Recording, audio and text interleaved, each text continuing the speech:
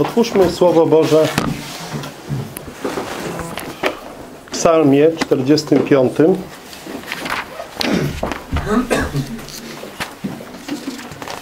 To jest strona 615.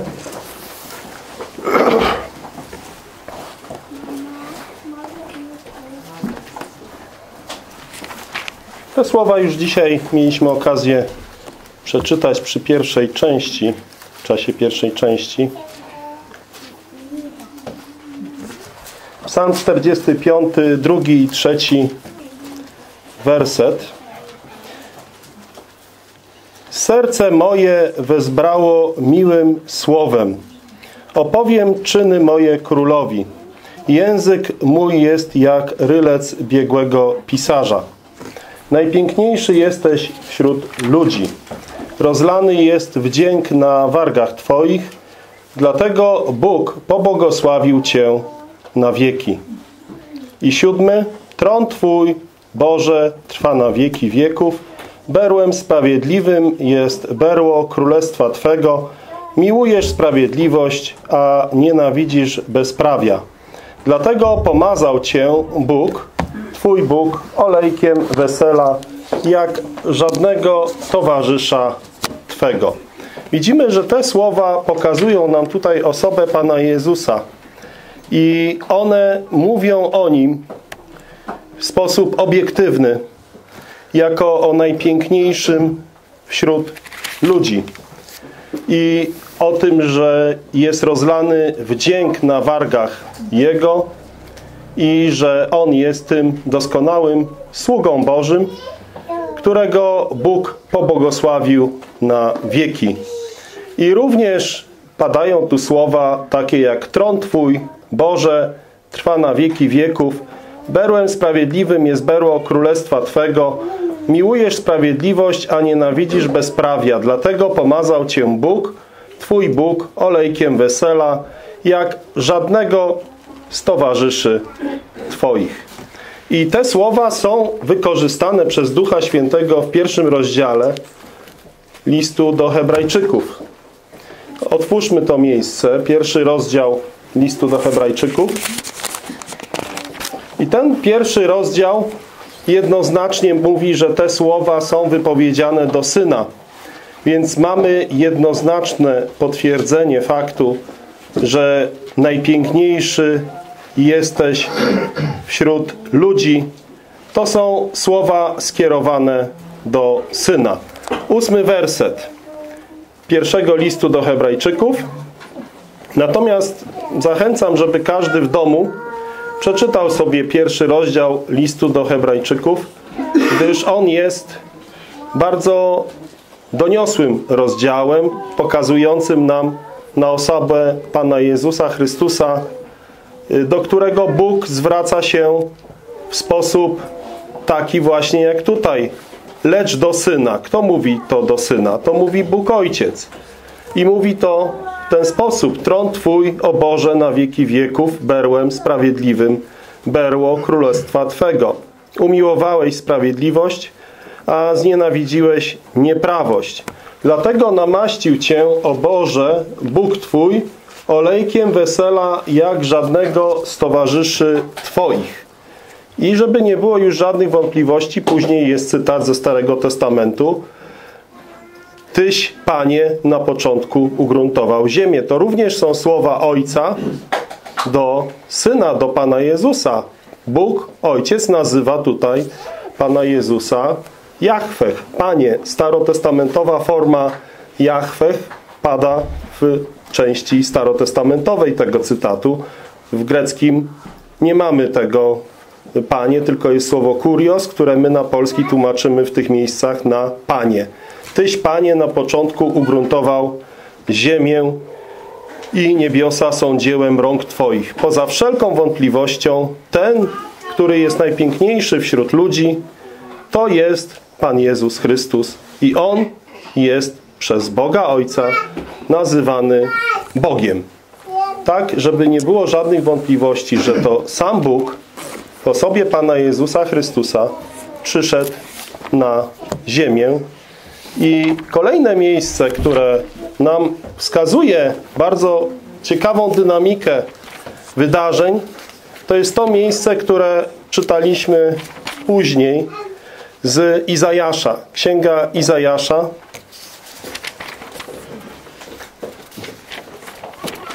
I tutaj jest tego typu sformułowanie. 52 rozdział.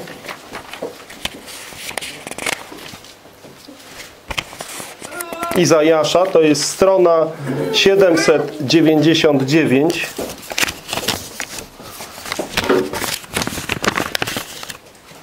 I w tym miejscu od 13 wersetu, 52 rozdział, jest zapowiedź Boża na temat właśnie Jego sługi, Pana Jezusa Chrystusa. Oto szczęśliwie się powiedzie mojemu słudze. Będzie nader wywyższony i bardzo wysoko wyniesiony. I nagle pojawiają się kolejne słowa, które pokazują na uniżenie Pana Jezusa. Czternasty werset. Jak wielu się przeraziło na Jego widok, jak zeszpecony, niepodobny do ludzkiego był Jego wygląd, a Jego postać nie taka jak synów ludzkich. Co się wydarzyło? Kto zeszpecił Pana Jezusa? To my Go zeszpeciliśmy swoimi grzechami. Wykonawcy oczywiście to jest w momencie, kiedy sąd należny nam spadł na Pana Jezusa.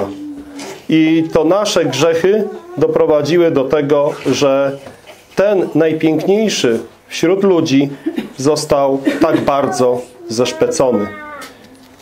Tak wprawi w zdumienie liczne narody, królowie zamkną przed nim swoje usta, bo zobaczą to, czego im nie opowiadano i zrozumieją to, czego nie słyszeli. Kto uwierzył wieści naszej, a ramię Pana komu się objawiło? Wyrósł bowiem przed nim jako latorośl, jako korzeń z suchej ziemi. Słowa sucha ziemia wskazują na nas. My jesteśmy po prostu grzeszni i Pan Jezus wyrósł jako jedyny, który był nazwany zielonym drzewem, latoroślą z tej suchej ziemi, czyli z tych, którzy już nic sobą nie reprezentowali, bo oddani byli grzechowi i byli martwi w grzechach swoich. Jedyne życie jest w Panu Jezusie.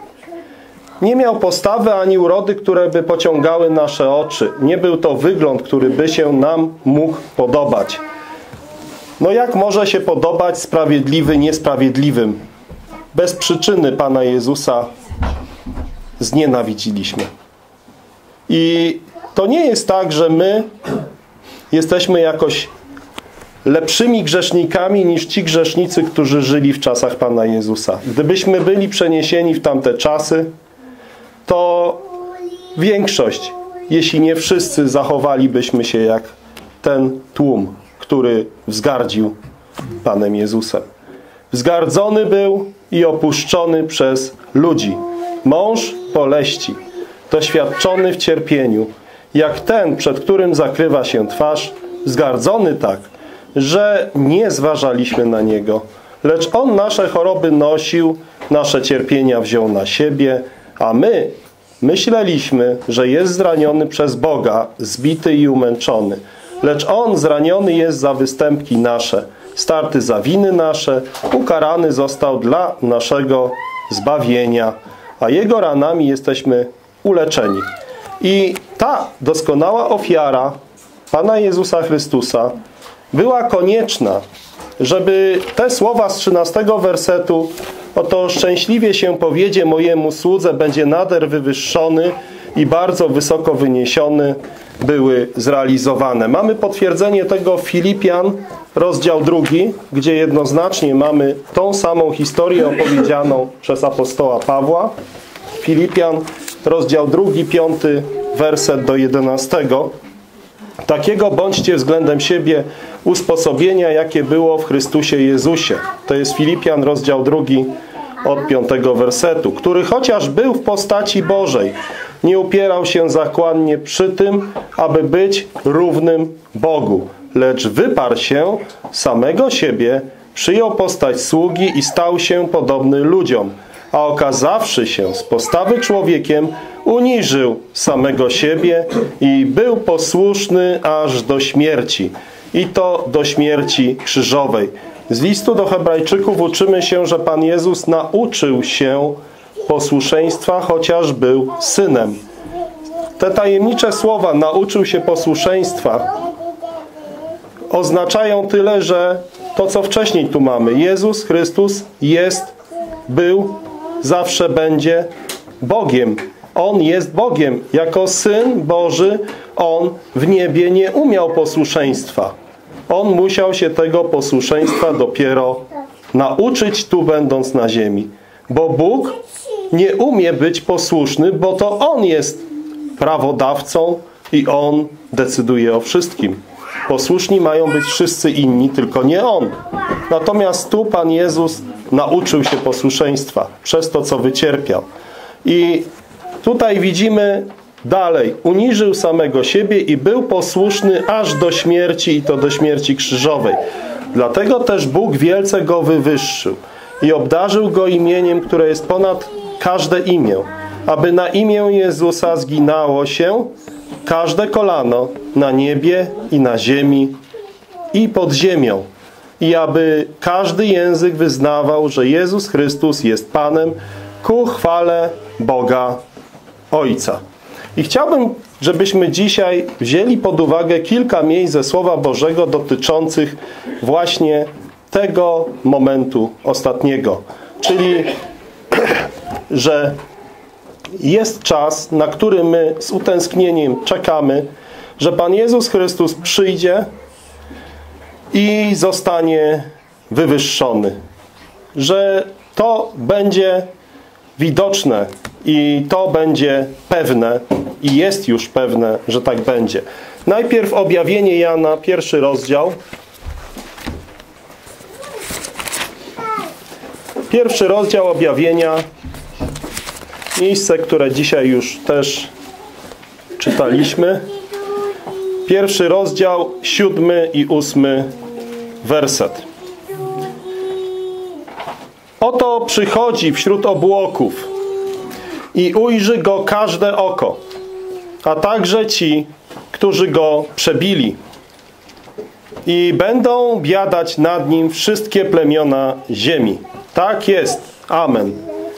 Ja jestem alfa i omega, początek i koniec, mówi Pan, Bóg, ten, który jest i który był i który ma przyjść.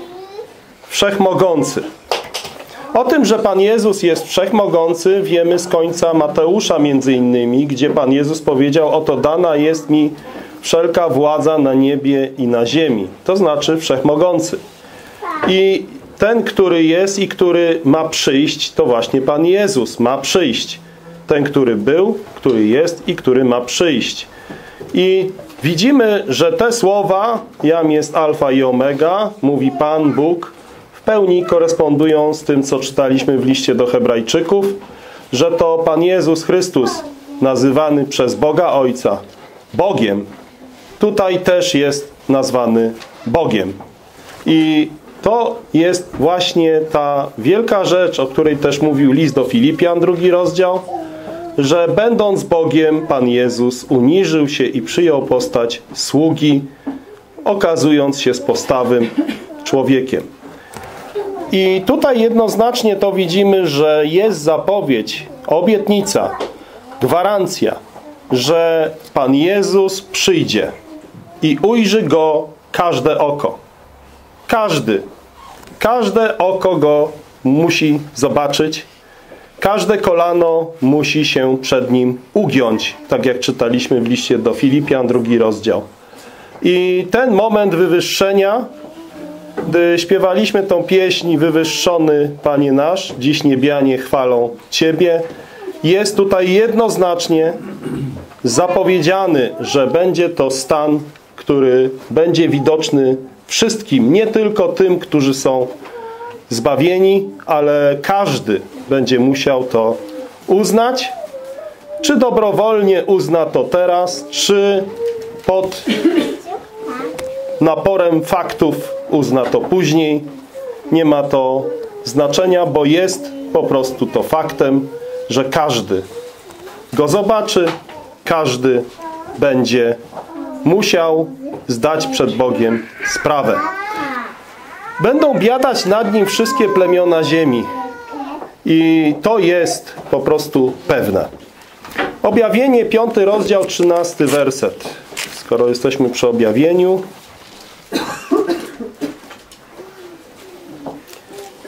I tutaj widzimy piąty rozdział, trzynasty werset. Słowa, które to potwierdzają. Temu, który siedzi na tronie i barankowi, błogosławieństwo i cześć i chwała i moc na zawsze, na wieki wieków. Jest to jednoznaczne, że taki moment wywyższenia nastąpi. Kolejne miejsce to jest drugi Tesaloniczan, drugi rozdział.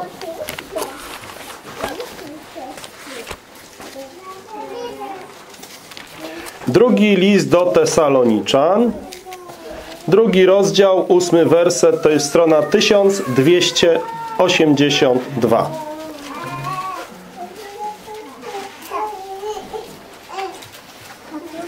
Jest tutaj zapowiedź tego, że ten, który prowadzi ludzi na zgubę, to jest niegodziwiec.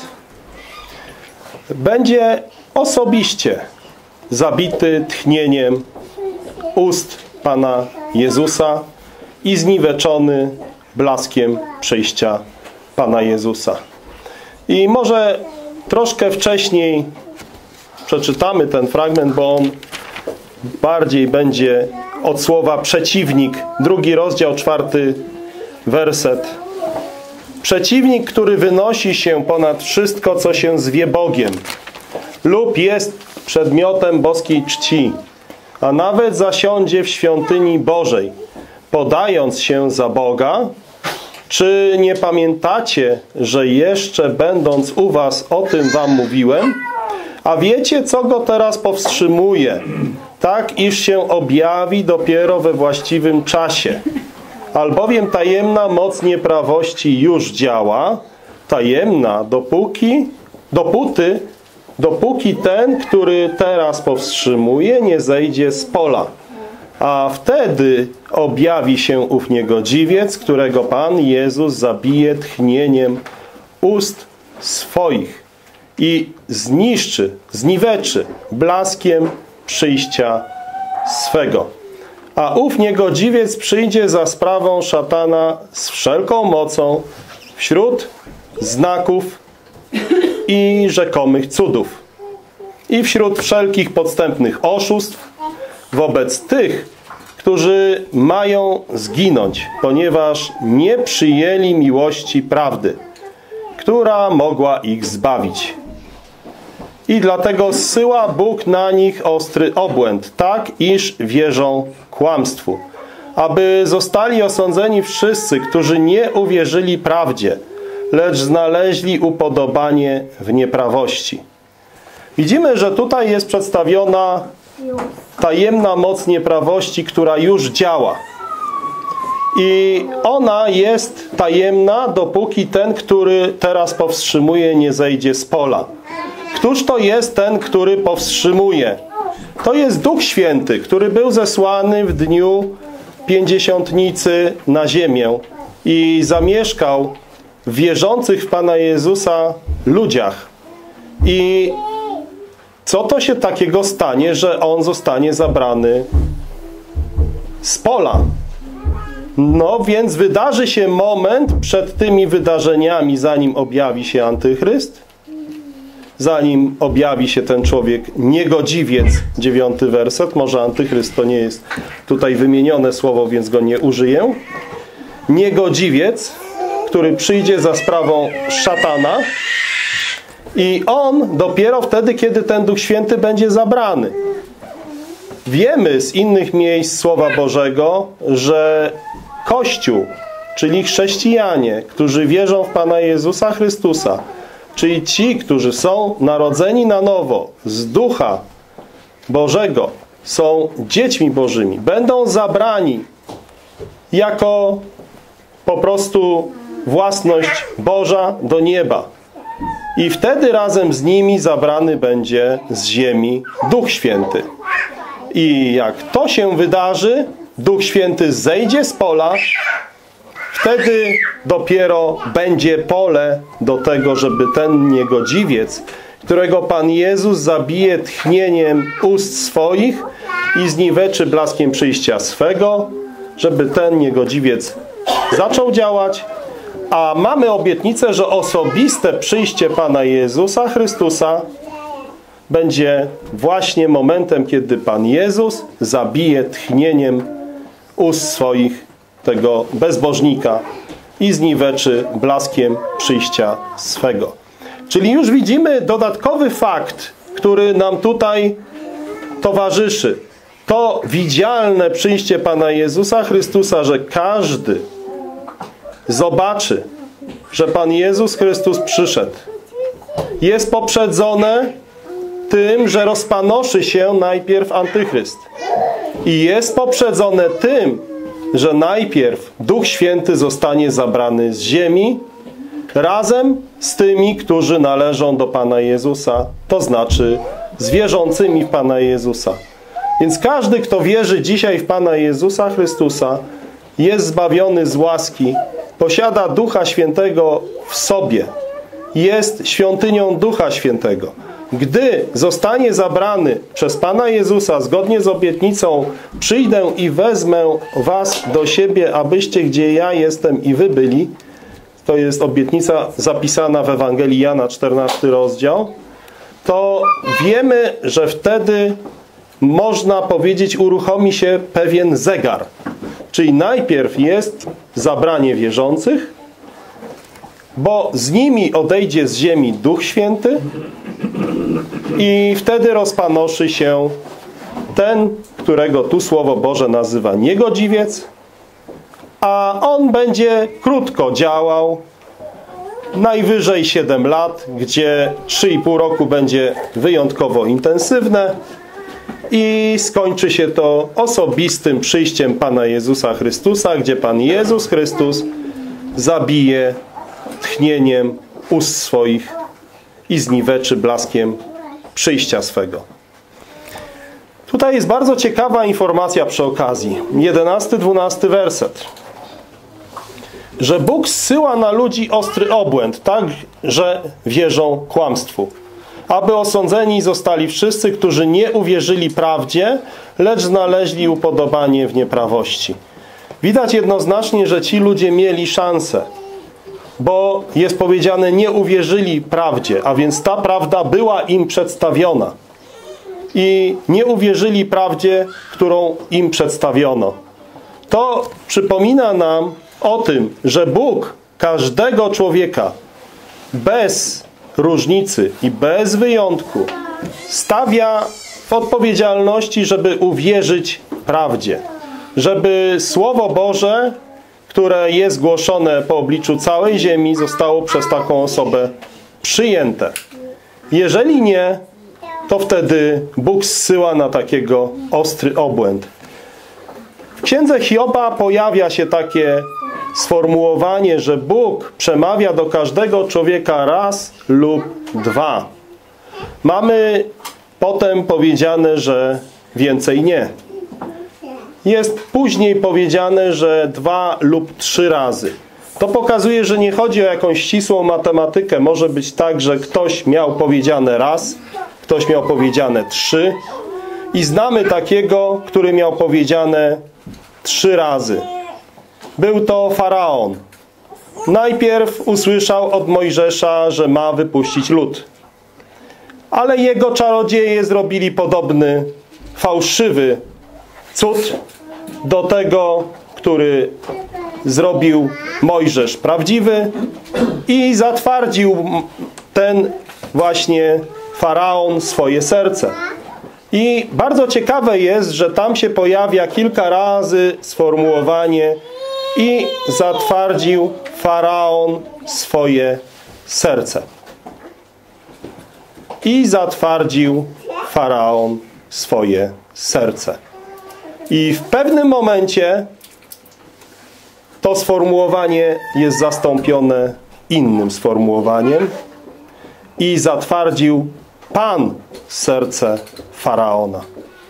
Bóg daje każdemu kilka szans.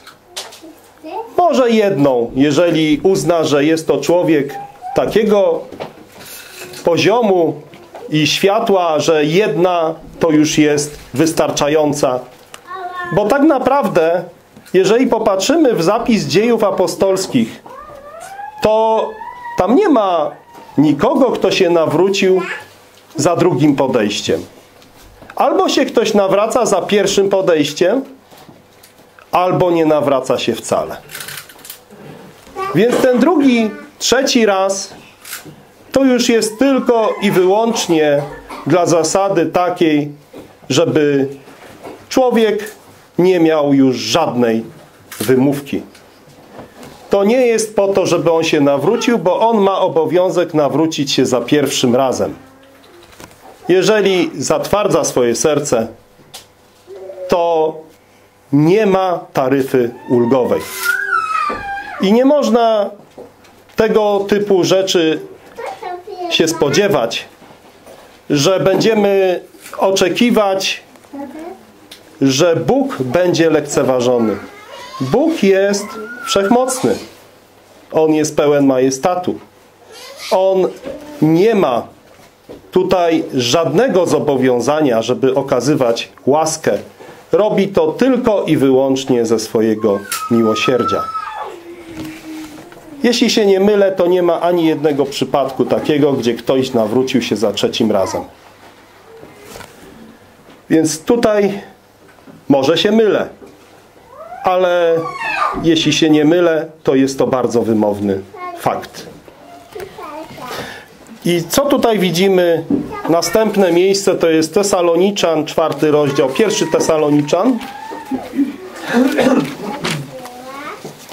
To jest to, o czym wspominaliśmy, kiedy Duch Święty zostanie zabrany z pola. Pierwszy Tesaloniczan, czwarty rozdział, 16-17 werset.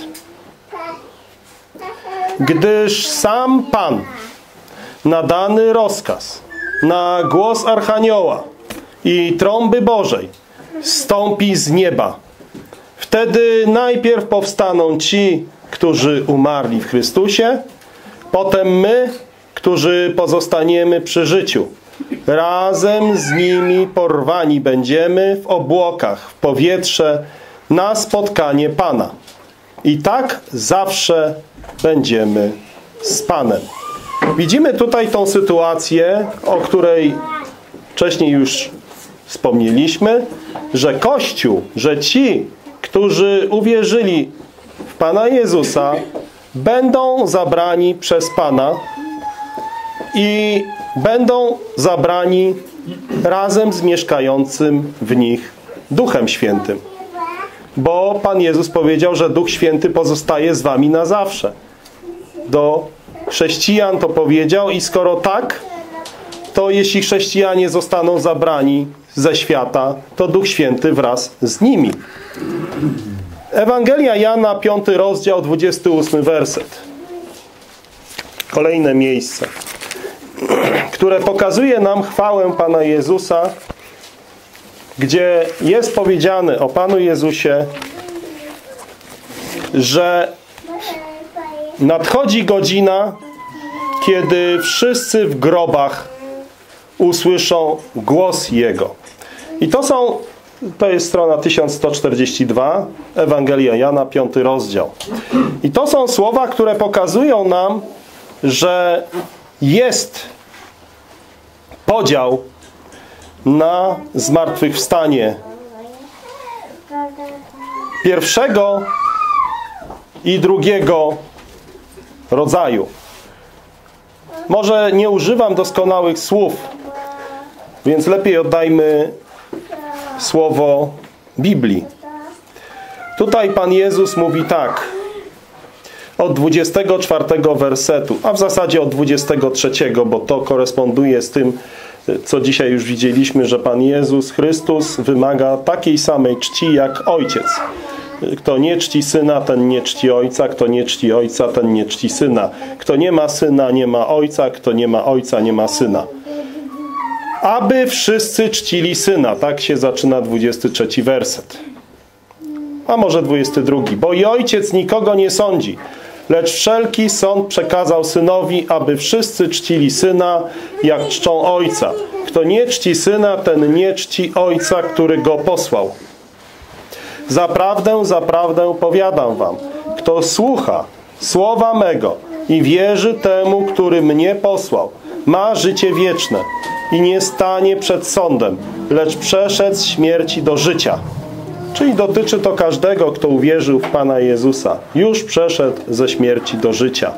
I dalej kontynuuje Pan Jezus. Zaprawdę, zaprawdę powiadam wam, zbliża się godzina, owszem już nadeszła, kiedy umarli usłyszą głos Syna Bożego i ci, co usłyszą, żyć będą.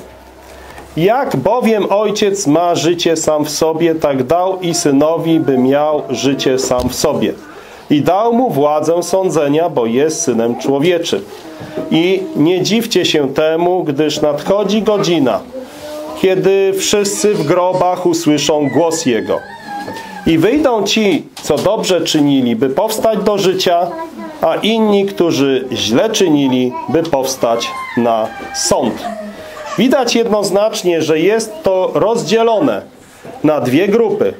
Jedni, by powstać na sąd i to objawienie, 20 rozdział o tym mówi, że tam będą postawieni umarli na sąd. I pierwsi, którzy są tu nazwani, że im są przypisane dobre uczynki, ci powstaną do życia. To jest to, co widzieliśmy w Tesaloniczan, że będą zabrani wierzący razem z Panem Jezusem i że ci, którzy już zdążyli zasnąć w Chrystusie, powstaną pierwsi, a ci, którzy jeszcze nie zdążą do tego czasu zasnąć z Panem, a są wierzącymi, będą po prostu bez przechodzenia przez śmierć ciała zabrani do nieba. Jana 14 rozdział z kolei też zapowiada nam ten wspaniały fakt, 14 rozdział Ewangelii Jana, strona 1157. Tutaj mamy wypowiedź Pana Jezusa. Niech się nie trwoży serce wasze. Wierzcie w Boga i we mnie wierzcie. W domu Ojca mojego wiele jest mieszkań. Gdyby było inaczej, byłbym wam powiedział. Idę przygotować wam miejsce. A jeśli pójdę i przygotuję wam miejsce, przyjdę znowu i wezmę was do siebie, abyście gdzie ja jestem i wy byli. Na podstawie tej wspaniałej zapowiedzi Pana Jezusa wiemy, że mamy oczekiwać nie jakichś wydarzeń, nie jakiegoś antychrysta, nie jakichś zmian na świecie, nie jakichś trzęsień, nie jakichś wydarzeń politycznych, lecz mamy oczekiwać Syna. Mamy oczekiwać Pana Jezusa. Tutaj jest wyraźnie powiedziane, że wszystko, co było konieczne, żeby Pan Jezus Chrystus po nas przyszedł, już zostało spełnione. Bo jest tu powiedziane, że w domu Ojca Pana Jezusa już wtedy, kiedy Pan to powiedział, jest wiele mieszkań. Już wtedy. One już były. I zapewniając nas, Pan Jezus powiedział, gdyby było inaczej, byłbym wam powiedział. No ale nie jest inaczej. Więc Pan Jezus tak powiedział, że już one są. Idę przygotować wam miejsce. Te słowa wskazują nam jednoznacznie, że to było jeszcze wypowiedziane przed tym, gdy Pan Jezus to miejsce przygotowywał, miał przygotować. I to miejsce zostało przygotowane po pierwsze przez doskonałą ofiarę Pana Jezusa Chrystusa na krzyżu Golgoty. Bez tego nie mielibyśmy wstępu do nieba. Po drugie, przez zmartwychwstanie i osobiste wejście Pana Jezusa jako człowieka do tego nieba, do tego miejsca, do domu Ojca, dlatego, że On jako doskonały człowiek już tam się znalazł, również dla nas to miejsce jest już dostępne. Brakuje jedynie kolejnego punktu.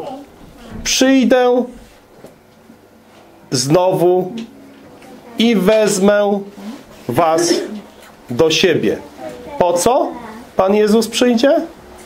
Pan Jezus przyjdzie, abyśmy, gdzie On jest i my byli. Więc jednoznaczna gwarancja.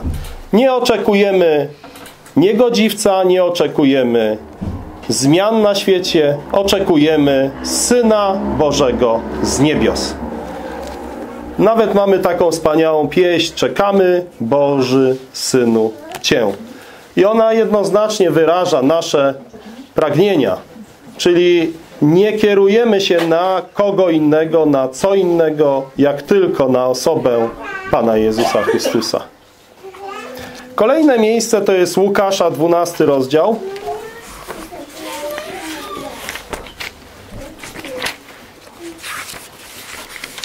Łukasza, 12 rozdział mówi nam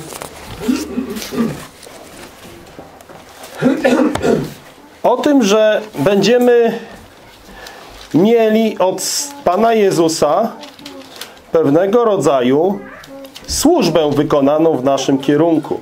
To jest 12 rozdział Łukasza, werset 37. Błogosławieni owi słudzy, których Pan, gdy przyjdzie, zastanie czuwających. Zaprawdę powiadam wam, iż się przepaszę i posadzi ich przy stole i przystąpiwszy będzie im usługiwał. Jest to bardzo ciekawa zapowiedź. Na pewno odnosić się będzie tylko do tych, którzy są tutaj wymienieni jako zastanie czuwających. Więc bądźmy zastani jako czuwający.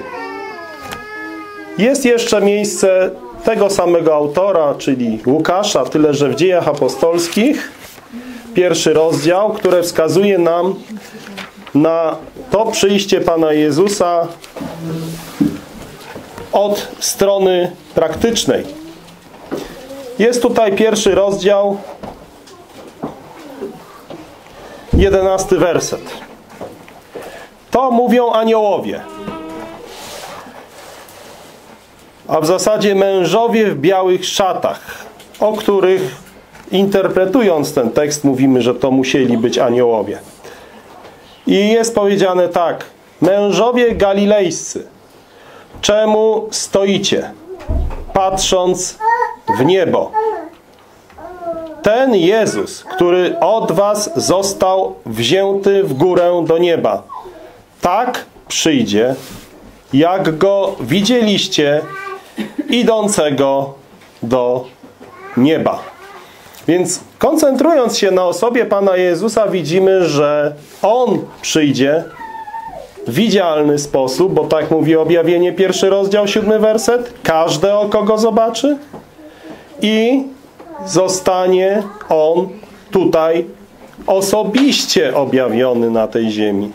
On przyjdzie, jak go ci uczniowie widzieli. Czyli to nie jest jakaś duchowa obecność, jak niektórzy próbują się tego dopatrywać. Są takie fałszywe nurty w chrześcijaństwie. Lecz osobista, widzialna przez fizyczne oczy człowieka przyjście Pana Jezusa. Oczywiście to jest mowa o tym przyjściu, kiedy już będą wzięci chrześcijanie do nieba, będą przez siedem lat razem z Panem Jezusem i potem Pan Jezus przyjdzie na ziemię i wiemy z innych miejsc Słowa Bożego, że z Nim będą święci, to znaczy właśnie wierzący w Pana Jezusa, ludzie będą mu towarzyszyć. I teraz kolejne miejsce to jest Zachariasza, 14 rozdział. Zachariasza,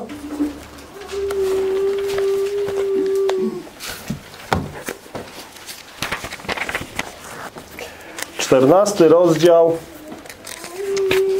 czwarty werset.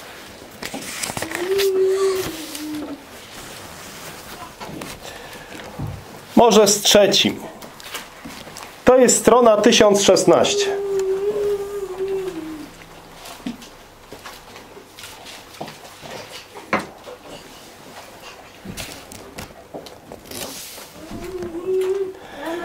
Potem wyruszy Pan i będzie walczył z tymi narodami, jak zwykł walczyć w dniu bitwy.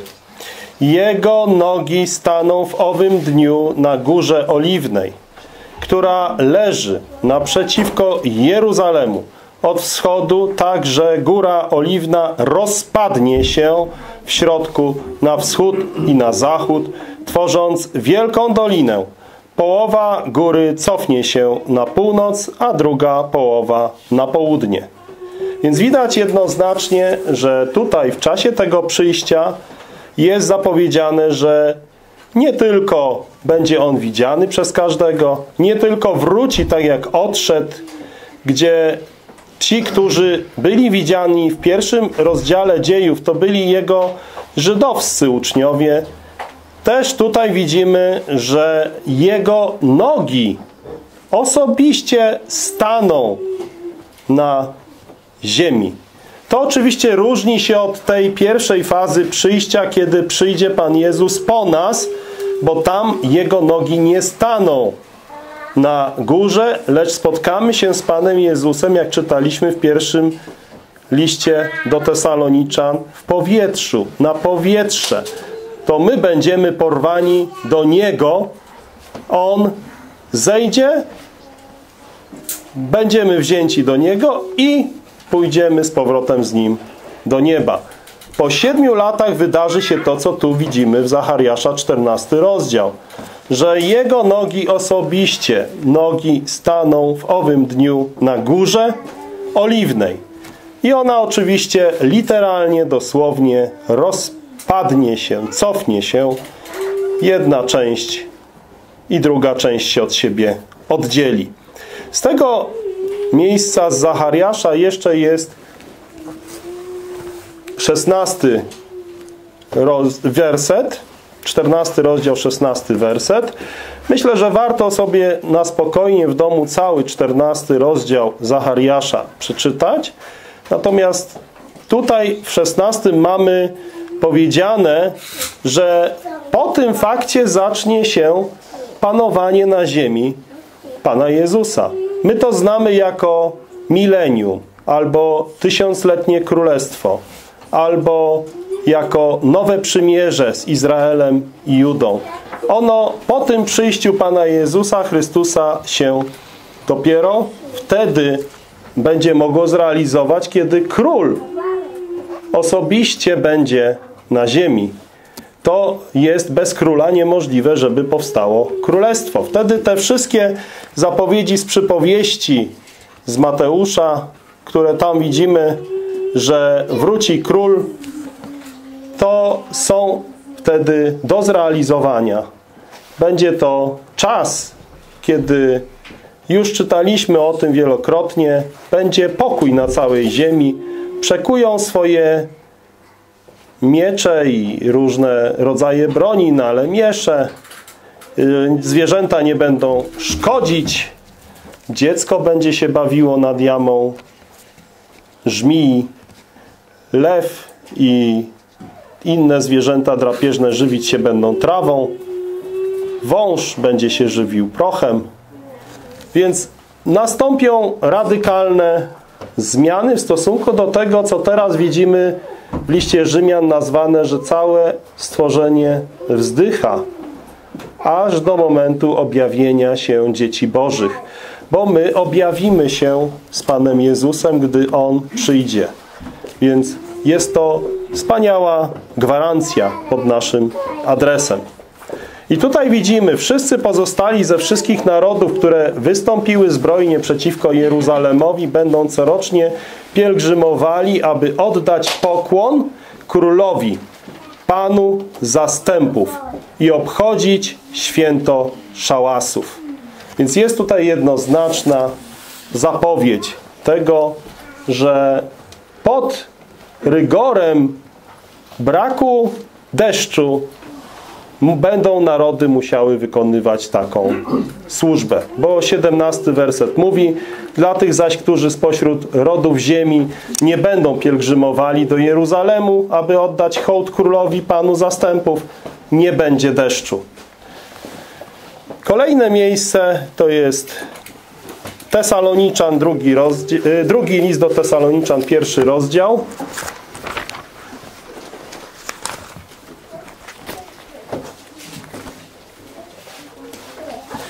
Pierwszy rozdział drugiego listu do Tesaloniczan znajduje się na stronie 1281. I tutaj o tym powtórnym przyjściu Pana Jezusa jest powiedziane. To jest pierwszy rozdział drugiego listu do Tesaloniczan, ósmy werset. W ogniu płomienistym wymierzając karę tym, którzy nie znają Boga oraz tym, którzy nie są posłuszni Ewangelii Pana naszego Jezusa. Poniosą oni karę za tracenie wieczne, oddalenie od oblicza Pana i od mocy chwały Jego.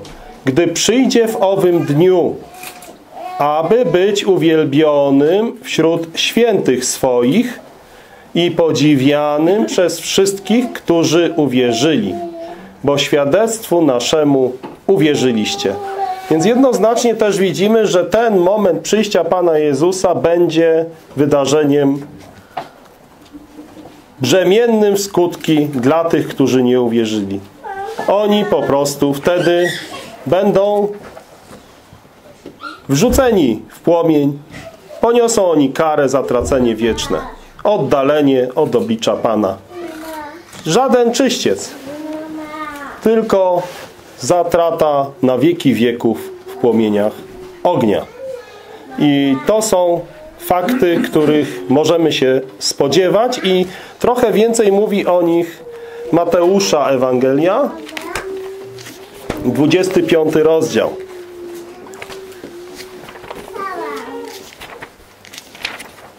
Ewangelia Mateusza 25 rozdział 31 werset.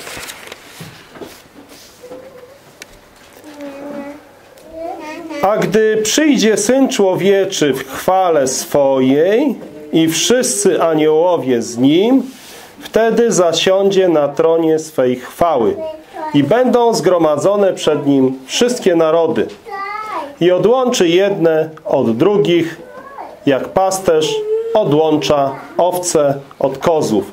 I dalej jest opisany tenże moment tego sądu. Więc nie jest to coś, co miałoby być przemilczane przez Słowo Boże. Słowo Boże o tym fakcie wielokrotnie i na różne sposoby mówi. Jeśli już jesteśmy w Mateusza 25, to rozdział wcześniej Pan Jezus, 24 rozdział, 30 werset, tutaj mówi, a w zasadzie od 29 wersetu, a zaraz po udręce owych dni słońce się zaćmi i księżyc nie zajaśnieje swoim blaskiem i gwiazdy spadać będą z nieba i moce niebieskie będą poruszone.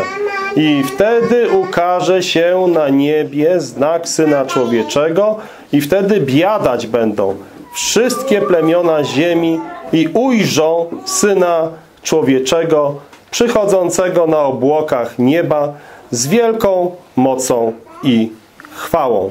Więc widzimy podsumowując, że to wydarzenie przez Pana Jezusa było wielekroć i na wiele sposobów zapowiadane. I to wydarzenie już było wielokrotnie przez sprawiedliwych ludzi dawnych czasów wyczekiwane. Jako taki przykład dajmy na przykład Hioba. Ja osobiście ten fragment z Hioba lubię, 19 rozdział, 25-27 werset. Hiob tutaj mówi takie słowa, to jest strona 562. rozdział 19, od 25 wersetu. Lecz ja wiem, że Odkupiciel mój żyje i jako ostatni nad prochem stanie, że potem, chociaż moja skóra jest tak poszarpana, uwolniony od swego ciała będę oglądał Boga. Tak, ja sam ujrzę Go i moje oczy zobaczą Go, nie kto inny. Moje nerki zanikają we mnie, za tym tęskniąc. Już Hiob doskonale wiedział, że jego własne oczy, te, z którymi zawarł przymierze, że nigdy nie spojrzą na Pannę, te same oczy będą osobiście widziały Odkupiciela. I doskonale wiedział, że to On, ten Odkupiciel, będzie tym, który będzie osobiście przez Niego oglądany, gdy będzie uwolniony od swojego ciała. Hiob nazywa tutaj nasze ciało nie inaczej jak czymś w rodzaju więzienia, skoro mówi o uwolnieniu od ciała. I to jest przecież coś, co my teraz z punktu widzenia Nowego Testamentu doskonale rozumiemy.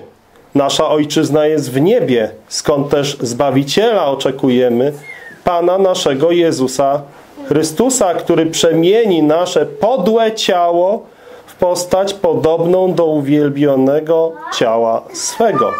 Podłe ciało. Może się to ciało podoba, bo faktycznie jest to majstersztyk Boga, jak wspaniale nas Bóg uczynił. I medycyna nie jest w stanie tego zbadać. Fizyka nie jest tego w stanie zbadać, jak wspaniałe jest to dzieło Boże. Zwykła gałka oczna, zwykłe ucho, zwykła noga. Jest to doskonałe dzieło Boże. Ale z punktu widzenia wieczności to jest nic. To jest coś, co się rozpadnie, coś, co jest naszym więzieniem, bo dopóki jesteśmy w ciele, jesteśmy oddaleni od Pana, tak mówi Słowo Boże. Że dopóki jesteśmy w ciele, jesteśmy oddaleni od Pana, czyli łącząc to ze słowami Hioba, nasze ciało jest ro pewnego rodzaju pułapką, czymś, co nas oddala od Boga, czymś, co musi być przemienione w uwielbione ciało, bo jest podłe, tak jak mówi list do Filipian. Bo nasza Ojczyzna jest w niebie. I oby wołaniem każdego z nas było to, co jest w 27 wersecie. Ja sam ujrzę Go i moje oczy zobaczą Go, nie kto inny. Moje nerki zanikają we mnie, za tym tęsknią. Tak, siostro, tak, bracie. Nasze nerki mają zanikać w nas, gdy tęsknimy za przyjściem Pana Jezusa. Oczekujemy Syna Bożego z niebios. Oby Pan Jezus przyszedł jak najszybciej. Przyjdź, Panie Jezu.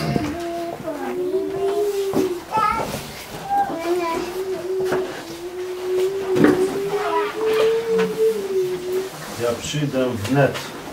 267.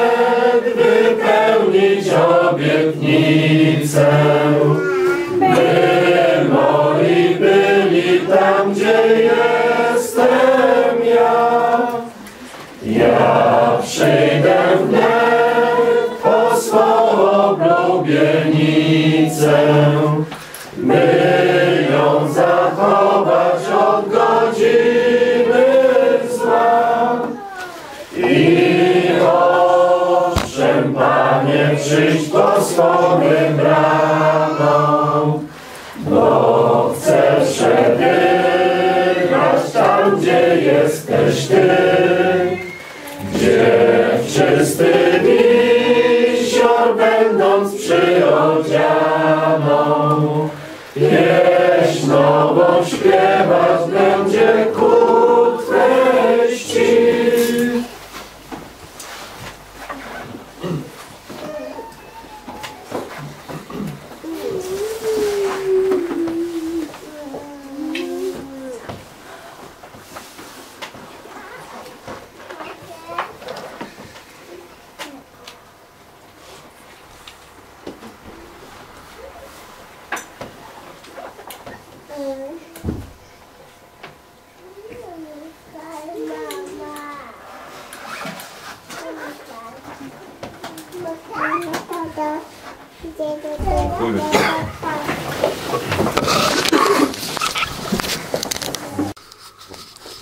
Dzisiejszy temat rozważania dotyczy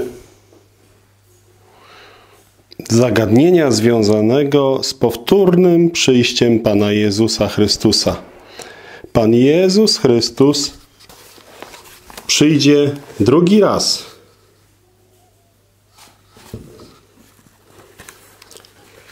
I może na początek tak nietypowo przeczytam poemat Karola Wezleja. Oto idzie z obłokami ten, co zmarł za grzeszny świat. Z nim zbawieni tysiącami w złotogłowiu świetnych szat. Alleluja, Jezus Panem tysiąc lat. Każde oko wnet zobaczy nadchodzący sądu brzask. Tłumy zdrajców i siepaczy i zaprzańców Jego łask ujrzą z płaczem zgardzonego Zbawcy blask. Na Jezusa lśniącym ciele ślady srogich niegdyś ran. Skąd radości płynie wiele dla tych, kogo zbawił Pan. Jakiż zachwyt ujrzeć ten chwalebny stan. Tak i amen. Drogi Panie, przyjm należny chwały tron, cześć i moc i dziękowanie za Twój krwawy za nas zgon. Panie Jezu, przyjdźże rychlej z górnych stron. Karol Wesley Oczywiście to nie jest natchnione Słowo Boże, ale ten autor, czytając Biblię, wyciągnął wnioski dla tego poematu, takie jakie tutaj słyszymy. Ze słów tych wynika, że autor uważa, że Jezus Chrystus przyjdzie po raz drugi. I nie zająłbym się tym tematem, gdyby nie to, że ja również uważam, że Jezus przyjdzie po raz drugi. Mam do Ciebie zatem pytanie. Czy wiesz, że Jezus przyjdzie drugi raz? Jeżeli weźmiemy słowa Pana Jezusa z Ewangelii Jana z 14 rozdziału, z trzeciego wersetu, to tam mamy wyraźną wypowiedź Pana Jezusa. Przyjdę znowu. A słowo Pana Jezusa trwa na wieki. Widzimy to zapewnienie w pierwszym liście Piotra, pierwszy rozdział, 25 werset. Ale Słowo Boże trwa na wieki, a to jest Słowo, które wam jest zwiastowane. Pierwszy Piotra, pierwszy rozdział, 25 werset. No i kto powiedział te słowa? Przyjdę znowu. Powiedział je Pan Jezus, który jest prawdą, bo Pan Jezus jest prawdą. Czytamy o tym innymi w Ewangelii Jana, 14 rozdział, 6 werset. Powiedział Jezus, ja jestem tą drogą i prawdą i życiem. Widzimy wyraźnie, że Jezus jest prawdą i mówi prawdę. I skoro powiedział, że przyjdzie znowu, to przyjdzie znowu. Stąd mój wniosek, że Jezus Chrystus przyjdzie drugi raz. Aniołowie też mówili, że Pan Jezus przyjdzie jeszcze raz. Ten Jezus, ten sam i tak, czyli w ten sam sposób przyjdzie. Widzimy to w słowach z dziejów apostolskich z pierwszego rozdziału 11 wersetu. I rzekli aniołowie, mężowie galilejscy, dlaczego stoicie patrząc w niebo? Ten Jezus, który w górę wzięty jest od was do nieba, tak przyjdzie, jak go widzieliście idącego do nieba. Zatem dzisiejsze spotkanie chcielibyśmy poświęcić temu tematowi. Jezus przyjdzie drugi raz. Zatem widzimy, że aniołowie mówili, że On przyjdzie jeszcze raz. Słowa ten Jezus pokazują nam, że chodzi o tego samego Jezusa i tak, czyli w dokładnie ten sam sposób przyjdzie. I aniołowie się nie pomylili. I uczniowie się nie pomylili. Bo uczniowie zwiastowali przyjście Pana Jezusa ponowne. Aniołowie podobnie zwiastowali przyjście Pana Jezusa zarówno pierwsze, jak i później zapowiadali drugie. Widzimy to między innymi w wersetach ze Słowa Bożego, między innymi z Ewangelii Łukasza, pierwszy rozdział, 26 do 33 wersetu i w Ewangelii Łukasza, drugi rozdział, od 8 do 18 wersetu. Tutaj przytoczę słowa z Łukasza, pierwszy rozdział, 26 do 33 wersetu. A w miesiącu szóstym posłany jest anioł Gabriel od Boga do miasta galilejskiego, które zwano Nazaret, do panny poślubionej mężowi, któremu imię było Józef, z domu Dawidowego, a imię panny Maria. A wszedłszy anioł do niej, rzekł, Bądź pozdrowiona, łaskąś udarowana. Pan jest z tobą, błogosławionaś ty między niewiastami. I rzekł jej anioł, nie bój się, Mario, albowiem znalazłaś łaskę u Boga. A oto poczniesz w żywocie i porodzisz syna i nazwiesz imię jego Jezus. Ten będzie wielki, a synem Najwyższego będzie nazwany i da mu Pan Bóg stolicę Dawida, ojca jego, i będzie królował nad domem Jakubowym na wieki, a królestwu jego nie będzie końca. Także Ewangelia Łukasza, rozdział drugi,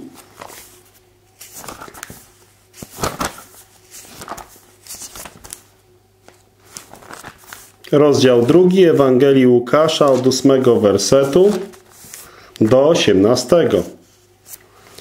A byli w tej krainie pasterze w polu czuwający i trzymający nocne straże nad stadem swoim. I anioł pański stanął przy nich, a chwała pańska zewsząd ich oświeciła. I ogarnęła ich bojaźń wielka i rzekł do nich anioł, nie bójcie się, bo oto zwiastuję wam radość wielką, która będzie udziałem wszystkiego ludu, gdyż dziś narodził się wam Zbawiciel, którym jest Chrystus Pan w mieście Dawidowym. A oto będzie dla was znakiem. A to będzie dla was znakiem. Znajdziecie niemowlątko owinięte w pieluszki i położone w żłobie. I zaraz z aniołem zjawiło się mnóstwo wojsk niebieskich, chwalących Boga i mówiących chwała na wysokościach Bogu, a na ziemi pokój ludziom, w których ma upodobanie. A gdy aniołowie odeszli od nich do nieba, pasterze rzekli jedni do drugich, pójdźmy zaraz aż do Betlejemu i oglądajmy. Pójdźmy zaraz aż do Betlejemu i oglądajmy to, co się stało i co nam objawił Pan. I śpiesząc się przyszli i znaleźli Marię i Józefa oraz niemowlątko leżące w, grob, w żłobie oraz niemowlątko leżące w żłobie. A ujrzawszy, rozgłosili to, co im powiedziano o tym dziecięciu. I wszyscy, którzy słyszeli, dziwili się temu, co pasterze im powiedzieli. Widzimy zatem, że aniołowie mieli rację, gdy zapowiadali pierwsze przyjście Pana Jezusa Chrystusa i mają także rację zapowiadając drugie przyjście Pana Jezusa Chrystusa. Duch Święty przez usta apostołów wielokrotnie powtarzał, że Jezus Chrystus znowu przyjdzie. Widzimy to innymi w słowach ze Słowa Bożego zapisanego w pierwszym Tesaloniczan, czwarty rozdział, szesnasty werset. Gdyż sam Pan z okrzykiem, z głosem archanielskim i z trąbą Bożą stąpi z nieba, a pomarli w Chrystusie powstaną najpierwej. To jest pierwszy Tesaloniczan, czwarty rozdział, szesnasty werset.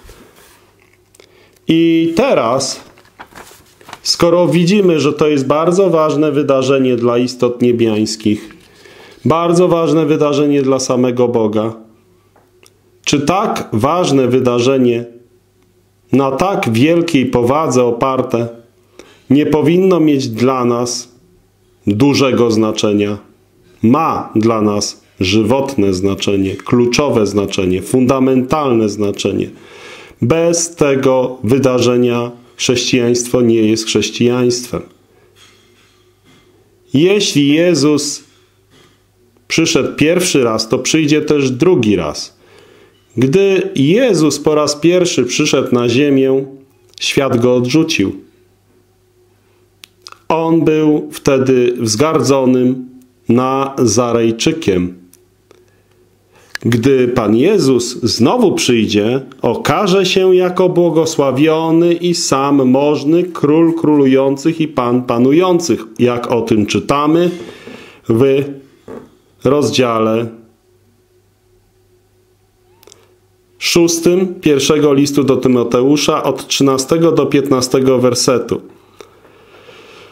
Rozkazuję przed Bogiem, który wszystko ożywia i przed Chrystusem Jezusem, abyś zachował to przykazanie, będąc beznagany, aż do objawienia się Pana naszego Jezusa Chrystusa, które czasów swoich okaże On błogosławiony i sam możny, Król królujących i Pan panujących.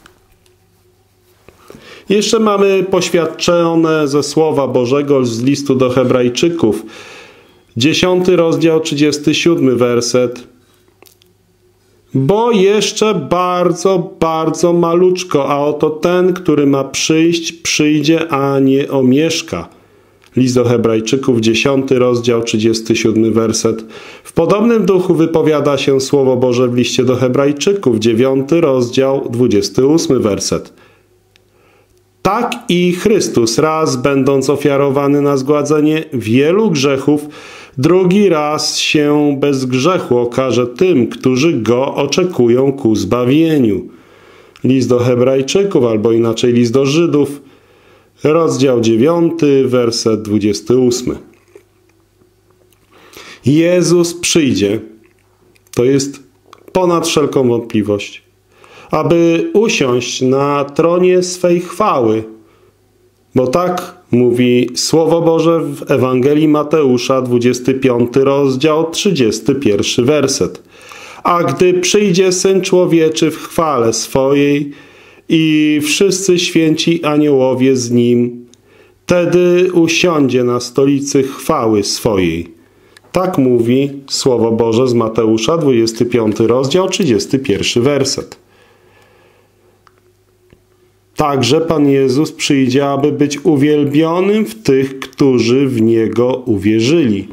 Mówi nam o tym Słowo Boże z drugiego Tesaloniczan, pierwszy rozdział, dziesiąty werset. Gdy przyjdzie, aby był uwielbiony w świętych swoich i aby się dziwnym okazał we wszystkich wierzących, dlatego iż uwierzono naszemu świadectwu u was w on dzień. Tak mówi drugi Tesaloniczan, pierwszy rozdział, dziesiąty werset. Także Pan Jezus Chrystus przyjdzie ponownie, aby panować w sądzie i sprawiedliwości nad wszystkimi narodami ziemi. Widzimy świadectwo tego w kilku miejscach Słowa Bożego. Pierwsze z nich, które przeczytam, to jest objawienie Jana, albo inaczej Apokalipsa, rozdział drugi, od 25 do 27 wersetu. Wszakże to, co macie, trzymajcie, aż przyjdę. A kto zwycięży i zachowa aż do końca uczynki moje, dam mu zwierzchność nad poganami i będzie ich rządził laską żelazną, jako statki garncarskie, skruszeni będą, jaką i ja wziął od Ojca mego. Kolejne miejsce z Izajasza, dziewiąty rozdział. Albowiem dziecię narodziło się nam, a syn dany jest nam. I będzie panowanie na ramieniu Jego i nazwą imię Jego. Dziwny, radny, Bóg mocny, Ojciec wieczności, Książę pokoju, a ku rozmnożeniu tego państwa i pokoju, któremu końca nie będzie, usiądzie na stolicy Dawidowej i na królestwie Jego, aż postanowi i utwierdzi w sądzie i sprawiedliwości odtąd aż na wieki.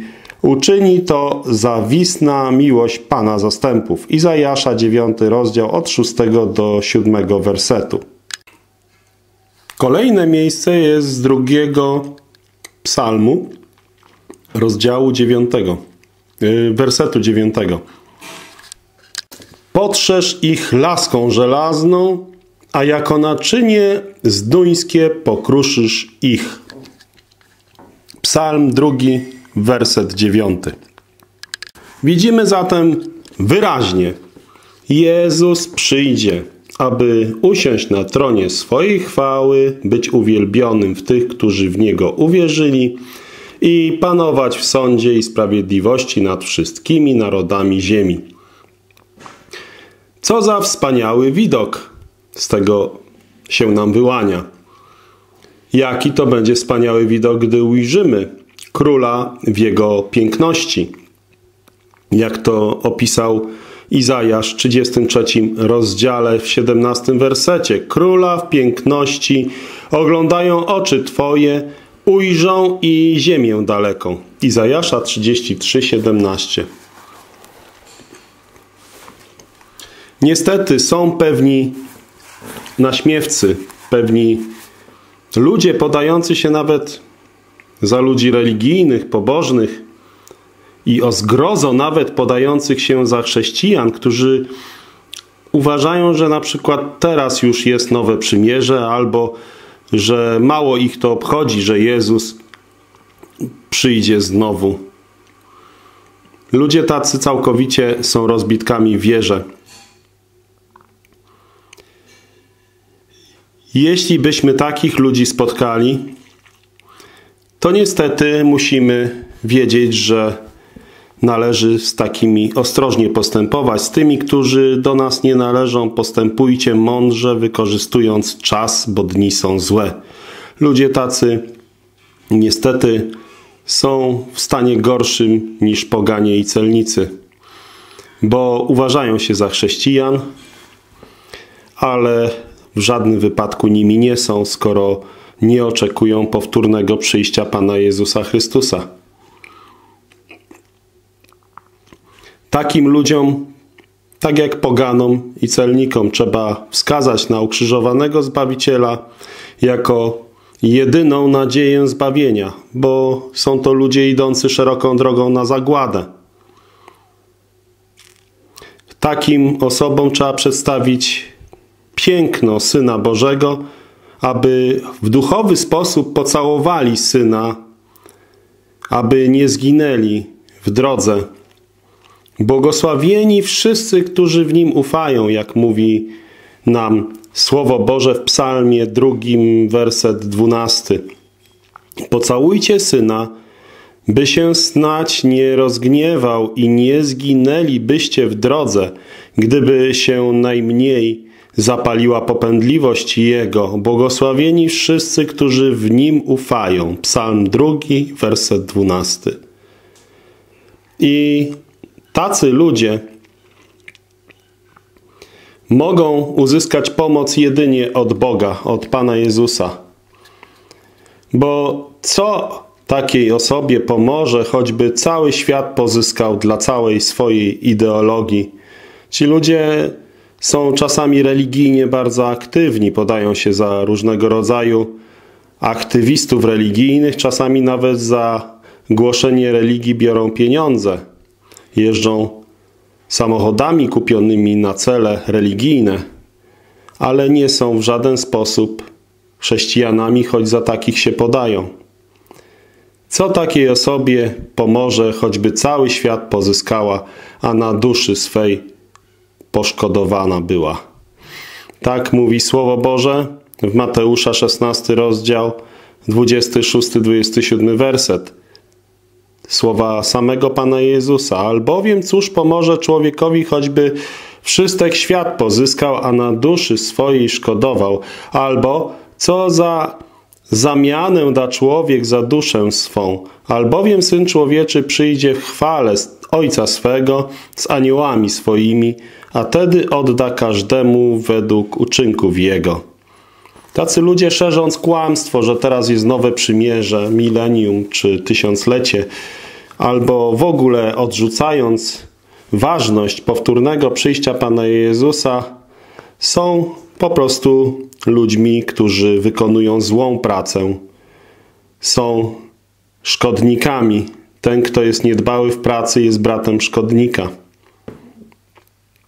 I to, że oni odrzucają powtórne przyjście Pana Jezusa Chrystusa, twierdząc, że ono już nadeszło, skoro twierdzą, że już jest nowe przymierze, a nowe przymierze, jak wiemy, będzie zawarte dopiero po przyjściu Pana Jezusa. Dopiero po powtórnym przyjściu Pana Jezusa nastąpi nowe przymierze, ale są kłamcy, którzy twierdzą, że już dziś mamy nowe przymierze. I ci zwodziciele przeoczają to, że mimo ich kłamstw Jezus Chrystus przyjdzie, choć nie wiemy dnia ani godziny, kiedy się to stanie. Mamy o tym zapisane w Mateusza 25 rozdział 13 werset. Czuwajcież wtedy, bo nie wiecie dnia ani godziny, której Syn Człowieczy przyjdzie. Mateusza 25, 13. I co by się stało z tymi ludźmi, gdyby teraz właśnie przyszedł mimo waszych kłamstw? Tak, możemy się zwrócić do takich ludzi, którzy twierdzą, że już jest nowe przymierze. Do tych oszustów religijnych, którzy są w błędzie, błądzą sami i innych w błąd wprowadzają. Możesz takiego spytać, czy gdyby cię znalazł dzisiaj w spokoju, czy też byłby gotów zostać na sądy Boże, aby drętwieć ze strachu i oczekiwania tych strasznych rzeczy, które przyjdą na cały świat. Czytać możemy o tych ostrzeżeniach. Drugi Piotra, trzeci rozdział, czternasty werset. Przetoż najmilsi, tego oczekując, starajcie się, abyście bez zmazy i bez nagany od Niego znalezieni byli w pokoju. Drugi list Piotra, trzeci rozdział, czternasty werset. A kolejne ostrzeżenie jest w Łukasza, 21 rozdział, 25 do 26 wersetu. Wtedy będą znaki na słońcu i na księżycu i na gwiazdach, a na ziemi uciśnienie narodów z rozpaczą, gdy zaszumi morze i wały – tak iż ludzie drętwieć będą przed strachem i oczekiwaniem tych rzeczy, które przyjdą na cały świat, albowiem moce niebieskie poruszą się. Łukasza 21, 25, 26. Więc możemy tutaj widzieć pewnego rodzaju obietnicę dla nas że w chwili, gdy Kościół będzie z Chrystusem na powietrzu, gdy wszyscy prawdziwi wierzący będą zabrani żywcem do nieba przed wielkim uciskiem, a po tym wielkim ucisku siedem lat będzie ucisków i po tych siedmiu latach dopiero nastanie nowe przymierze zawarte z Izraelem i Judą. Ale w chwili, gdy Kościół będzie z Chrystusem na powietrzu, to ci naśmiewcy, ci bluźniercy twierdzący, że już dziś jest nowe przymierze, niewierzący w to, że Jezus Chrystus umarł za ich grzechy i to wystarczy dla zbawienia, tylko szukający usprawiedliwienia w samych swoich błędach i uczynkach i religii uczynków, to gdyby taki potępiony człowiek był dalej na ziemi, to gdy taki człowiek będzie w tym momencie, to przy ukazaniu się Jezusa, gdyby narzekał, prosił, aby góry i skały zakryły go, to co mu to pomoże? Nic mu to nie pomoże. Mamy wiele ostrzeżeń w Słowie Bożym, że w momencie, kiedy Pan Jezus Chrystus przyjdzie po swoich, żeby zabrać ich do nieba żywcem, to od tego momentu uruchomiony zostanie zegar. Zegar zaczynający 7 lat wielkiego ucisku, a po tych siedmiu latach Jezus przyjdzie osobiście wraz z Kościołem na ziemię i potem będzie dopiero zawarte nowe przymierze, tysiącletnie królestwo, milenium się wtedy zacznie, nie wcześniej. Niektórzy zwodziciele, aby rozwodnić tą swoją fałszywą naukę, przestali mówić, że milenium jest już teraz, tylko zaczęli kłamać, że chodzi im nowe przymierze jako coś niby innego niż milenium. To jest tylko zwodniczy charakter tych kłamców, którzy jak Filetos i Hymnogeus i yy, Filetos i Hermogenes z drogi wiary zboczyli, mówiąc, że zmartwychwstanie już się dokonało, bo nowe przymierze dopiero będzie po dokonaniu zmartwychwstania. A przecież my doskonale wiemy z pierwszego listu do Koryntian, 15 rozdział, że najpierw będzie zmartwychwstanie, a dopiero potem będzie siedmioletni ucisk, który również będzie zawierał w sobie kolejną część zmartwychwstania i dopiero po tym, po zmartwychwstaniu nastanie co? Nowe przymierze zawarte z Izraelem i Judą. Wcześniej nie. Wcześniej nowe przymierze nie nastanie. I teraz, jeżeli popatrzymy na kilka miejsc ostrzeżeń, to pierwsze z nich Łukasza 21:36. Przetoż czuwajcie, modląc się na każdy czas, abyście byli godni ujść tego wszystkiego, co się dziać ma i stanąć przed Synem Człowieczym. Tak mówi Pan Jezus, a słowa te są zapisane w Łukasza 21:36. Kolejne miejsce ze Słowa Bożego to jest pierwszy Tesaloniczan, czwarty rozdział, siedemnasty werset. Zatem my żywi, dlatego słowa żywi używamy jako zapewnienia, że żywcem będziemy zabrani do nieba, gdy Pan Jezus przyjdzie. Zatem my żywi, którzy pozostaniemy Wespół z nimi zachwyceni będziemy w obłokach naprzeciwko Panu na powietrze, a tak zawsze z Panem będziemy. Pierwszy Tasaloniczan, czwarty rozdział, siedemnasty werset. A wam, którzyście uciśnieni, odpocznienie z nami przy objawieniu Pana Jezusa z nieba z aniołami mocy Jego. To są słowa z drugiego Tesaloniczan, pierwszy rozdział od siódmego do dziesiątego wersetu. A wam, którzyście uciśnieni, odpocznienie z nami przy objawieniu Pana Jezusa z nieba z aniołami mocy Jego w ogniu płomienistym, oddawając pomstę tym, którzy Boga nie znają i tym, którzy nie są posłuszni Ewangelii Pana naszego Jezusa, Chrystusa, którzy pomstę odniosą, wieczne zatracenie od obliczności pańskiej i od chwały mocy Jego, gdy przyjdzie, aby był uwielbiony w świętych swoich i aby się dziwnym okazał we wszystkich wierzących, dlatego iż uwierzono naszemu świadectwu u was w on dzień. Czyli tak mówi nam Słowo Boże z drugiego listu do Tesaloniczan, od pierwszy rozdział od siódmego do dziesiątego wersetu. Kolejne miejsce o narzekaniach tych ludzi bezbożnych. Wtedy się okaże znamię Syna Człowieczego na niebie. To są słowa z Mateusza, 24 rozdział, 30 werset.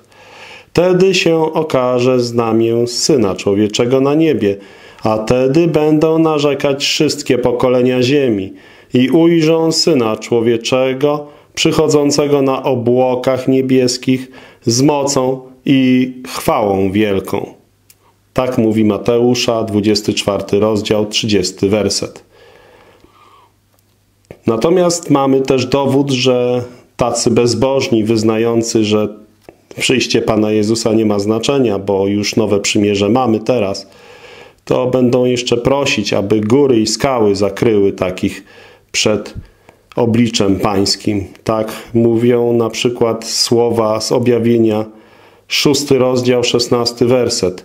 I rzekli górom i skałom, upadnijcie na nas i zakryjcie nas przed obliczem tego, który siedzi na stolicy. Objawienie, albo inaczej Apokalipsa, szósty rozdział, szesnasty werset.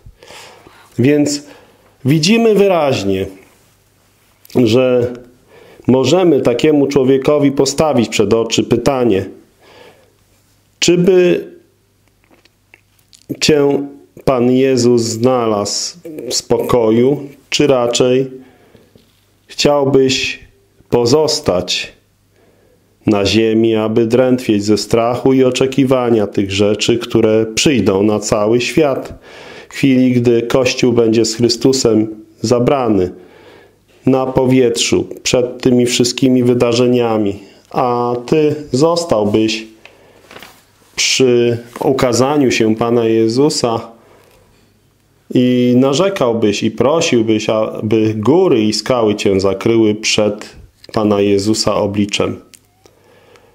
To jest zatrważające że niektórzy ludzie są gotowi dla chwilowych rozkoszy, przemijającej rozkoszy grzechu, kłamania, trwania fałszywej teologii, po to, żeby było fajnie na zebraniach religijnych, żeby żyć w fałszu i w fajnych takich uczuciach religijnych, są gotowi kłamać wbrew prawdzie, nie sprawdzają w Słowie Bożym, tylko trwają w odrętwieniu po to, żeby fajnie z innymi bezbożnikami ramię w ramię udawać chrześcijan, twierdząc, że dziś jest nowe przymierze.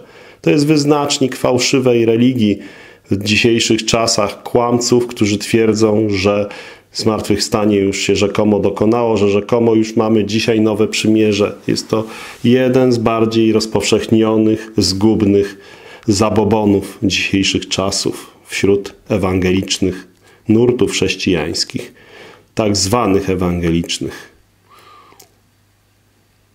Amos, czwarty rozdział, dwunasty werset wzywa takich ludzi: bądź gotowy na spotkanie Boga Twego.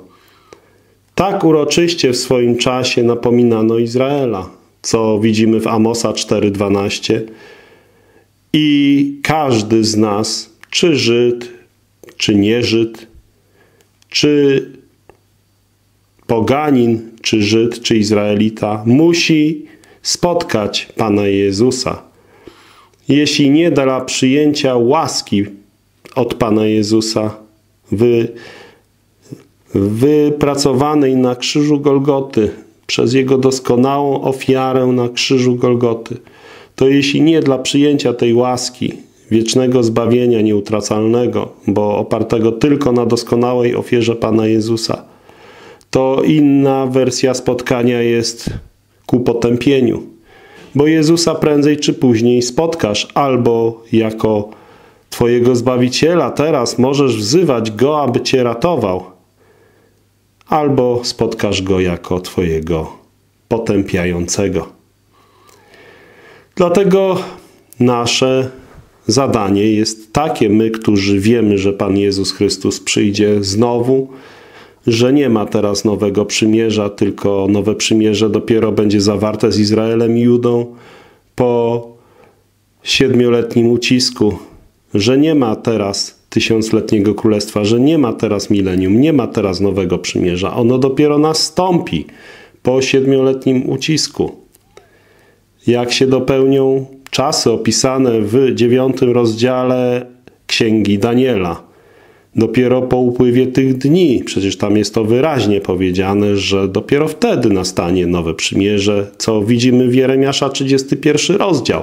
Skąd w ogóle taka fałszywa koncepcja znalazła korzenie, jak zapuścić w sercach tych ludzi? To tylko ewidentnie dlatego, że oni po prostu przez nieprawość dopuszczają do tego, żeby obłęd był w ich umysłach. Bo jakiekolwiek czytanie Biblii, nawet po y, nieuważnie, szybko po łebkach, y, nie pozwala na takie wnioski, żeby dać sobie wcisnąć, że dzisiaj jest nowe przymierze. Tylko trzeba być po prostu osobą, która w ogóle nie zagląda do Biblii, żeby tego typu pomysły mieć, że teraz rzekomo jest tysiącletnie królestwo, milenium, nowe przymierze.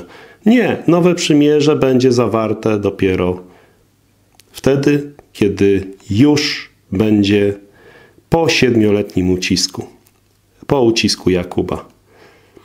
Kiedy poganie w pełni wejdą, dopiero wtedy z powrotem zaczną się czasy Izraela.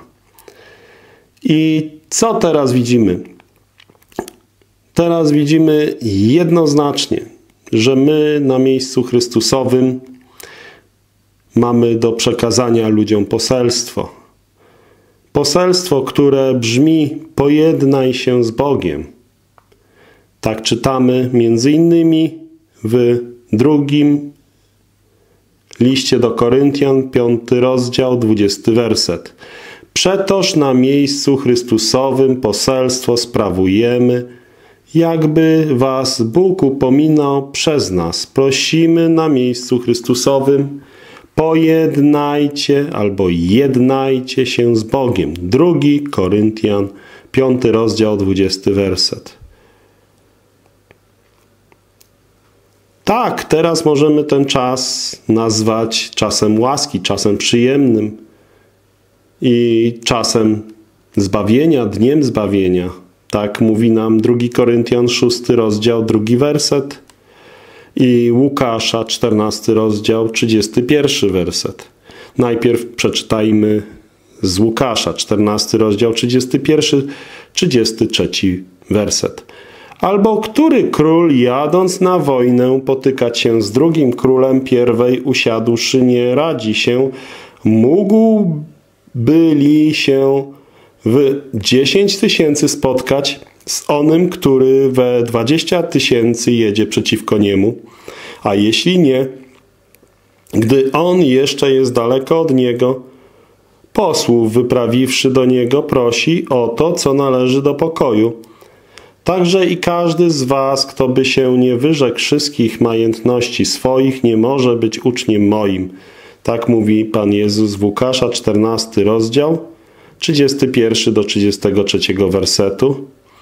A drugie miejsce już z 2 Koryntian, 6 rozdział, drugi werset, bo mówi Bóg.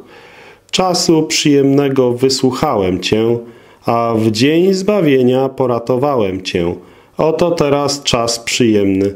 Oto teraz dzień zbawienia. 2 Koryntian, 6 rozdział, drugi werset.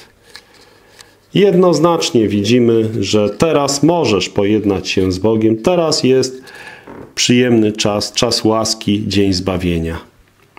Naprawdę, miły przyjacielu, jeśli dałeś się omamić fałszywym naukom, że teraz rzekomo jest nowe przymierze, że Pan Jezus już nie przyjdzie, bo już każdy zna Pana i że to jest fałszywe oczekiwanie, żeby nawracać się do Boga, to jesteś w bardzo złym położeniu. To nie jest prawda.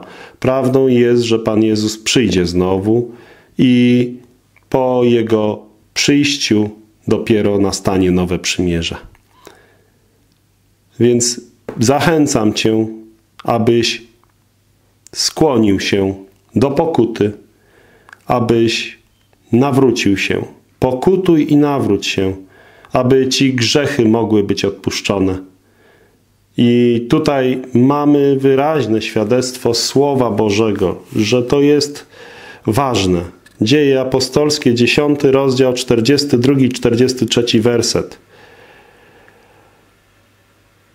Tutaj apostołowie mówią tak i rozkazał nam, abyśmy kazali ludowi i świadczyli, że On jest tym postanowionym od Boga sędzią żywych i umarłych. Temu wszyscy prorocy świadectwo wydają, że przez imię Jego odpuszczenie grzechów weźmie każdy, co weń wierzy. Dzieje apostolskie 10 rozdział 42-43 werset. I w dokładnie podobny sposób dzieje apostolskie 17 rozdział 30-31 werset. Aczkolwiek wtedy przeglądał Bóg czasom tej niewiadomości, ale teraz oznajmuje ludziom wszystkim wszędzie, aby pokutowali. Przeto, iż postanowił dzień, w którym będzie sądził wszystek świat sprawiedliwości przez męża, którego na to naznaczył, upewniając o tym wszystkich, zbudziwszy go od umarłych. Dzieje apostolskie, 17 rozdział 30 do 31 wersetu.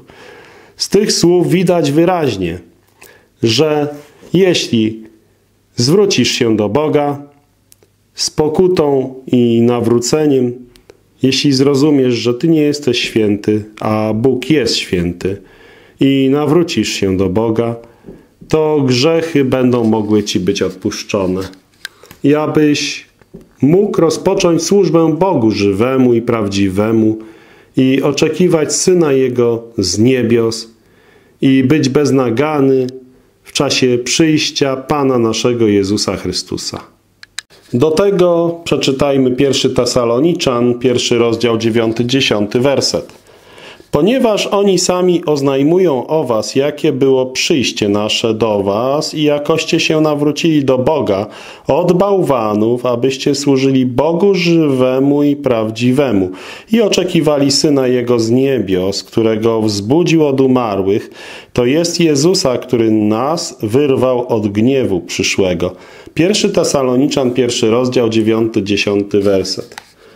I kolejne miejsce, aby utwierdzone były serca wasze, nienaganione w świętobliwości przed Bogiem i Ojcem naszym, na przyjście Pana Jezusa Chrystusa ze wszystkimi świętymi Jego. To jest z pierwszego Tesaloniczan, trzeci rozdział, trzynasty werset aby utwierdzone były serca wasze, nienaganione w świątobliwości przed Bogiem i Ojcem naszym na przyjście Pana Jezusa Chrystusa ze wszystkimi świętymi Jego.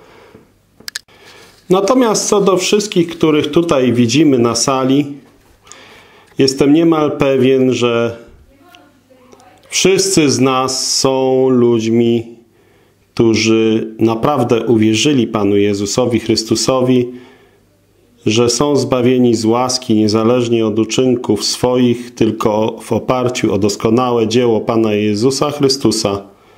I możemy mieć pewność, że gdyby Jezus przyszedł jeszcze dziś, to wziąłby nas do siebie, zabrałby nas do tego miejsca, gdzie On jest, tak żebyśmy byli razem z Nim na zawsze.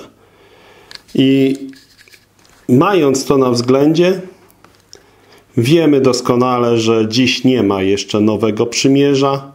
Zmartwychwstanie się jeszcze nie dokonało, jak twierdzą ci, którzy uczą, że już dziś mamy milenium, albo dziś mamy tysiącletnie królestwo, albo dziś mamy nowe przymierze. To są różne maski dla tej samej fałszywej nauki, zaprzeczającej temu, że Pan Jezus przyjdzie znowu.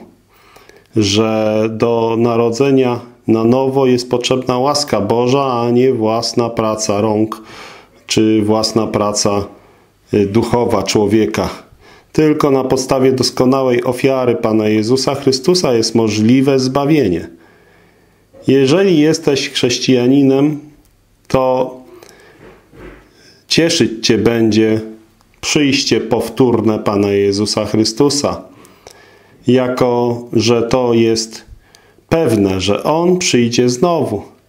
I Słowo Boże, powtórne przyjście Pana Jezusa Chrystusa stawia nam przed oczy jako jedyną pobudkę do świętobliwego, do świętego życia. Możemy o tym przeczytać między innymi w pierwszym liście Jana, trzeci rozdział od drugiego do trzeciego wersetu. Czytamy tam. Najmilsi, Teraz dziadkami bożymi jesteśmy, ale jeszcze się nie objawiło, czym będziemy. Lecz wiemy, iż gdy się On objawi, podobni Mu będziemy, albowiem ujrzymy Go tak, jako On jest. A każdy, kto ma tę nadzieję w Nim, oczyszcza się, jako i On czysty jest. Pierwszy list Jana, trzeci rozdział, drugi do trzeciego wersetu. To jest fakt, że Pan Jezus Chrystus przyjdzie znowu. I skoro Pan Jezus przyjdzie znowu, mamy zachętę, aby umartwiać swoje członki, które są na ziemi, abyśmy mogli okazać się z Nim w chwale. Mówi nam o tym Kolosan, trzeci rozdział od czwartego do piątego wersetu. Ale gdy się Chrystus, On żywot nasz, pokaże, wtedy i wy z Nim okażecie się w chwale. Umartwiajcie tedy członki wasze, które są na ziemi, wszeteczeństwo, nieczystość, namiętność, złą porządliwość i łakomstwo, które jest bałwochwalstwem.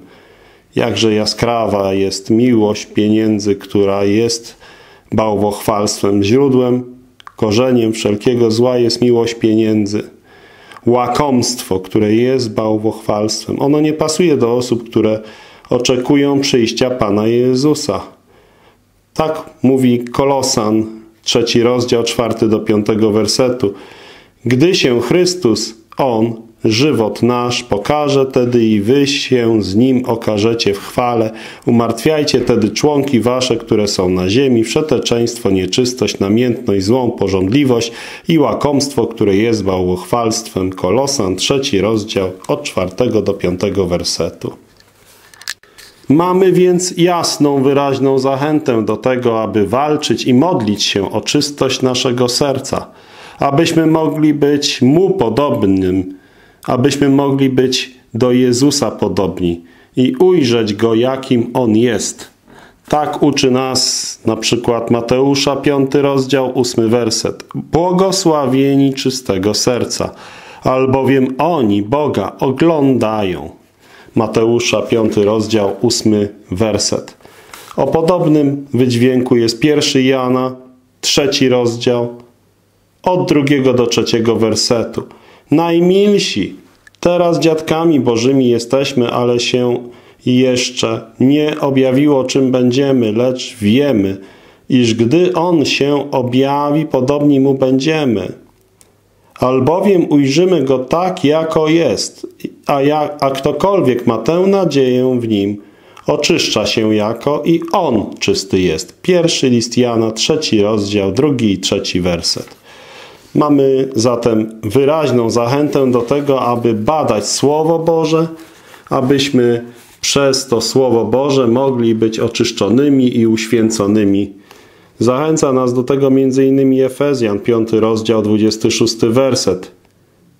Aby go poświęcił, oczyściwszy omyciem wody przez Słowo. Efezjan 5 rozdział 26 werset. Może być tak, że niektórzy zwodziciele będą z pogardą na tą naukę o powtórnym przyjściu Pana Jezusa Chrystusa mówić, że to się nie wydarzy. Ale to nas nie obchodzi, bo my mamy wyraźne przykłady, że Mojżesz, jak widzimy w powtórzonego prawa w piątej księdze Mojżeszowej, wtórego prawa 33:2 I rzekł Pan Synaju przyszedł i pojawił się im Seiru, objaśnił się z góry Faran, a przyszedł z dziesięcioma tysiącami świętych, z prawicy jego zakon ognisty dany im. To jest wtórego prawa 33.2, 5 Mojżeszowa 33.2. Więc widzimy, że Mojżesz, Dawid, też przykład Dawida możemy tutaj przytoczyć. Dawida przykład mamy na przykład w psalmie 102, 17 werset. Gdy pobuduje Pan Syjon i okaże się w chwale swojej. Psalm 102, 17. Kolejny święty, Izajasz, Izajasz, co czytamy innymi w Izajasza 60 rozdział, pierwszy werset. Bo przyjdzie do Syjonu odkupiciel i do tych, którzy się odwracają od występków w Jakubie, mówi Pan. Powstań, objaśnij się, ponieważ przyszła światłość Twoja, a chwała Pańska weszła nad Tobą. Czyli widzimy zarówno Izajasza 59 rozdział 20 werset i Izajasza 60 rozdział pierwszy werset świadczą nam o tym, że Izajasz podobnie oczekiwał przyjścia Pana Jezusa. Kolejny to Jeremiasz. Przykład Jeremiasza czytamy o Jeremiaszu w słowach z księgi Jeremiasza, 23 rozdział, 5-6 werset. Oto idą dni, mówi Pan, których wzbudzę Dawidowi latorośl sprawiedliwą i będzie królował król, a poszczęści mu się. Sąd zaiste i sprawiedliwość będzie czynił na ziemi. Za dni jego Juda zbawiony będzie, a Izrael bezpiecznie mieszkać będzie, a toć jest imię jego, którym go zwać będą. Pan, sprawiedliwość nasza. Jeremiasza, 23 rozdział od 5 do 6 wersetu. Kolejny przykład to Daniel. O Danielu czytamy między innymi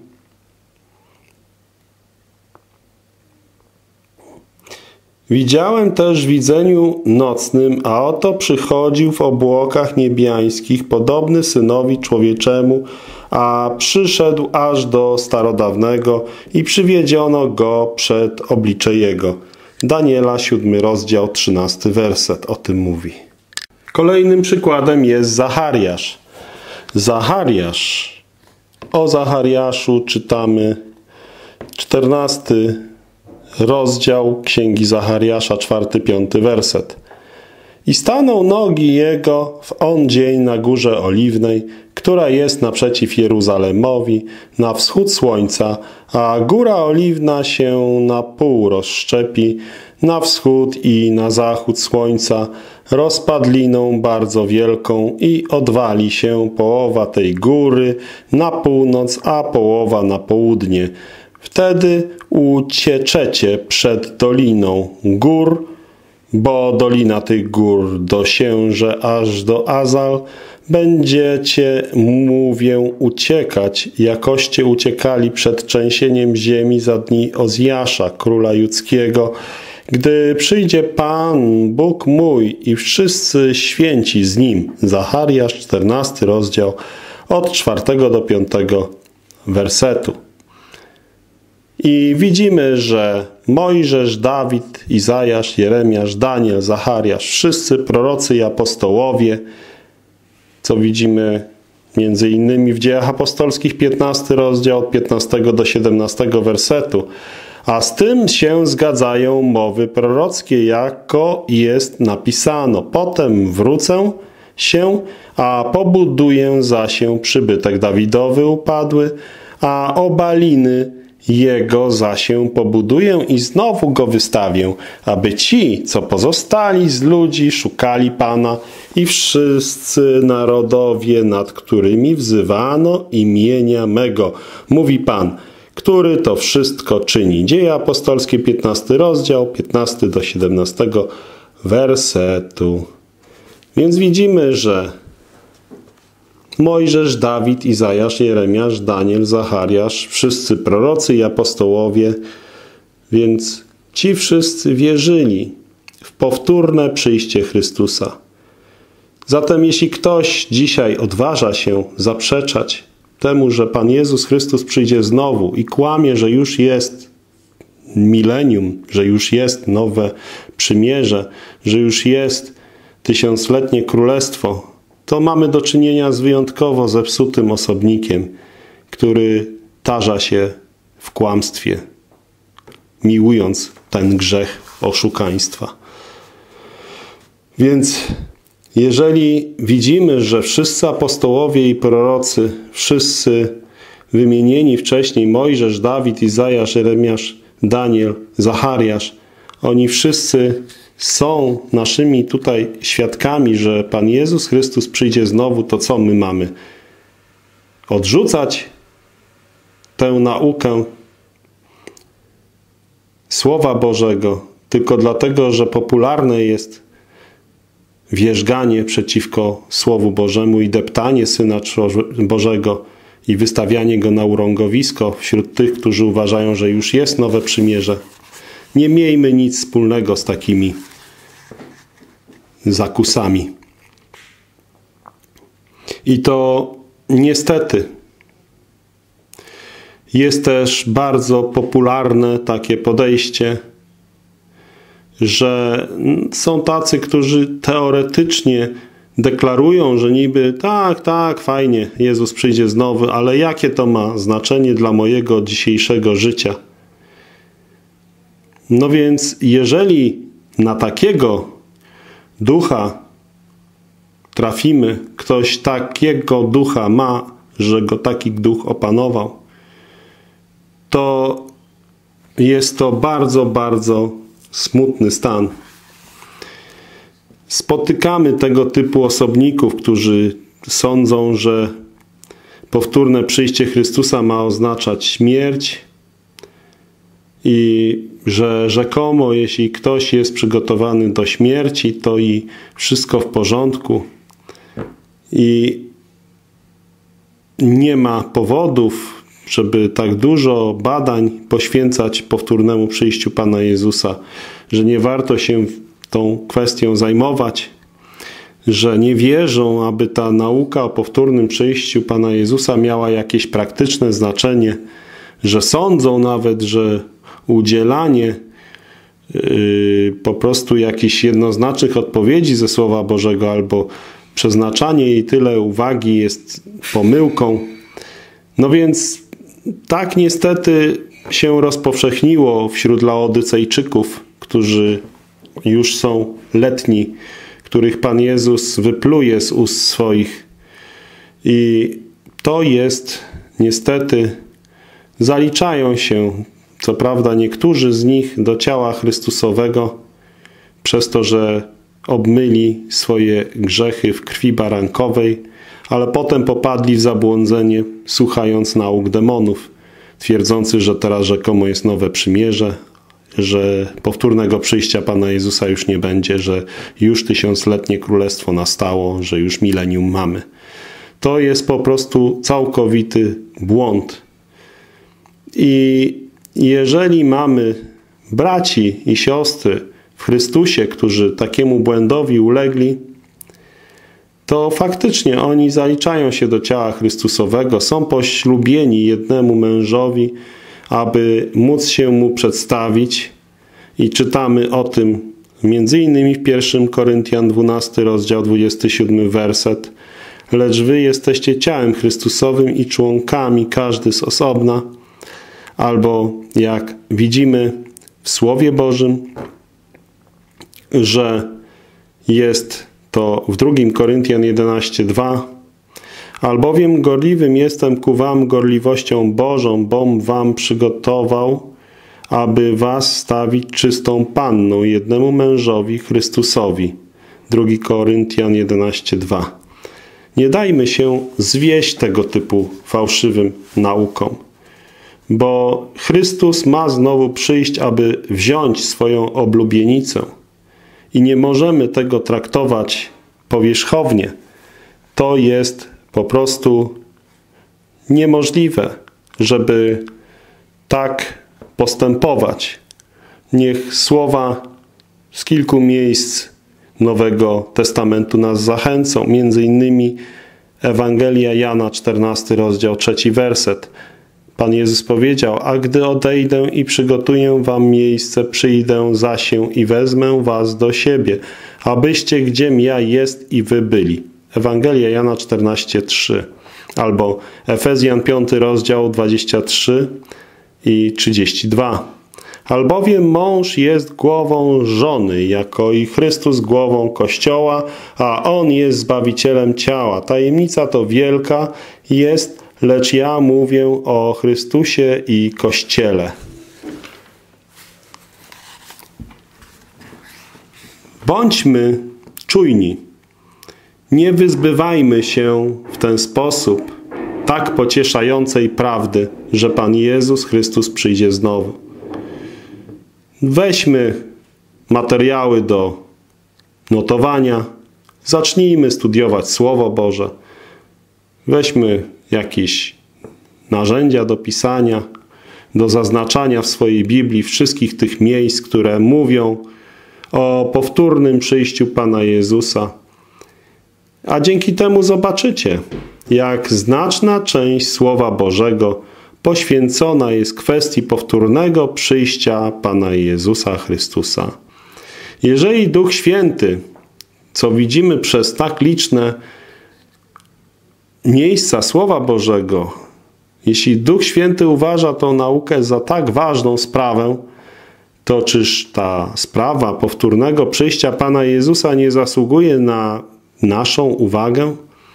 Słowo Boże upomina nas co widzimy między innymi w 1 Koryntian, pierwszy rozdział, siódmy werset. Przetoż pocieszajcie jedni drugich tymi słowami, tak iż wam na żadnym darze nie schodzi, którzy oczekujecie objawienia Pana naszego Jezusa Chrystusa. Czyli 1 Koryntian, pierwszy rozdział, siódmy werset i 1 Tesaloniczan, czwarty rozdział, osiemnasty werset. Słowo Boże upomina nas, abyśmy na tą naukę zwrócili uwagę. Tak mówi na przykład w objawieniu pierwszy rozdział, trzeci werset. Błogosławiony kto czyta i ci, którzy słuchają słów proroctwa tego i zachowują to, co w nim jest napisane. Albowiem czas blisko jest. Czas blisko jest. Objawienie pierwszy rozdział, trzeci werset. I nie da się tego przeoczyć. I nie da się tego zignorować, jeżeli chce się być wiernym Panu Jezusowi. W przeciwnym wypadku grozi nam niebezpieczeństwo potępienia. Tak, 42 po prostu werset z Izajasza. Lecz jeśli by rzekł on sługa w sercu swoim, odwłacza Pan mój z przyjściem swoim. Przepraszam, nie chodziło o to miejsce, które podałem, tylko to jest z Łukasza 12, nie 42. Łukasza 12, rozdział 45 do 46 wersetu.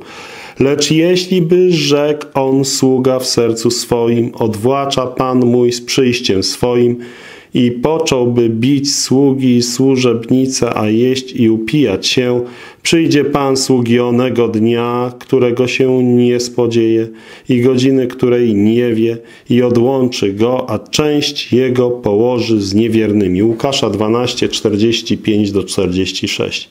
I drugie podobnie napominające nas miejsce jest z Łukasza 21, 34 do 36. A strzeżcie się, aby snać nie były obciążone serca wasze obżarstwem i opilstwem i pieczołowaniem o ten żywot, a nagle by przyszedł na was ten dzień, albowiem jako sidło przypadnie na wszystkich, którzy mieszkają na obliczu wszystkiej ziemi. Przetoż czuwajcie, modląc się na każdy czas, abyście byli godni ujść tego wszystkiego, co się dziać ma, a stanąć przed Synem Człowieczym. Łukasza 21, 34 do 36. Kolejne miejsce to jest z pierwszego Tesaloniczan 5 rozdział od pierwszego do siódmego wersetu.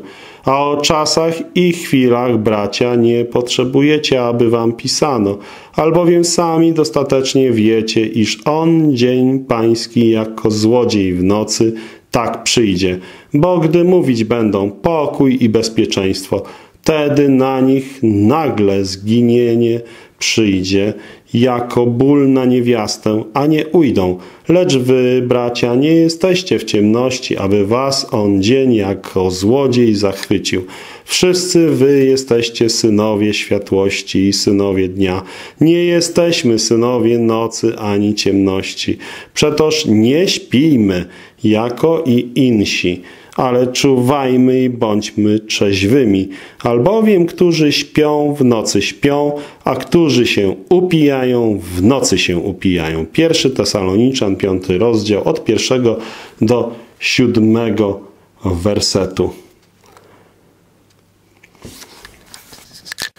Dlatego podsumowując tą moją zachętę na ten czas, yy, Proszę, abyście badali teksty zacytowane po prostu w Słowie Bożym na ten temat i abyście te teksty studiowali z uwagą ze Słowa Bożego. Te, które tutaj podajemy, też warto, żebyście sobie gdzieś wynotowali. Mam nadzieję, że to nie będzie y, pierwszy i ostatni wykład z tego takiego tematu. Mam życzenie, żeby więcej było tych spotkań na ten temat i być może się uda. Jeśli się uda, to te miejsca proszę, żebyście wynotowywali i bardzo zachęcam, żebyście po wynotowali dali mi zwrotną informację, czy mamy kontynuować te zagadnienia, czy nie.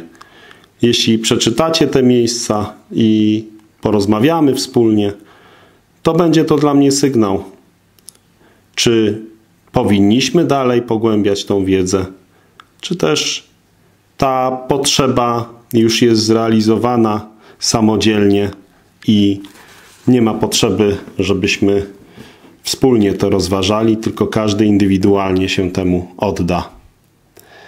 Więc zbadajcie teksty, badajmy te teksty, które tutaj przytaczane były Jest jeszcze dużo innych tekstów, które jeśli będziemy się zajmować tym tematem, będą tutaj przytaczane na naszych spotkaniach.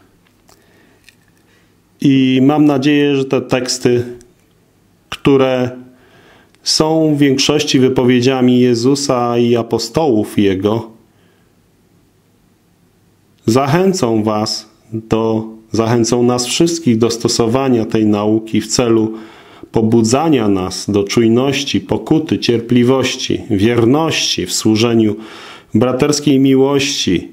I będzie nas to osądzać słowo, czy może być coś bardziej praktycznego, zachęcającego nas niż powtórne przyjście Pana Jezusa, Słowo Boże twierdzi, że to jest najbardziej praktyczna, zachęcająca do praktycznej świętości nauka, oczekiwanie Syna Jego.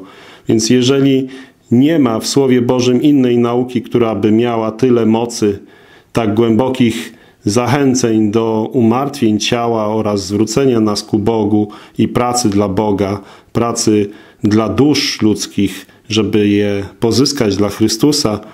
I ta nadzieja i radość i korona chluby, którą jest właśnie efekt naszej pracy, to jest związane z powtórnym przyjściem Pana Jezusa, to jeżeli tak jest, no to jaka inna nauka może nas zachęcać?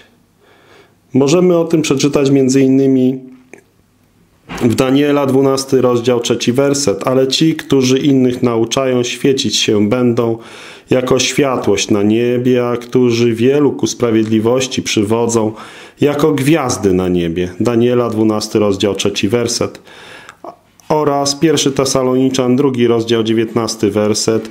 Albowiem któraż jest nadzieja nasza, albo radość, albo korona chluby.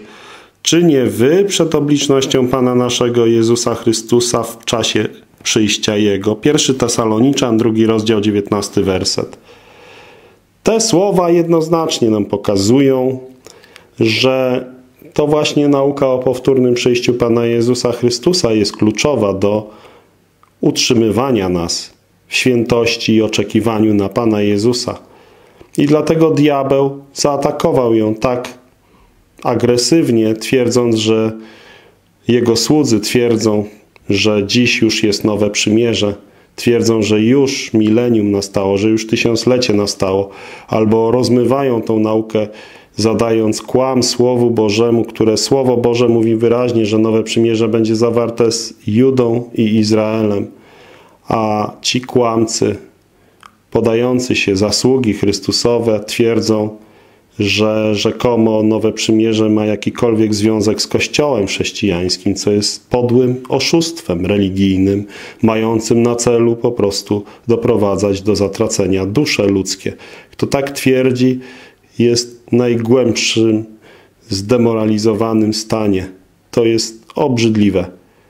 I teraz, jeżeli mamy tą naukę o powtórnym przyjściu Pana Jezusa Chrystusa, to musimy pamiętać, że to celem jest nasza Rzeczpospolita w niebie, skąd też Zbawiciela oczekujemy, Pana Jezusa Chrystusa, który przemieni ciało nasze podłe, aby się podobne stało chwalebnemu ciału Jego. Te słowa to jest cytat z Filipian 3 rozdział 20 do 21 wersetu. Przytaczam go słowo w słowo. Aleć nasza Rzeczpospolita jest w niebiesiech skąd też Zbawiciela oczekujemy, Pana Jezusa Chrystusa, który przemieni ciało nasze podłe, aby się podobne stało chwalebnemu ciału Jego. Filipian 3 rozdział 20 do 21 wersetu. To oczekiwanie na Pana Jezusa wywołuje w nas gorące pragnienia synowskiego przysposobienia, to znaczy odkupienia ciała naszego, i też potwierdza nam to Słowo Boże z kilku miejsc, między innymi Łukasza 21 rozdział 28 werset. A gdy się to pocznie dziać, spoglądajcież, a podnoście głowy wasze, przeto iż się przybliża odkupienie wasze. Łukasza 21-28 oraz Rzymian 8-23. A nie tylko ono stworzenie, ale i my, którzy mamy pierwiastki ducha i my sami w sobie wzdychamy, oczekując przysposobienia synowskiego odkupienia ciała naszego. Tak uczy Słowo Boże. List do Rzymian i Ewangelia Łukasza. Z punktu widzenia nauki o powtórnym przyjściu Pana Jezusa możemy patrzeć na świat jako na rozbity okręt płynący po oceanie. Rozbity okręt jest ilustrowany przez słowa między innymi z Mateusza, 7 rozdział 13-14, gdzie Pan Jezus wzywa, wchodźcie, Wchodźcie przez ciasną bramę, albowiem przestronna jest brama i szeroka droga, która prowadzi na zatracenie. A wiele ich jest, którzy przez nią wchodzą, a ciasna jest brama i wąska droga, która prowadzi do życia, a mało ich jest, którzy ją znajdują. Mateusza, 7 rozdział, 13 i 14 werset. Kolejne miejsce, 1 Tesaloniczan, 5 rozdział, trzeci werset. Bo gdy mówić będą, pokój i bezpieczeństwo. Wtedy na nich nagłe zginienie przyjdzie, a nie ujdą. Pierwszy Tesaloniczan, piąty rozdział, trzeci werset. Kolejne miejsce to jest miejsce, które mówi nam o słowach Piotra apostoła. Drugi Piotra, drugi rozdział, trzeci roz, drugi rozdział, trzeci do dziewiątego wersetu. I przez łakomstwo zmyślonymi słowami wami kupczyć będą, którym sąd z dawna nie omieszkuje i zatracenie ich nie drzemie. Albowiem jeśli Bóg aniołom, którzy zgrzeszyli nie przepuścił, ale strąciwszy ich do piekła, podał łańcuchom ciemności, aby byli zachowani na sąd, także i pierwszemu światu nie przepuścił, ale Noego samousmego kaznodzieję sprawiedliwości zachował, przywiódłszy potop na świat niepobożnych i miasta Sodomczyków i Gomorczyków popił obróciwszy, podwróceniem potępił, wystawiwszy je na przykład tym, którzy by niepobożnie żyli, a sprawiedliwego lota onych bez niezbożników rozpustnym obcowaniem strapionego wyrwał – albowiem widzeniem i słyszeniem On sprawiedliwy, mieszkając między nimi dzień po dniu, duszę swą uczynkami ich niezbożnymi trapił. Umie Pan pobożnych z pokuszenia wyrwać, a niesprawiedliwych na dzień sądu ku karaniu zachować. Drugi Piotra, drugi rozdział, trzeci do dziewiątego wersetu. Jeszcze przychodzi mi na myśl, żebyśmy zajrzeli do drugiego Piotra, trzeci rozdział, od 5 do 12 wersetu. Tego zaiste umyślnie wiedzieć nie chcą, że niebiosa dawno się stały i że ziemia z wody i w wodzie stanęły przez Słowo Boże. Dlatego ten pierwszy świat wodą będąc zatopiony zginął, lecz te niebiosa, które teraz są i ziemia Tymże słowem odłożone są i zachowane ogniowi na dzień sądu i zatracenia niepobożnych ludzi. Ale ta jedna rzecz niech wam nie będzie tajna, najmilsi, iż jeden dzień u Pana jest jako tysiąc lat, a tysiąc lat jako jeden dzień. Nie omieszkiwa Pan z obietnicą, jak to niektórzy mają za omieszkiwanie, ale używa cierpliwości przeciwko nam, nie chcąc, aby którzy zginęli, ale żeby się wszyscy do pokuty udali. A on dzień pański przyjdzie jak złodziej w nocy, w który niebiosa z wielkim trzaskiem przeminą, a żywioły rozpalone ogniem stopnieją, a ziemia i rzeczy, które są na niej spalone będą, ponieważ się wtedy to wszystko ma rozpłynąć, jakimiż wy macie być w świętych obcowaniach i pobożnościach, którzy oczekujecie i śpieszycie się na przyjście Dnia Bożego, który niebiosa gorejące rozpuszczą się i żywioły pałające stopnieją. Tak więc jasno widzimy, że z punktu widzenia nauki Słowa Bożego, która zapowiada powtórne przyjście Pana Jezusa Chrystusa, świat doczesny możemy porównać do po prostu już ruin, do takiego rozbitego okrętu. I przez to czego uczy nas Słowo Boże, jesteśmy zachęcani do wytężania wszystkich naszych sił. Po co? Po to, abyśmy mogli kogokolwiek z ludzi tego świata wyrwać, uratować. Bo jeżeli tego nie zrobimy, oni pójdą do piekła na wieczne zginienie. I 1 Koryntian 9, rozdział 22, werset mówi o Pawle. Stałem się mdłym jako mdły, abym mdłych pozyskał. Wszystkim stałem się wszystkim, abym przecie niektóre zbawił. 1 Koryntian 9, rozdział 22, werset. Większość, jeżeli nie wszyscy spośród braci zajmujących się szerzeniem Ewangelii, to są ludzie, którzy rzeczywiście wierzą, że Pan Jezus Chrystus przyjdzie znowu i zabierze Kościół do siebie, że wszyscy zbawieni będą zabrani do nieba żywcem. I to jest bardzo ważne, że to jest powiązane Ewangelia z wiarą w powtórne przyjście Pana Jezusa Chrystusa. Natomiast ci, którzy uważają, że nowe przymierze już jest, czyli nikt nie będzie mówił poznaj Pana, bo wszyscy Go znają, to są zwodziciele. Oni twierdzą, że już nastało milenium, nastało tysiąclecie, nastało nowe przymierze i w nowym przymierzu yy, przecież jest powiedziane, że wąż będzie się żywił prochem w Nowym Przymierzu, yy, dziecko będzie się nad jamą żmii bawić. Tak, takie rzeczy wierzą, że dziś już rzekomo są. Coż za oszustwo. Wszyscy znają Pana.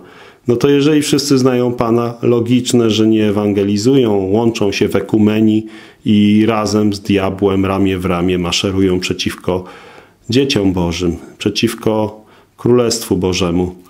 Choć twierdzą oczywiście inaczej, przybierają pozór pobożności, choć ich życie jest zaprzeczeniem jej mocy.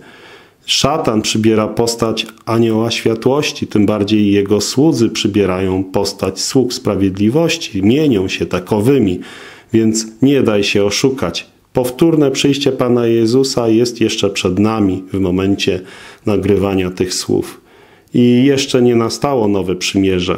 To jest nieprawda, żeby ono nastało. Pan Jezus przyjdzie znowu, weźmie najpierw Kościół do siebie, zacznie się siedmioletni ucisk. Po siedmioletnim ucisku Pan Jezus razem z wierzącymi przyjdzie na ziemię i potem dopiero zostanie ustanowione nowe przymierze z Izraelem i Judą. I tak Słowo Boże nas uczy. Więc możemy wierzyć apostołowi Piotrowi, że mamy mocniejszą mowę prorocką, której pilnując jako świeccy w ciemnym miejscu świecącej, bo świeca świeci w ciemnym miejscu, świecącej w ciemnym miejscu dobrze czynicie, ażby dzień oświtnął, a jutrzenka weszła w sercach waszych. I to jest z drugiego listu Piotra, pierwszy rozdział, dziewiętnasty werset, te słowa dosłownie brzmią i mamy mocniejszą mowę prorocką, której pilnując jako świecy świecącej dobrze czynicie, ażby dzień oświtnął i jutrzenka weszła w serca wasze. Drugi Piotra, pierwszy rozdział, dziewiętnasty werset. No i dalej też mamy przypomnienie od apostoła, żebyśmy dobrze sobie te słowa zapamiętali, co widzimy w drugim Piotra, trzeci rozdział od pierwszego do drugiego wersetu. Najmilsi już ten drugi list do was piszę, którym wzbudzam przez napomnienie uprzejmą myśl waszą, abyście pamiętali na słowa przepowiedziane od świętych proroków i na przykazania nasze, którzyśmy apostołami Pana i Zbawiciela. Drugi Piotra, trzeci rozdział od pierwszego do drugiego wersetu. Więc tutaj jednoznacznie widzimy, jak Piotr apostoł nas zachęca, żebyśmy trzymali się nauki o powtórnym przyjściu Pana Jezusa Chrystusa. Dlatego to jest ważne, żebyśmy pobożnie studiowali Słowo Boże na temat proroctw. I to nie jest nic, co uczyniłoby z nas bezużytecznym. To jest najbardziej użyteczne. Zajmować się powtórnym przyjściem Pana Jezusa Chrystusa. Jezus Chrystus może przyjść po nas jeszcze dzisiaj, bo tak mówi Słowo Boże. Więc każdego dnia oczekuj Syna Bożego z niebios.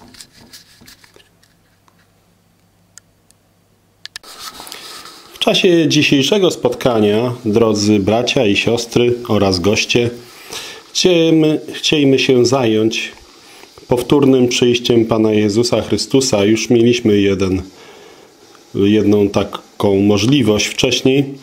Teraz skupimy się na kolejnych takich aspektach. Więc yy, otworzymy najpierw Słowo Boże z Ewangelii Łukasza, pierwszy rozdział, od 31 do 33 wersetu. A oto poczniesz w żywocie i porodzisz syna i nazwiesz imię jego Jezus. Ten będzie wielki, a synem Najwyższego będzie nazwany i da mu Pan Bóg stolicę Dawida, ojca jego. I będzie królował nad domem Jakubowym na wieki, a królestwu jego nie będzie końca. Mm, to te słowa pokazują nam bardzo ważną zasadę, jak należy interpretować Pismo Święte. Ono musi być interpretowane bezpośrednio, albo jeżeli wolimy taką nazwę, literalnie. Literalnie, dosłownie. Dosłowna interpretacja, literalna interpretacja. Nie rozumieć więcej niż napisano.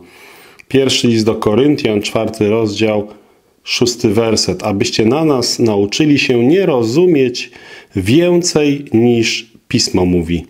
To jest właśnie to, co nazywamy bezpośrednią interpretacją albo literalną interpretacją, albo dosłowną interpretacją.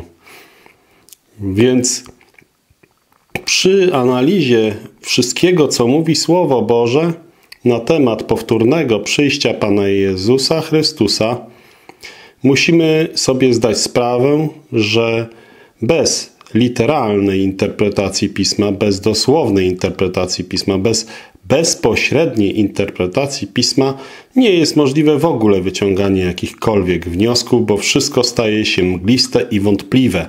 I to dotyczy każdego tematu. Czy to tematu dotyczącego życia z Bogiem, czy to dotyczącego w ogóle samego faktu, jaki jest Bóg. Czy Bóg ma syna, czy znasz imię Jego syna czy to wszystko jest w ogóle możliwe, żeby się tego dowiedzieć, jeżeli odrzucimy podstawową zasadę ze Słowa Bożego, że tylko Pismo się liczy i tylko Pismo Święte może nas oświecić w zakresie tego, co o Bogu wiedzieć można. Więc to nie są błahe sprawy. Te sprawy wymagają tego, żeby się tym właśnie dokładnie zajmować. No więc, czy te proroctwa, które mamy w Słowie Bożym, nie powinny być tłumaczone przenośnie? Na to pytanie musimy odpowiedzieć negatywnie. Nie, proroctwa muszą być tłumaczone dosłownie. Czy to przyjście nie oznacza na przykład, że nas Chrystus przyjmuje, gdy się do Niego nawracamy? Czy nie jest to świadectwo ducha, albo wreszcie, czy to nie oznacza, że jego panowanie będzie się odbywało nad Kościołem?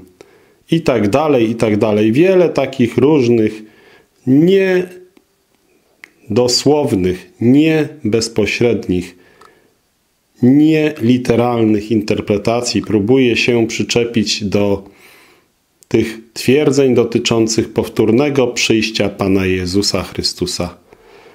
A skoro tak się robi, to się okalecza swoją własną możliwość poznania Słowa Bożego, swoją własną możliwość poznania Boga.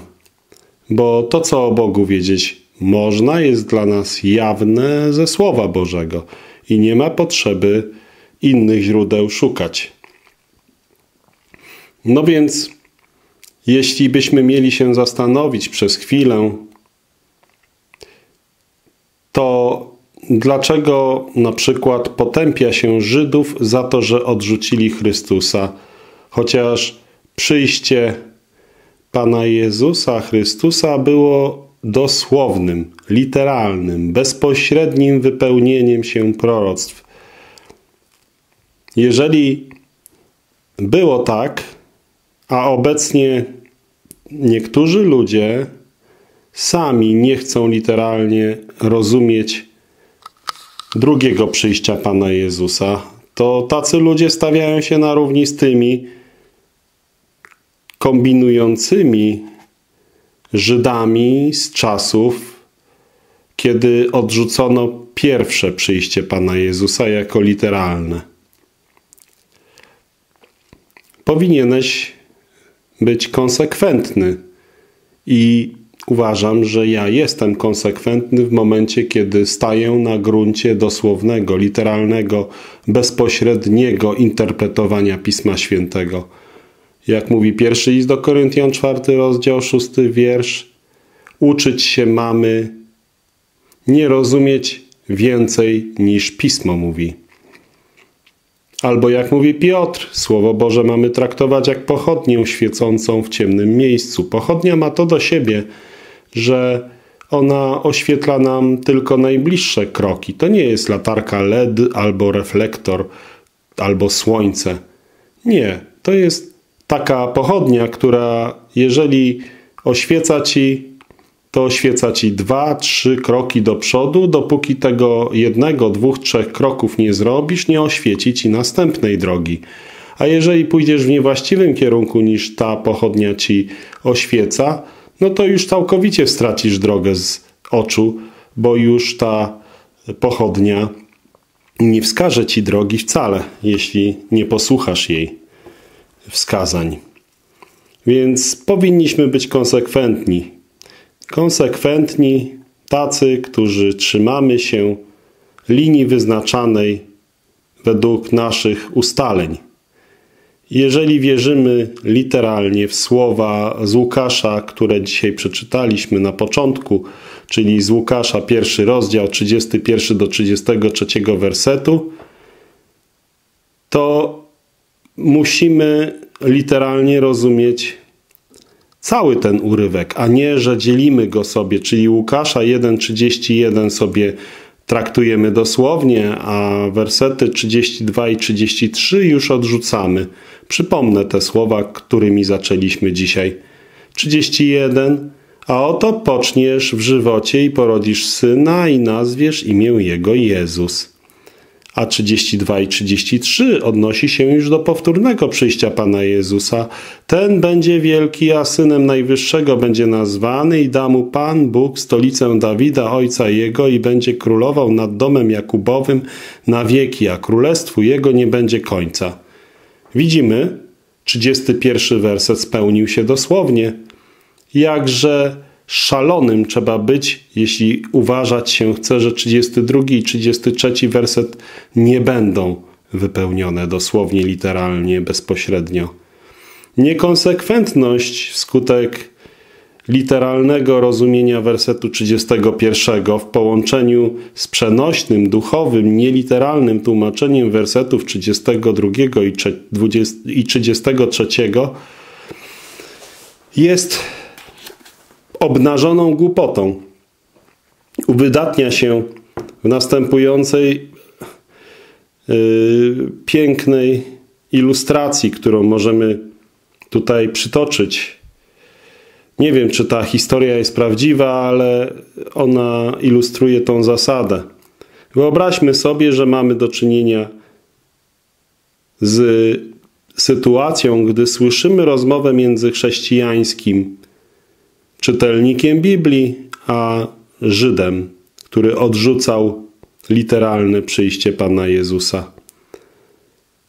Wziąwszy do ręki pisma greckie i znalazłszy miejsce w Łukasza, pierwszy rozdział, 32 werset, Żyd zapytał, czy Pan wierzy, że to, co tu napisano, wykonało się literalnie i da mu Pan Bóg stolicę Dawida ojca jego i będzie królował nad domem Jakubowym na wieki, a królestwu jego nie będzie końca. Na to nominalny chrześcijanin odrzucający dosłowność tych słów mówi nie, bo to jest język figuralny opisujący duchowe panowanie Chrystusa nad Kościołem.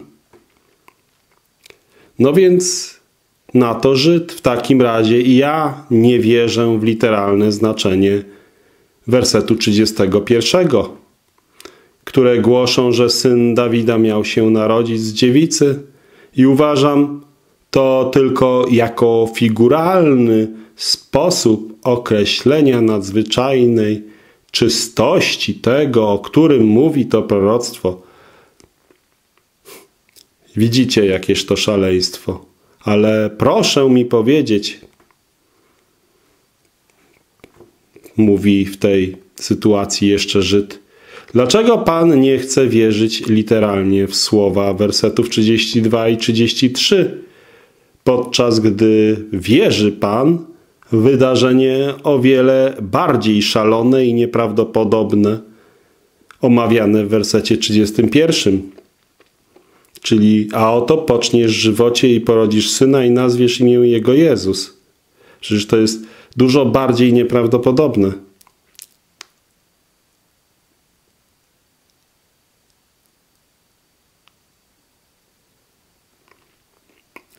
I na to zatkało nominalnego chrześcijanina, podającego się za chrześcijanina, odrzucającego literalne rozumienie Słowa Bożego i mówi: Ja w to wierzę,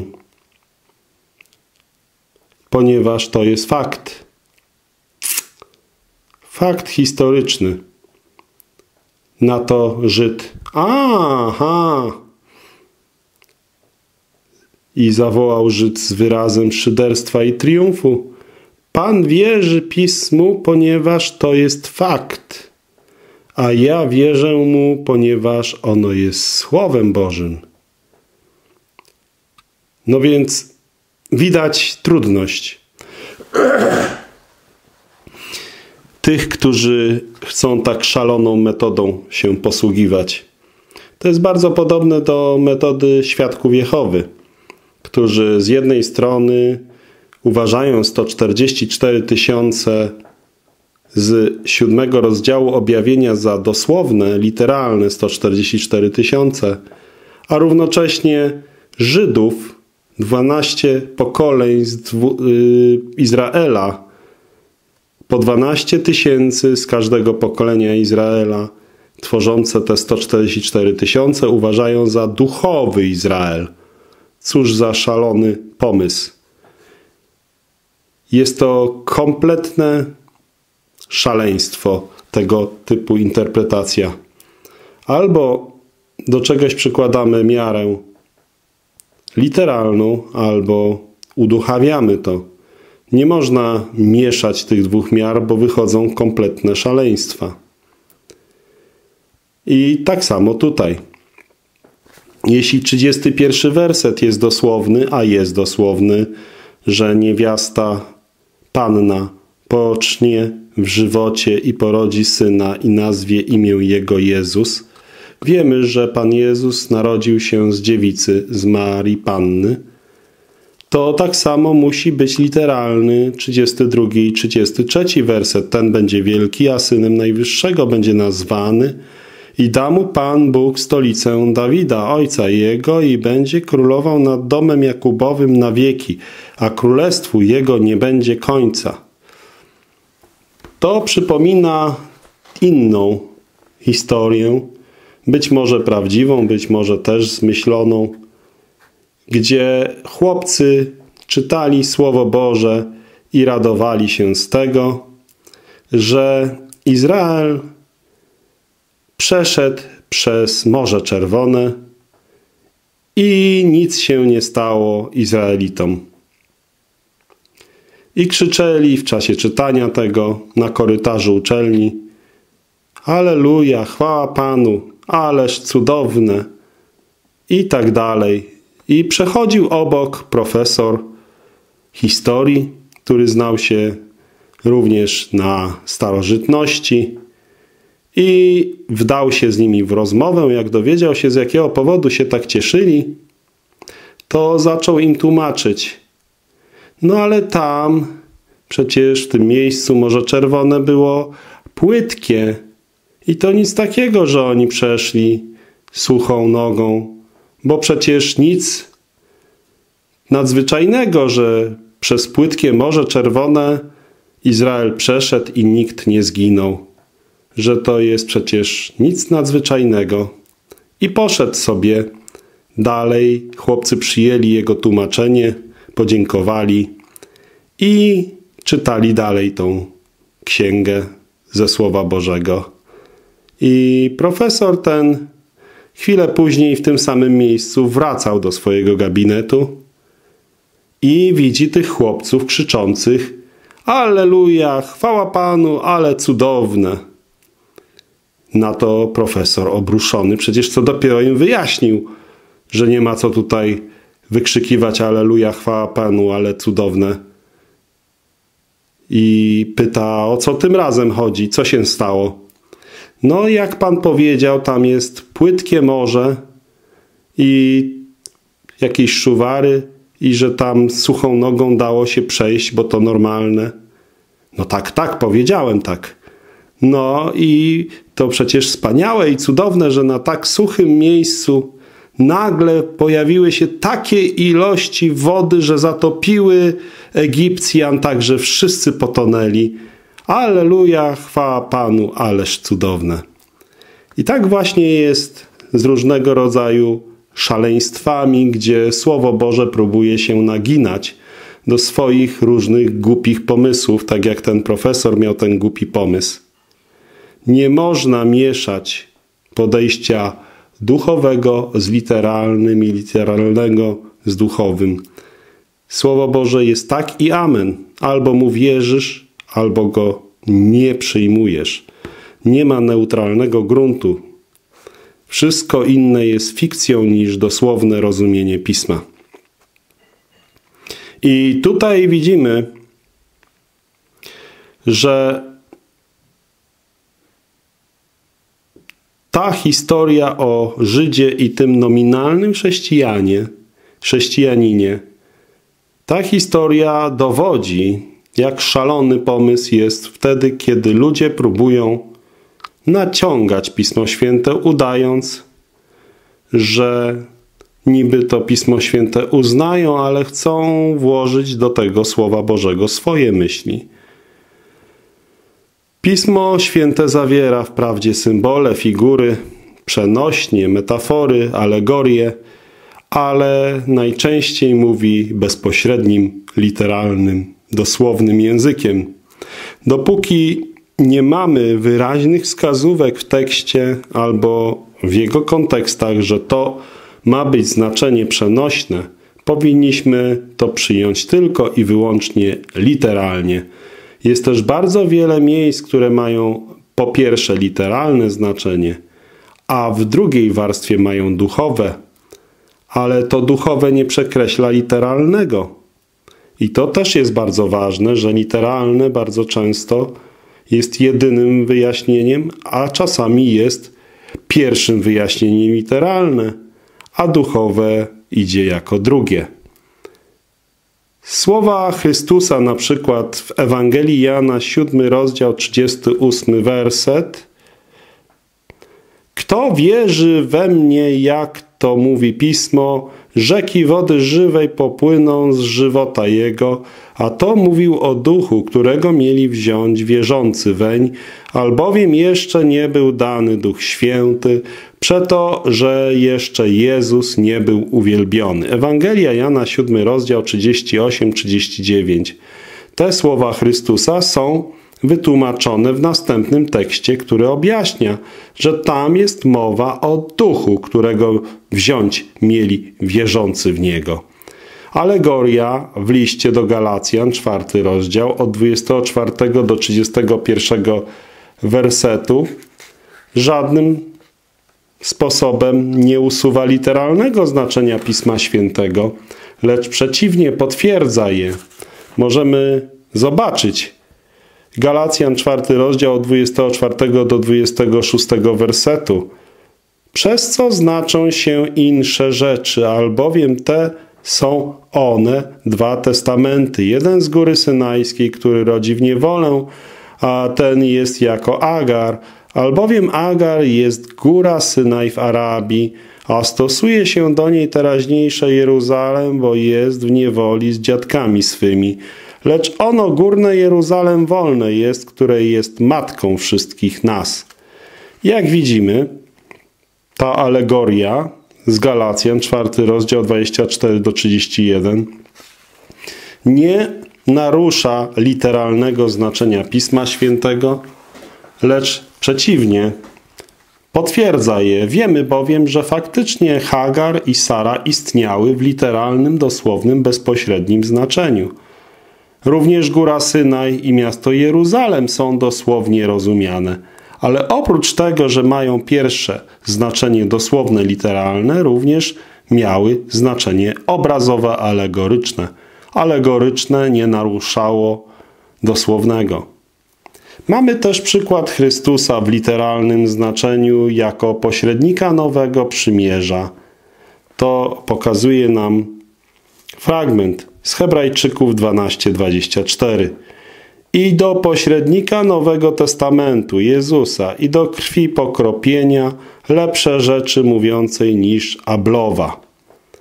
I z tego wynika, że wierzymy, że to górne Jeruzalem, o którym była mowa w liście do Galacjan, którego Sara jest pierwowzorem, typem, niebiańskie Jeruzalem, nowe, stępujące z nieba od Boga, jest także dosłowne, w dosłownym znaczeniu dotykalne i realne.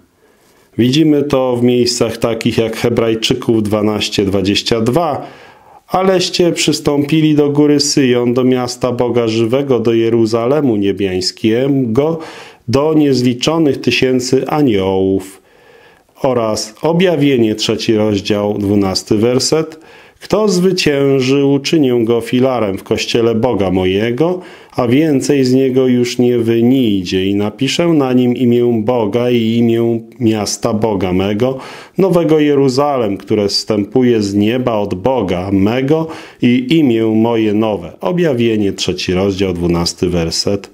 Kolejne miejsce, objawienie 21 rozdział, drugi werset i dziesiąty werset. A ja, Jan, widziałem ono święte miasto, Jeruzalem nowe, wstępujące z nieba od Boga, zgotowane jako oblubienicę ubraną mężowi swemu i zaniósł mię w duchu na górę wielką i wysoką, i pokazał mi miasto wielkie, ono święte Jeruzalem, stępujące z nieba od Boga. Objawienie 21 rozdział, drugi werset i dziesiąty werset. Jednoznacznie widzimy, że literalne jest pierwsze, a duchowe przy okazji wskazuje. Tak samo literalnie był połknięty Jonasz w rybie i równocześnie Jonasz był obrazem na pogrzebanego Chrystusa, który po trzech dniach i trzech nocach zmartwychwstał. Więc to, co jest literalne, ma pierwsze znaczenie, chyba że wyraźnie jest pokazane, że coś ma tylko znaczenie duchowe. I to jest bardzo ważne, żeby traktować literalną, dosłowną, bezpośrednią interpretację jako pierwszą, podstawową. Nie mamy prawa upoważniającego nas wobec przytoczonych przykładów, a tych przykładów mamy mnóstwo. I to jest bardzo ważne, że nie mamy prawa odstąpić od literalnego pojmowania. Nie wolno nam naruszać literalnego rozumienia Łukasza, pierwszy rozdział, 32 i 33 werset. I nie wolno nam naruszać literalnego rozumienia mnóstwa innych miejsc z Biblii, przepowiadających odbudowanie państwa izraelskiego, przepowiadających przyjście Chrystusa, przepowiadających i opisujących chwalebne królestwo Pana Jezusa Chrystusa. Takiego prawa nie ma. Takie prawo podkopałoby powagę i moc Słowa Bożego i tutaj jest to bardzo niebezpieczne. Bo jeżeli byśmy zaczęli się bawić w takie różne filozofie, wolnomyślicielstwo, to po prostu to jest zabobon albo wręcz niewiara. Zabobon to jest, gdy trochę objawienia ze Słowa Bożego mieszamy z własnymi wymysłami. Z kolei niewiara to jest, gdy odrzuca się to, co Słowo Boże mówi wyraźnie. Jedno i drugie zachodzi, jeżeli to, co Słowo Boże mówi, traktuje się jako uduchowione, choć nie ma się do tego takiego prawa, bo Słowo Boże jest tak i amen. Ono jest takie, że mamy je rozumieć bezpośrednio, literalnie, dosłownie. Niestety jest mnóstwo tak zwanych reformowanych Izraelitów lub liberalnych Izraelitów. Już mieliśmy to w dziejach apostolskich libertynów. Była synagoga, mieliśmy saduceuszy, którzy odrzucali zmartwychwstanie. I tacy ludzie już od zanadrza, od dawien dawna starali się symbolizować proroctwa Starego Testamentu i w wyniku tego zaprzestali oczekiwać Mesjasza w dosłownym znaczeniu. Jeden z nich jakiś czas temu mówił Mesjasz to dziewiętnaste stulecie. I ta absurdalna doktryna jest dzisiaj głoszona prawie powszechnie w ich główniejszych synagogach. Jest to bardzo dziwne zjawisko w naszych czasach, że nawet Żydzi razem z poganami zaczynają symbolizować, to znaczy Pismo Święte, Pismo Święte czynić symbolicznym, niedosłownym. Gdy przyjdzie Syn Człowieczy, czy znajdzie wiarę na ziemi? Zapytał w Ewangelii Łukasza 18:8 Pan Jezus. Dlaczego tak zapytał? Oto ten proces symbolizowania, odsuwający literalne, bezpośrednie, dosłowne znaczenie jasnych słów Pisma Świętego, wstrząsa podstawami każdej chrześcijańskiej doktryny. Nie da się trzymać Słowa Bożego, jeśli sobie pozwalamy na uduchawianie czegoś, co Bóg nie przewidział do uduchawiania. To popycha takich, takie ofiary, takiego uduchawiania w przepaść bezwzględnej niewiary lub zabobonu, do błędnych teorii, różnych bzdur. Nawet była taka sekta Swedenborgianizmu. To była sekta teozoficzna założona przez Emanuela Swedenborga, żyjącego w latach 1688-1772 w Anglii. I on też uduchawiał. Na co przyda się ludzka mowa, jeżeli ona nie wyraża ściśle określonych pojęć. To samo ze słowami Pisma Świętego. Jeżeli mielibyśmy uduchawiać, to przestaje mieć to jakikolwiek sens. Nie ma to żadnej mocy. A przecież ze Słowa Bożego mamy wyraźne świadectwa, że Duch Święty precyzyjnie dobierał takie wyrazy, aby one dokładnie wyrażały Jego myśli. Jest bardzo dużo takich dowodów ze Słowa Bożego. Znowu posłużę się, nie wiem czy prawdziwą, czy nieprawdziwą historią. Pewne dziecko zapytało, jeżeli Jezus nie tak rozumiał, jak mówił, to dlaczego On nie mówił tak, jak rozumiał? Bardzo mądre pytanie tego mądrego dziecka. Jeżeli Jezus nie tak rozumiał, jak mówił, to dlaczego on nie mówił tak, jak rozumiał? A przecież pierwszy, w słowach z 14 rozdziału Ewangelii Jana mamy powiedziane, że przyjdę i wezmę was do siebie. Gdyby tak nie było, to byłbym wam powiedział. Tak Pan Jezus przecież dodał.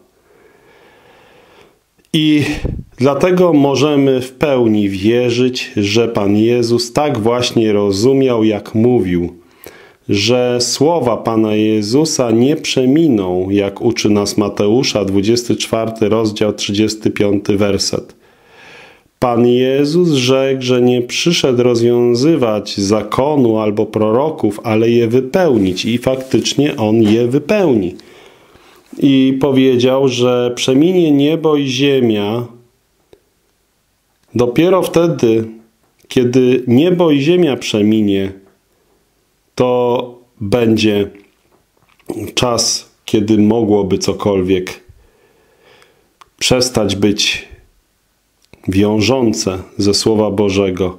Dosłownie Mateusza, 5 rozdział, 17-18 werset, czytamy nie przeminie niebo i ziemia. Może przeczytam to z UBG. Nie sądźcie, że przyszedłem znieść prawo albo proroków. Nie przyszedłem znieść, ale wypełnić. Zaprawdę bowiem powiadam wam, dopóki niebo i ziemia nie przeminą, ani jedna jota, ani jedna kreska, nie przeminie sprawa, aż wszystko się wypełni.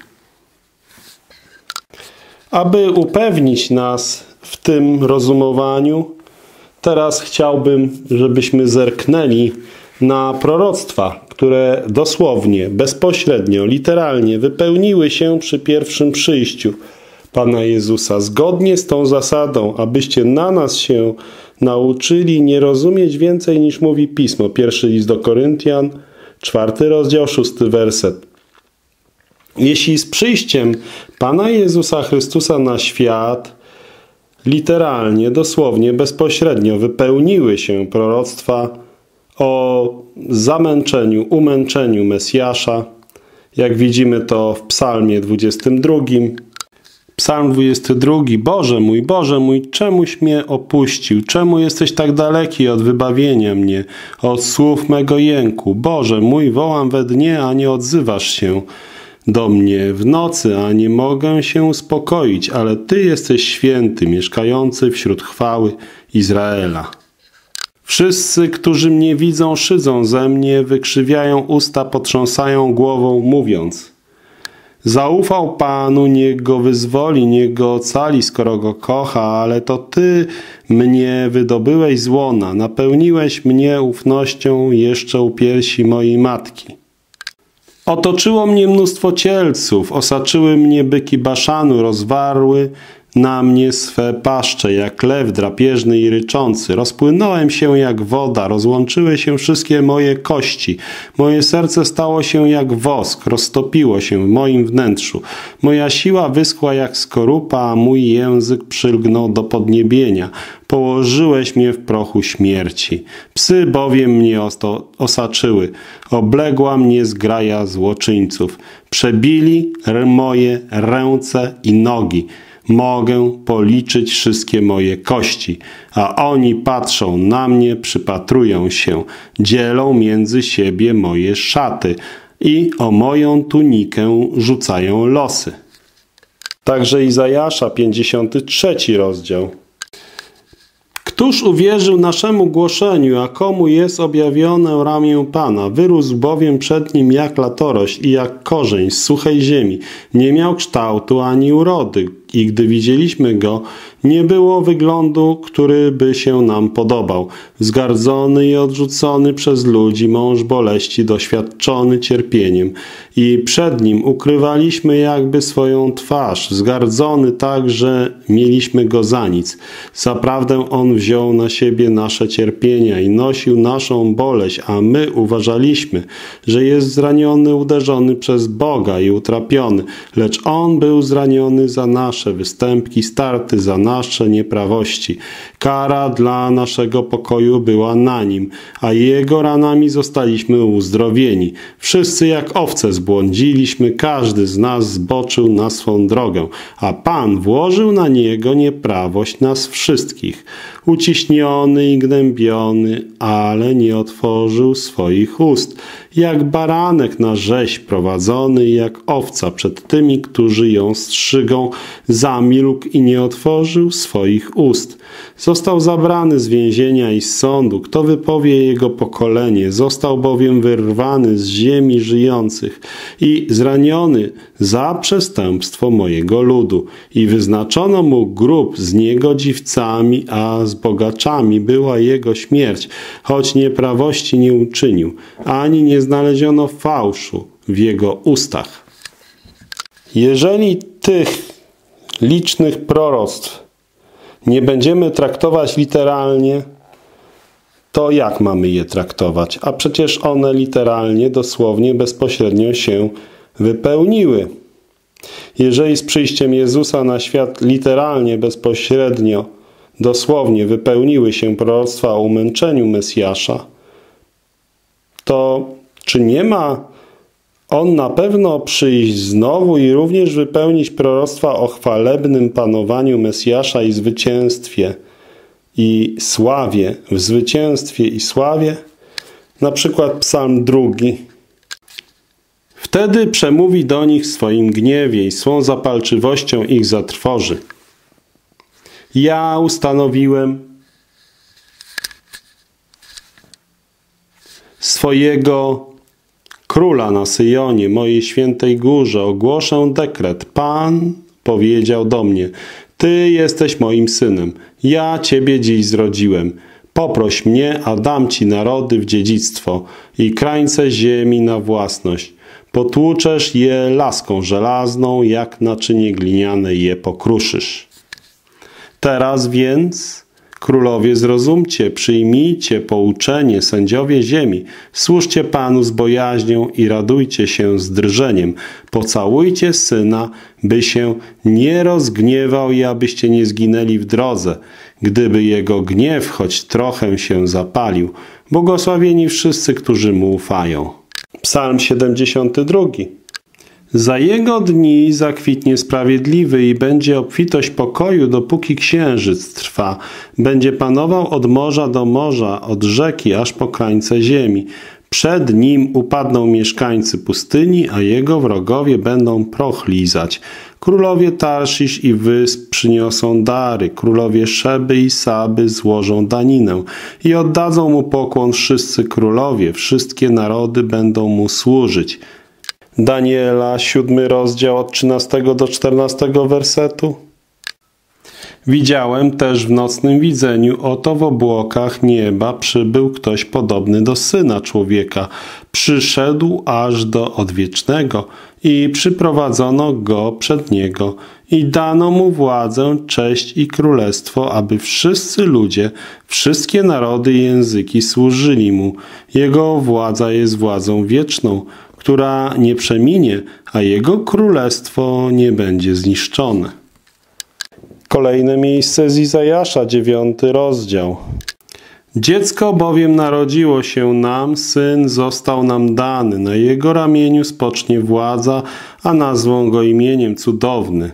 Doradca, Bóg mocny, Ojciec wieczności, Książę pokoju. Albo Izajasza, jedenasty rozdział. I wyjdzie gałązka z pnia Jessego, a latorośl z jego korzenia wyrośnie i spocznie na nim duch Pana, duch mądrości i rozumu, duch rady i mocy, duch poznania i bojaźni Pana. I będzie czujny w bojaźni Pana, nie będzie sądził według tego, co oczy widzą, ani karał według tego, co uszy słyszą, ale w sprawiedliwości będzie sądził ubogich, a w prawości będzie rozstrzygał sprawy cichych na ziemi. Uderzy ziemię rózgą swoich ust, a tchnieniem swoich warg zabije niegodziwego. Czy Izajasza 60 rozdział. Słońce nie będzie już Twoją światłością za dnia, ani księżyc już nie zaświeci Ci swoim blaskiem, ale Pan będzie Twoją wieczną światłością, a Twój Bóg Twoją chwałą. Nie zajdzie już więcej Twoje słońce, a Twój księżyc nie ukryje się, bo Pan będzie Twoją wieczną światłością i skończą się dni Twojej żałoby. Cały Twój lud będzie sprawiedliwy, odziedziczy ziemię na wieki i będzie latoroślą mego szczepu, dziełem moich rąk, abym był uwielbiony. Najmniejszy rozmnoży się tysiąckrotnie, a malutki w naród potężny. Ja, Pan, dokonam tego rychło w swoim czasie. Czyż nie jest naszym obowiązkiem zbadać tych licznych proroctw o cierpieniach Mesjasza, które już się na nim dosłownie wypełniły, a na których my się opieramy jako na mocnych dowodach prawdziwości i natchnienia Słowa Bożego. Przykłady. Izajasza, 7 rozdział, 14 werset. Tam czytamy o narodzeniu z dziewicy. Dlatego sam Pan da wam znak. Oto dziewica pocznie i urodzi syna i nazwie go Emmanuel. Albo Micheasza, piąty rozdział, drugi werset. W Betlejemie. Ale ty, Betlejem Efrata, choć jesteś najmniejsze wśród tysięcy w Judzie, z ciebie jednak wyjdzie mi ten, który będzie władcą w Izraelu, a jego wyjścia są od dawna, od dni wiecznych. Albo Jeremiasza, 31 rozdział, 15 werset, wymordowanie dzieci. Tak mówi Pan, w Rama słychać głos, lament i gorzki płacz. Rachel opłakuje swoich synów. Nie daje się pocieszyć po stracie swoich synów, bo ich już nie ma. Albo Ozeasza 11.1, wezwanie z Egiptu. Gdy Izrael był dzieckiem, umiłowałem go, a z Egiptu wezwałem mego syna. Albo Izajasza 11 rozdział, drugi werset. Pomazanie Duchem Świętym.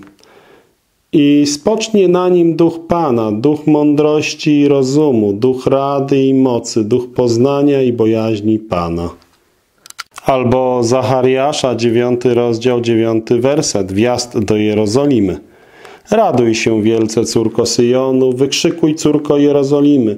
Oto Twój król przychodzi do Ciebie, sprawiedliwy i Zbawiciel, cichy i siedzący na ośle, na oślątku, źrebięciu oślicy. Albo Psalm 41, werset 9 i Psalm 55, werset 12-14. Zdrada przyjaciela. Najpierw Psalm 41, 9. Nawet mój przyjaciel, któremu ufałem, który jadł mój chleb, podniósł przeciwko mnie piętę. Lub Psalm 55, 12, 14. Bo to nie wróg mnie lżył, co mógłbym znieść. Nie powstał przeciwko mnie ten, który mnie nienawidził. Wtedy ukryłbym się przed nim. Ale Ty, człowiek równy mi, mój wódz i przyjaciel, mile naradzaliśmy się ze sobą, i razem chodziliśmy do domu Bożego. Albo Zachariasza, 13 rozdział, 7 werset. Uczniowie zapierają się Pana Jezusa. Mieczu ocknij się przeciwko mojemu pasterzowi, przeciwko mężczyźnie, który jest moim towarzyszem, mówi Pan zastępów. Uderz pasterza, a owce zostaną rozproszone. Ja zaś zwrócę swoją rękę ku maluczkim. Albo Izajasza 11:12 sprzedanie Pana Jezusa za 30 srebrników. Potem powiedziałem do nich: Jeśli to jest dobre w waszych oczach, dajcie mi moją zapłatę, a jeśli nie, zaniechajcie jej. Odważyli więc moją zapłatę 30 srebrników. Albo Izajasza Zachariasza, przepraszam, jedenasty rozdział, trzynasty werset. Kupno pola garncarza. Potem Pan powiedział do mnie, rzuć je przed garncarza. Wspaniała to zapłata, na jaką mnie tak drogo oszacowali. Wziąłem więc trzydzieści srebrników i rzuciłem je przed garncarza w domu Pana. Izajasza 50 rozdział 6 werset. Pan Jezus był opluty i wyszydzony. Podałem moje plecy bijącym, a moje policzki rwącą mi brodę. Nie zakrywałem mojej twarzy przed zniewagami i pluciem. Druga Mojżeszowa 12:46 oraz Psalm 34, 20 werset o tym, że kości Chrystusa nie połamano. W jednym domu będzie spożywany baranek, nie wyniesiesz z domu nic z jego mięsa i nie złamiecie jego kości. On strzeże wszystkich jego kości, ani jedna z nich nie będzie złamana. Psalm 69, 21 werset o tym, że będzie żółć i ocet. Zamiast pokarmu podali mi żółć, a gdy pragnąłem, napoili mnie octem. Psalm 22 o tym, że ręce i nogi będą przebite, szaty rozdzielone, losy rzucone.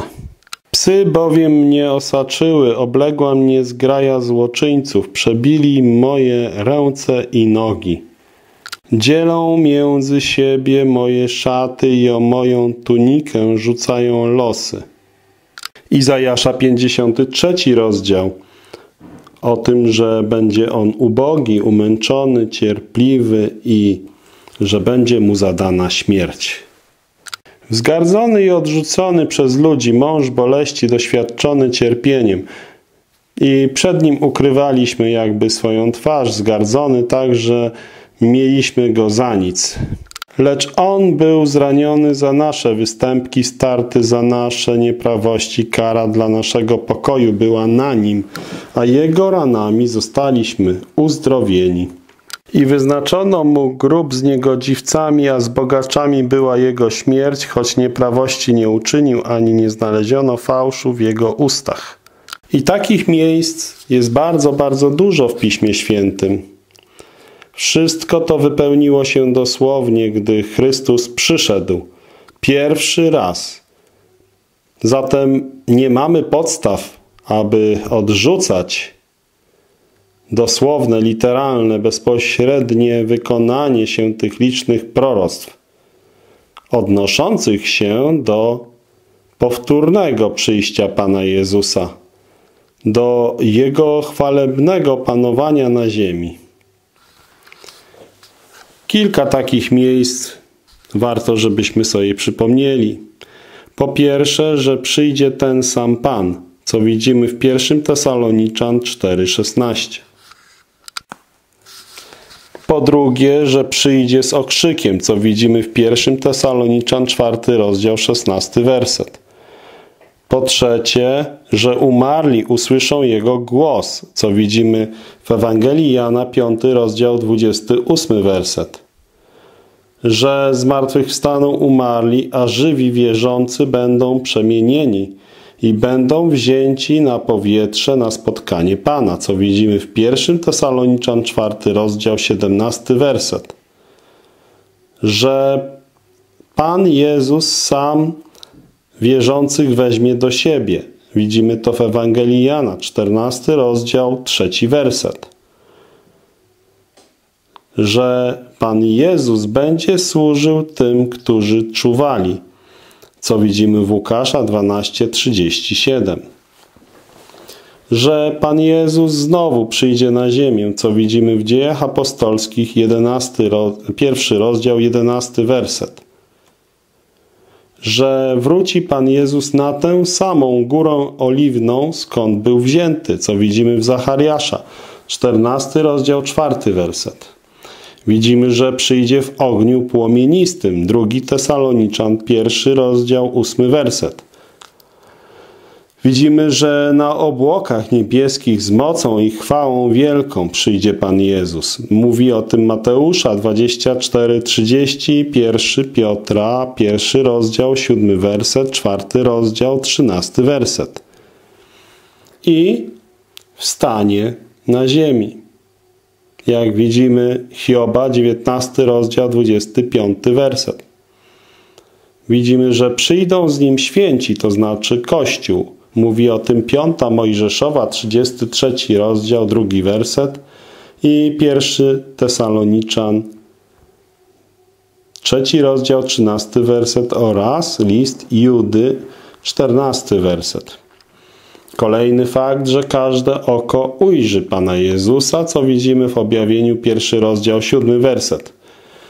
Że to Pan Jezus zabija Antychrysta, drugi Tesaloniczan, drugi rozdział, ósmy werset. Że Pan Jezus usiądzie na tronie, jak widzimy w Mateusza 25 rozdział, 31 werset oraz objawienie 5 rozdział, 13 werset. Że wszystkie narody zbiorą się przed Nim, a On będzie je sądził, co widzimy w Mateusza 25 rozdział, 32 werset. Że Pan Jezus zasiądzie na tronie Dawida. Widzimy to w Izajasza 9 rozdział 6-7 werset, w Łukasza 1 rozdział 32 werset, Ezechiela 21 rozdział 25-27 werset, że to się dziać będzie na ziemi, co widzimy w Jeremiasza 23 od 5 do 6 wersetu że on otrzyma królestwo. Daniela 7 rozdział 13 werset do 14 wersetu. I będzie rządził nią wspólnie ze świętymi. Daniela 7 rozdział 18-27 werset oraz objawienie Jana 5 rozdział 10 werset. Kolejne miejsce mówi, że wszyscy królowie i narody służyć mu będą co potwierdza nam Psalm 72, 11 werset, Izajasza 49 rozdział 7 i 6 werset oraz objawienie 15 rozdział 4 werset.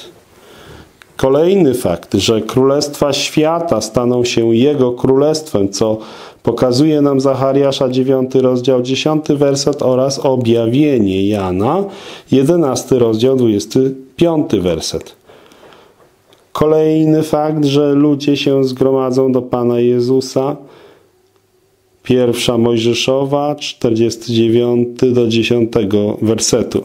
49 rozdział 10 werset że wszelkie kolano ugnie się przed Panem Jezusem. Co widzimy w Izajasza 45 rozdział 23 werset, że wszyscy przyjdą i ukłonią się królowi, co mówi nam Zachariasz 14 rozdział 16 werset, Psalm 86 9 werset. Kolejny fakt, że On odbuduje Syjon, co widzimy w psalmie 102, 16 wersecie. Że Jego tron będzie w Jeruzalemie. Też to widzimy w Jeremiasza 3 rozdział 17 werset, Izajasza 33 rozdział 20 do 21 wersetu. Kolejny fakt z przyszłości na temat Pana Jezusa, że apostołowie usiądą na dwunastu tronach i sądzić będą dwanaście pokoleń izraelskich. Potwierdza nam to Mateusza 19 rozdział 28 werset i Łukasza 22 rozdział 28 do 30 wersetu. Kolejny fakt, że On będzie rządził wszystkie narody. Psalm 2, 8 i 9 werset oraz objawienie 2 rozdział 27 werset. Te miejsca wszystkie warto przeczytać ze swojej Biblii. Kolejny fakt, że On będzie rządził w sądzie i sprawiedliwości. Izajasza, 9 wers, rozdział, 7 werset. Kolejny fakt, że świątynia jerozolimska będzie odbudowana, co mówi nam Ezechiela, rozdziały 40 do 48, a chwała pańska stąpi na tę świątynię, co widzimy w Ezechiela 43 rozdział 2 do 5 wersetu, 44 rozdział 4 werset. Że się objawi chwała pańska. Mówi o tym Izajasza 40 rozdział 5 werset. Że pustynia stanie się ziemią urodzajną. Mówi o tym Izajasza 32 rozdział 15 werset. Że pustynia zakwitnie jako róża. Izajasza 35 rozdział pierwszy, drugi werset że odpocznienie jego sławne będzie, bo mówi o tym Izajasza, 11 rozdział, 10 werset. I wiele innych miejsc można by zacytować.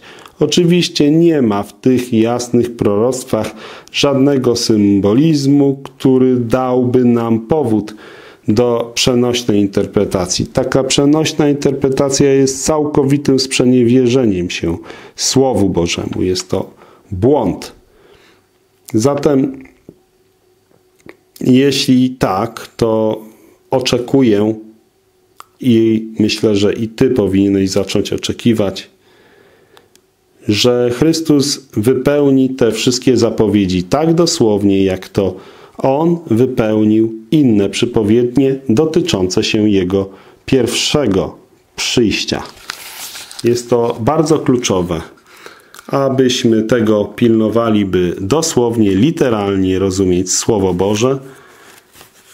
To jest jedyna możliwość, żeby uniknąć pułapek wpadania w różnego rodzaju zabłądzenia i błędy. Niech Bóg Wam błogosławi. Dziękuję za uwagę.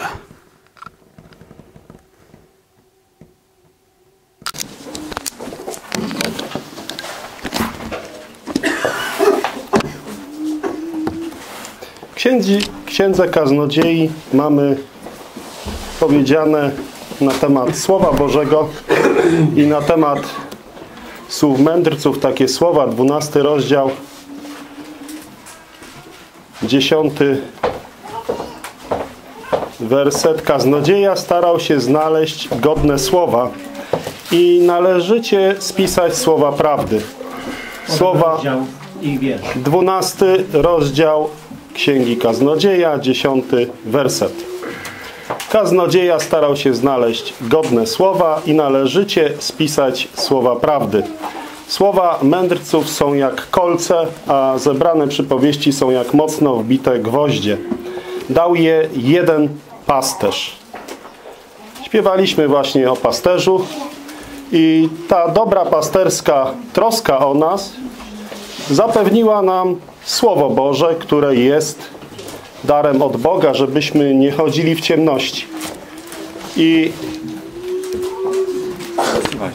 pierwsze miejsce, które odnośnie tego, w jaki sposób do tego tematu, którym chciałbym, żebyśmy dzisiaj się zajęli, y, podejść, to jest Łukasza, pierwszy rozdział. Łukasza, pierwszy rozdział, 31 od 30 wersetu. Widzimy tutaj zwiastowanie do Marii, które było wypowiedziane przez anioła. I rzekł jej anioł, nie bój się Mario, znalazłaś bowiem łaskę u Boga i oto poczniesz w łonie i urodzisz syna i nadasz mu imię Jezus. Ten będzie wielki i będzie nazwany Synem Najwyższego. I da mu Pan Bóg tron jego ojca Dawida. I będzie królował nad domem Jakuba na wieki. A jego królestwu nie będzie końca. I tu pokazuje nam te cztery wersety, jedną zapowiedź, a w zasadzie od 31 wersetu, która już wiemy, że spełniła się dosłownie, 31 werset. I oto poczniesz w łonie i urodzisz syna i nadasz mu imię Jezus. Tak się stało i tego nikt nie podważa. To mówi nam o pierwszym przyjściu Pana Jezusa. Natomiast 32 i 33 werset niestety jest podważany jako dosłowny i jest to źródłem zgorszenia niszczącego wiarę wielu ludzi.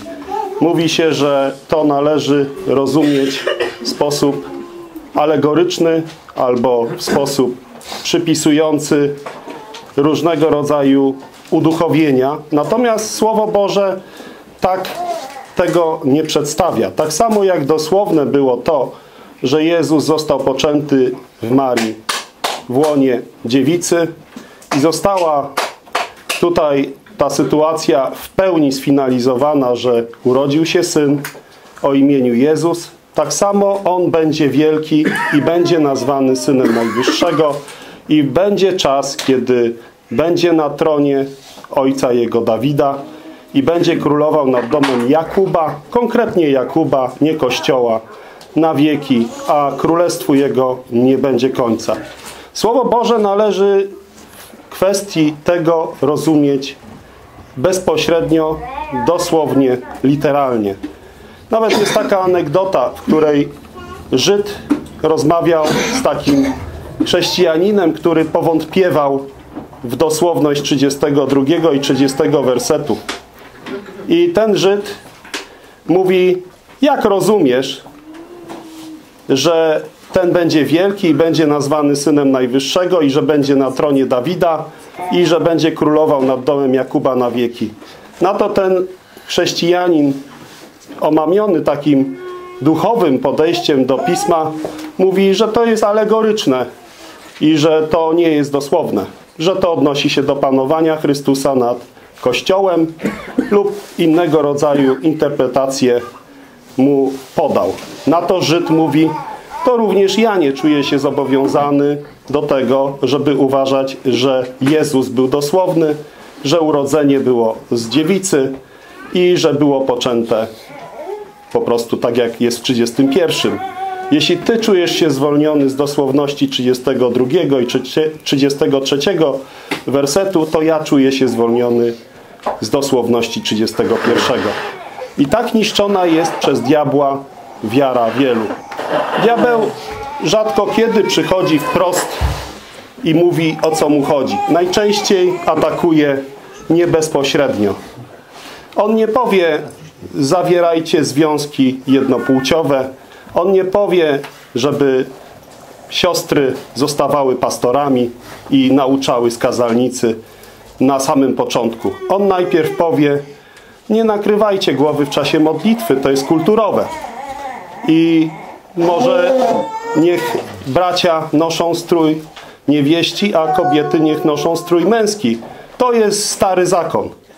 Ale jeśli On wytrąci nam to takie narzędzie interpretacji Pisma, to wtedy nie mamy również narzędzia do tego, żeby powiedzieć coś przeciwko temu, żeby mogły być jednopłciowe związki nazywane bluźnierczo małżeństwem. Albo nie mamy wtedy narzędzia, żeby powiedzieć, że dalej Słowo Boże mówiące, że niewiasta na zgromadzeniach niech milczy, ma jakąkolwiek moc, bo już jeśli byśmy sobie pozwolili powiedzieć, że to jest kulturowe, to czemu to nie jest kulturowe?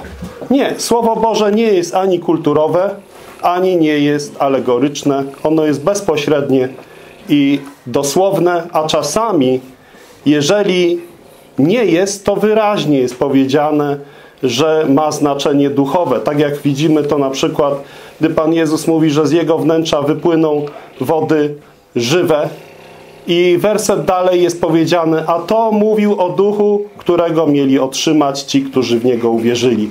Czyli bezpośrednio Pismo troszczy się o to, żeby od razu dać wyjaśnienie. Albo gdy mamy historię z Galacjan, gdy jest powiedziane o Hagar i jest powiedziane o Sarze, jest powiedziane o ich dzieciach i wiemy, że te zdarzenia fizycznie, faktycznie miały miejsce, ale na te fizyczne, faktyczne wydarzenia również apostoł nakłada duchowe znaczenie symboliczne. Więc fizyczne, literalne, bezpośrednie rozumienie jest zawsze jako pierwsze. I nie dajmy sobie tego wyrwać, zwłaszcza przy studiowaniu Słowa Bożego dotyczącego obietnic Bożych.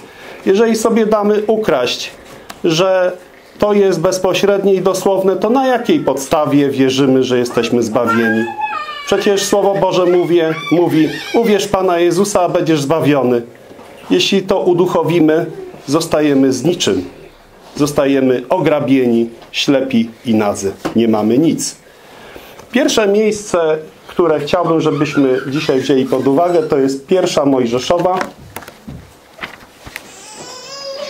I to będzie się odnosiło do przyszłego stanu, jaki Bóg przygotował dla swojego ziemskiego ludu.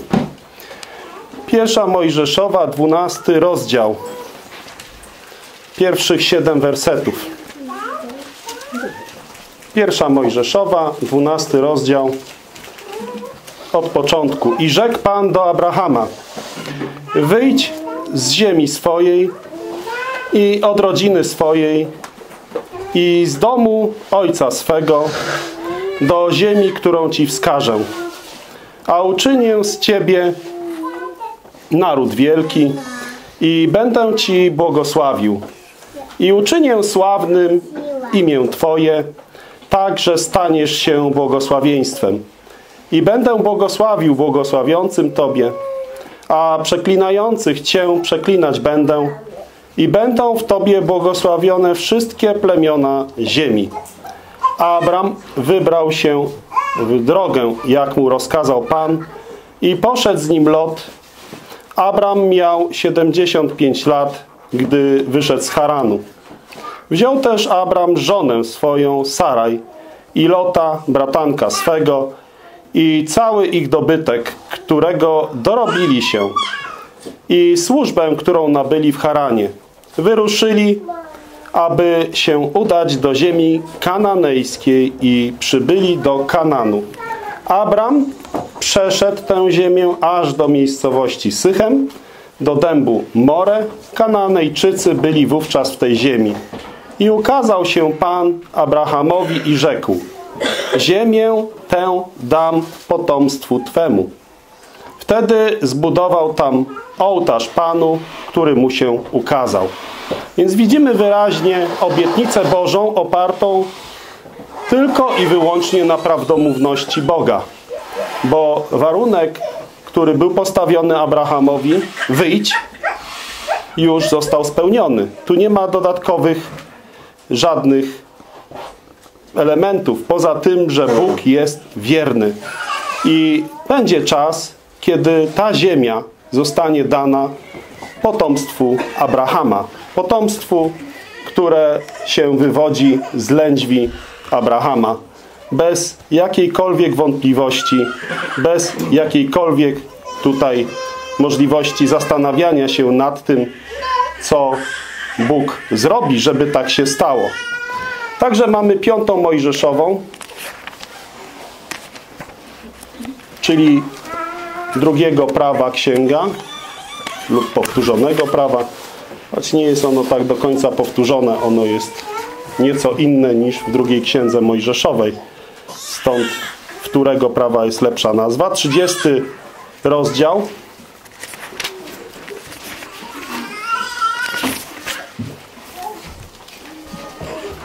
Pierwsze wersety 30 rozdziału. To jest strona 229 Brytyjca. Gdy tedy przyjdzie na cię to wszystko, błogosławieństwo i przekleństwo, które ci przedłożyłem i weźmiesz je sobie do serca spośród wszystkich narodów, dokąd wypędzi cię Pan, Bóg Twój i nawrócisz się do Pana, Boga Twego i będziesz słuchał Jego głosu zgodnie z tym wszystkim, co ja Ci dziś nakazuję, Ty i Twoi synowie z całego serca Twego i z całej duszy Twojej, to wtedy przywróci Pan, Bóg Twój, Twoich jeńców i zmiłuje się nad Tobą i zgromadzi Cię z powrotem ze wszystkich ludów, gdzie Cię rozproszył Pan, Bóg Twój. Choćby Twoi wygnańcy byli na krańcu nieba, to i stamtąd zgromadzi Cię Pan, Bóg Twój. I stamtąd Cię zabierze i sprowadzi Cię Pan, Bóg Twój, do ziemi, którą posiadali Twoi ojcowie i posiądziesz ją i Ty i uczyni Cię szczęśliwym i liczniejszym od Twoich ojców. I obrzeże Pan, Bóg Twój, Twoje serce i serce Twego potomstwa, abyś miłował Pana, Boga Twego z całego serca Twego i z całej duszy Twojej, abyś żył. Włoży zaś Pan, Bóg Twój, wszystkie te przekleństwa na Twoich nieprzyjaciół i na tych, którzy Cię nienawidzili i prześladowali. Ty zaś nawrócisz się i będziesz słuchał głosu Pana i spełniał wszystkie Jego przykazania, które ja Ci dziś nadaję. Obficie obdarzy Cię Pan, Bóg Twój dobrem w każdym dziele Twoich rąk, w Twoim potomstwie, w rozpłodzie Twojego bydła, w plonie Twojej ziemi, gdyż Pan znów radować się będzie Twoją pomyślnością, jak radował się Twoimi ojcami. Jeżeli będziesz słuchał głosu Pana, Boga Twego i będziesz przestrzegał Jego przykazań i ustaw zapisanych w księdze tego zakonu, jeżeli nawrócisz się do Pana, Boga Twego, z całego serca Twego i z całej duszy Twojej. Jednoznacznie widzimy tu obietnicę Bożą warunkową od posłuszeństwa Izraela, czyli tych, którzy są cielesnymi potomkami Jakuba i jednoznacznie widzimy, że jest to tutaj obiecane, że oni zostaną przywróceni z krańców ziemi. Niestety wiemy, że historia pokazuje, że ten lud trwa w ostrej niewierności i to warunkowe przymierze, to warunkowe przyobiecanie nie ma szans się odbyć na zasadach tego powtórzonego czy wtórego prawa. Jest to smutna rzecz, bo grzesznik, każdy z nas jest grzesznikiem i każdy z nas jest po prostu słaby w tym, żeby być wiernym i na całe szczęście my w chrześcijaństwie mamy dokładnie odwrotną kolejność. Najpierw Bóg darowuje doskonałą ofiarę, najpierw Bóg darowuje odpocznienie, a potem my mamy z tego wydawać owoce. Natomiast tam na podstawie tego powtórzonego zakonu albo wtórego zakonu było to przedstawione w ten sposób, że widzieliśmy nawet to w porządku tygodnia. Najpierw pracuj, potem odpocznij. U nas jest najpierw odpocznij w Chrystusie, potem wydaj owoc.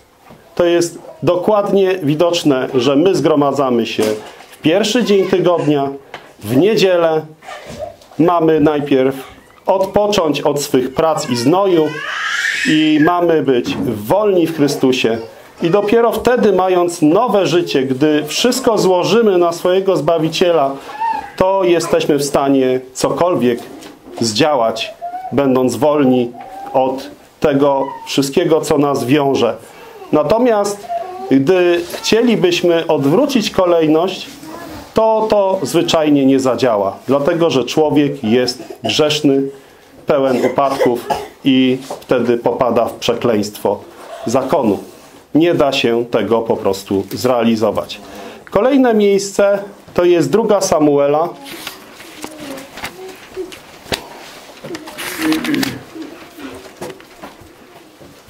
Siódmy rozdział, dwunasty werset.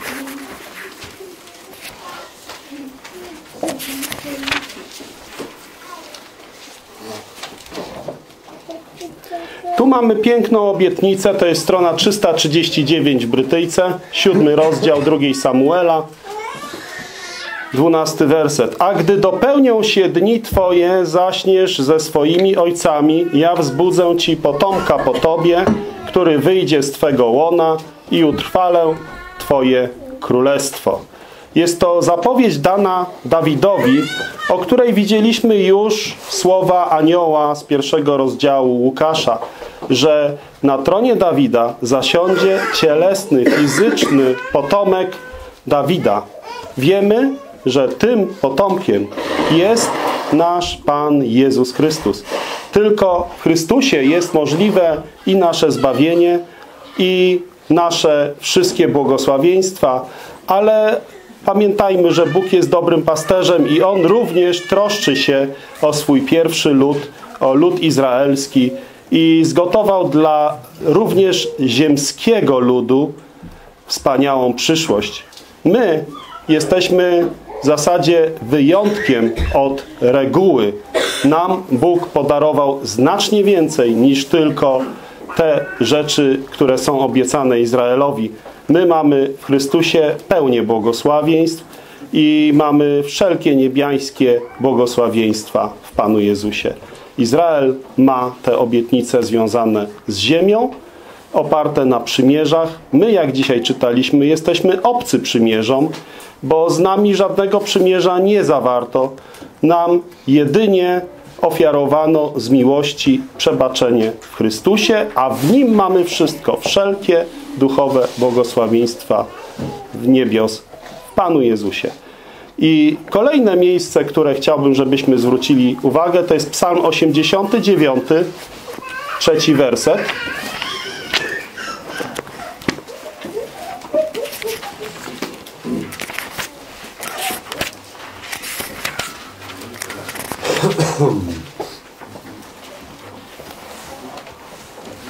Może od drugiego wersetu.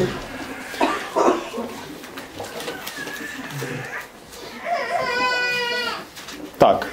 Będę opiewał zawsze dzieła łaski Pana, ustami swymi będę głosił przez wszystkie pokolenia wierność Twoją. Rzekłeś bowiem, łaska trwać będzie na wieki. Jak niebiosa utwierdziłeś wierność swoją. Zawarłem przymierze z wybrańcem swoim, przysiągłem Dawidowi słudze swemu. Na wieki utwierdzę potomstwo Twoje i tron Twój zbuduję na wszystkie pokolenia Sela. Znowu widzimy, że Dawidowi jest obiecane, że jego potomek cielesny będzie królował nad po prostu potomstwem Izraela. I jest to jednoznaczna obietnica związana z tym, co Izrael ma również na podstawie ofiary Pana Jezusa. Dlatego jest powiedziane o nas, że my jesteśmy sługami Nowego Przymierza. My jesteśmy tymi, którzy nie są częścią Nowego Przymierza, bo tam jest takie słowo, które na nasz język można by przetłumaczyć jako kelner. Kelner podaje posiłek, ale nie dosiada się do tego posiłku. Może podać najwspanialsze potrawy, ale jest usługującym. My jesteśmy sługami, kelnerami Nowego Przymierza. To jest trochę odwrócenie tej historycznej sytuacji, kiedy to Izrael dla nas zachował Pisma Święte Starego Testamentu. Oni w pełnej wierności Bogu dbali o to, żeby Stary Testament, wszystkie pisma Starego Testamentu, 39 ksiąg w nieskazitelności do nas dotrwały. Gdyby nie ich służba wierna w tym zakresie, nie mielibyśmy Starego Testamentu. Oczywiście Bóg znalazłby inny sposób, ale tak zdecydował i tak zostało to zrealizowane, że było w wierności przechowywane, przepisywane z pełną pieczołowitością. A teraz my jesteśmy tymi, kiedy Izrael jest w pełni niewierny, a my jako poganie mamy tą wolność i część Izraela, bo czytaliśmy w liście do Rzymian, że przecież Paweł też jest Izraelitą i wielu Izraelitów też uczestniczy w tych nowotestamentowych, związanych z chrześcijaństwem błogosławieństwach, ale na zasadzie przyłączenia do Kościoła, a nie na zasadzie części bycia częścią Izraela. Więc kolejne miejsce to jest Jeremiasza, 31 rozdział. I tutaj widzimy już całkowicie odmienioną sytuację, kiedy Bóg najpierw bardzo mocno karci Izraela przez praktycznie całą księgę Jeremiasza i podobnie w Izajaszu się to odbywa i w Ezechielu.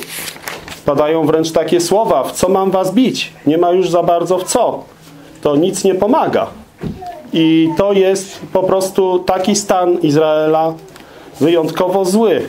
Tak samo ludzkość generalnie w całości jest niepoprawna. Jak widzimy zaraz po potopie, to Bóg zdecydował, że nie będzie powtórki potopu ani czegoś podobnego. Z tego powodu, bo myśli serca człowieka są ustawicznie złe. Po prostu, skoro nie da się tego poprawić, to Bóg zdecydował, że całość musi się oprzeć na Nim. Gdy została wykazana nasza całkowita niezdolność, to jest miejsce do działania łaski Bożej. Łaska Boża ma to do siebie, że zupełnie jest niezasłużona. i jest całkowicie oparta na miłosierdziu Bożym, niezależnie od tego, jaki jest ten, kto tą łaskę otrzymuje. Nie mamy się czym chlubić, bo cała chluba jest w Bogu. I to będą słowa 31 rozdział Jeremiasza, strona 850, 851 w zasadzie. I to będą słowa od 31 wersetu. To już 852 strona. Jeremiasz, 31 rozdział, 31 werset. Jest to obietnica złożona Izraelowi na podstawie doskonałej ofiary Pana Jezusa. Oto idą dni, mówi Pan, że zawrę z domem izraelskim i z domem judzkim nowe przymierze. Nie takie przymierze, jakie zawarłem z ich ojcami w dniu, gdy ich ująłem za rękę, aby ich wyprowadzić z ziemi egipskiej, które to przymierze oni zerwali. Chociaż ja byłem ich Panem, mówi Pan. Lecz takie przymierze zawrę z domem izraelskim po tych dniach, mówi Pan. Złożę mój zakon w ich wnętrzu i wypiszę go na ich sercu. Ja będę ich Bogiem, a oni będą moim ludem. I już nie będą siebie nawzajem pouczać, mówiąc, poznajcie Pana, gdyż wszyscy oni znać mnie będą od najmłodszego do najstarszego z nich, mówi Pan. Odpuszczę bowiem ich winę, a ich grzechów nigdy nie wspomnę. Tak mówi Pan, który ustanowił słońce, by świeciło w dzień, który wyznaczył księżyc i gwiazdy, by świeciły w nocy, który wzburza morze tak, że szumią jego fale, Pan zastępów jego imię. Jeżeli by te prawa miały się zachwiać przede mną, mówi Pan, to i ród Izraela przestałby być ludem przede mną po wszystkie dni. Tak mówi Pan. Jak nie mogą być zmierzone niebiosa w górze i zbadane fundamenty ziemi w dole, tak i ja nie odrzucę całego potomstwa Izraela, mimo wszystko, co uczynili. Więc widzimy jednoznacznie, że Bóg tutaj powołuje się na to, co się powołał Pan Jezus również, gdy mówił, że prędzej niebo i ziemia przeminą, niż minie choć jedna kreska z zakonu. Że to jest tak trwałe, jak słońce nad nami, jak fundamenty ziemi w dole. Tak pewne jest, że Bóg nie naruszy swojego przymierza z Izraelem i Judą.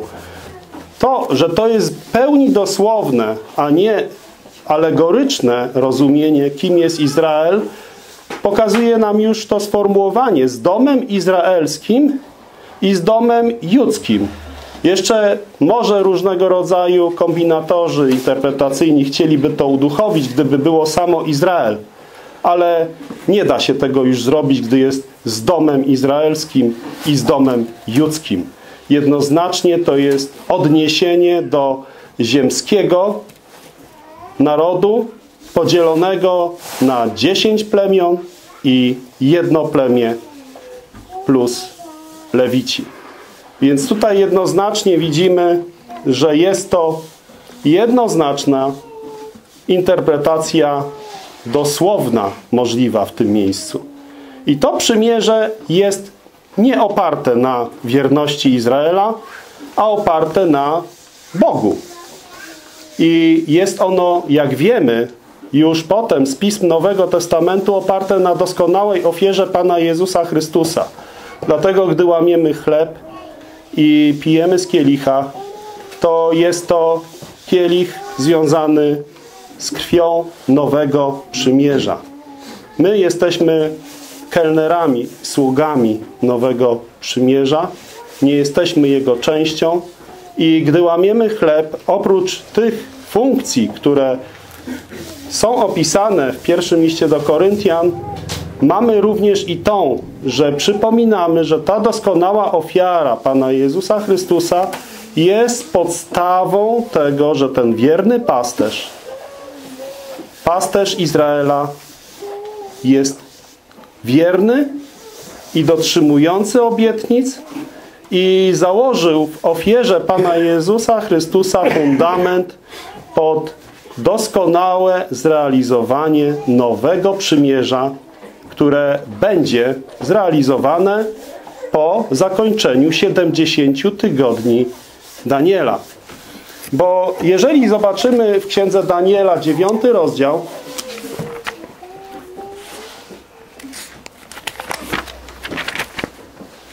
to początek 9 rozdziału Księgi Daniela 956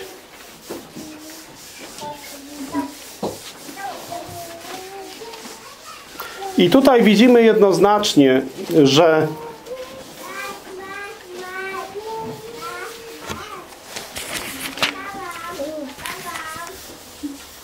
Pierwsze wersety dziewiątego rozdziału Daniela mówią o przeżyciach Daniela.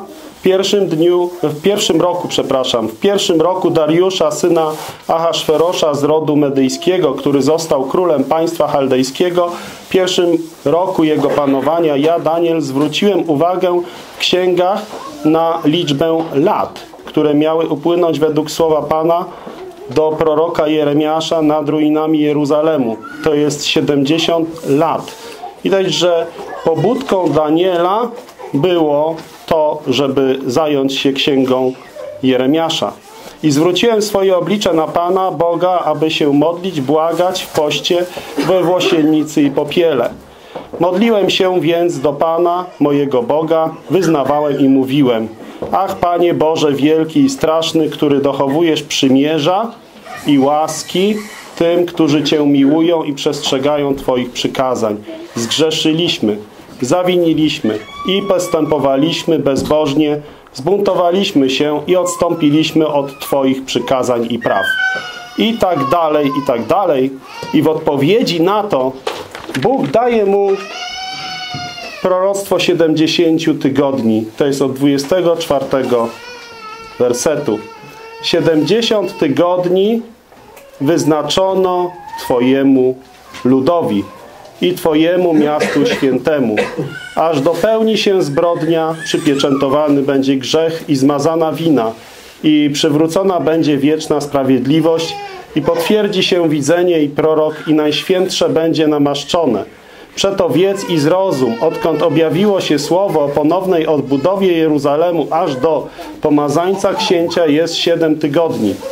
Siedem tygodni. Wiemy, że te tygodnie to są siedmiolecia, czyli siedem siedmioleci. Siedem siedmioleci to jest 49 lat. W ciągu 62 tygodni znowu będzie odbudowane. Znowu 62 siedmioleci. To należałoby przemnożyć z rynkiem i rowami miejskimi, a będą to ciężkie czasy. A po 62 tygodniach, czyli po 62 siedmioleciach, pomazaniec będzie zabity i nie będzie go. To jest powiedziane o Panu Jezusie, o Jego doskonałej ofierze na krzyżu. Lud księcia, który wkroczy, zniszczy miasto i świątynię, to jest 70 rok. Po ukrzyżowaniu Pana Jezusa już potem Tytus wkroczył i zniszczył miasto i świątynię. Potem nadejdzie jego koniec powodzi. Powódź to jest symbol najazdów ludów, bo wody symbolizują ludy.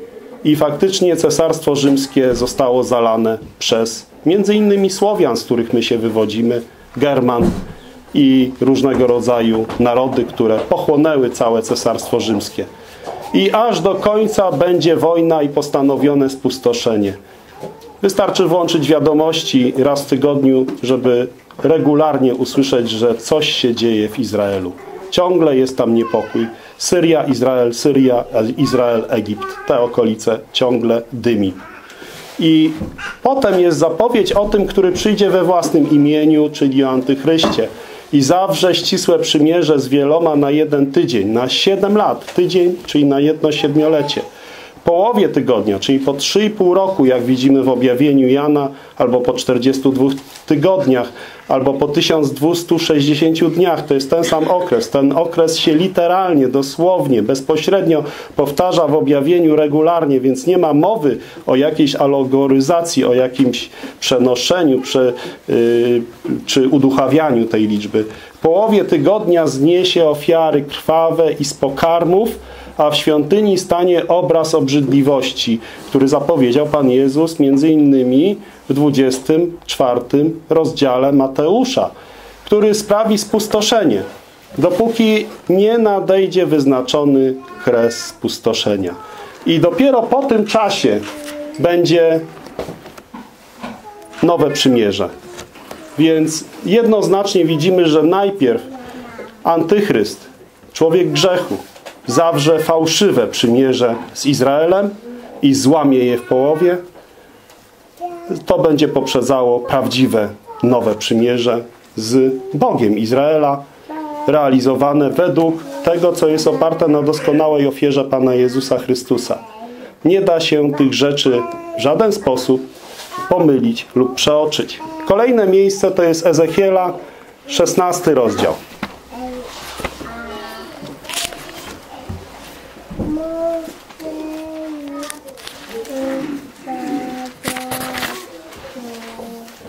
Ostatnie wersety 16 rozdziału, strona 902 w Brytyjce.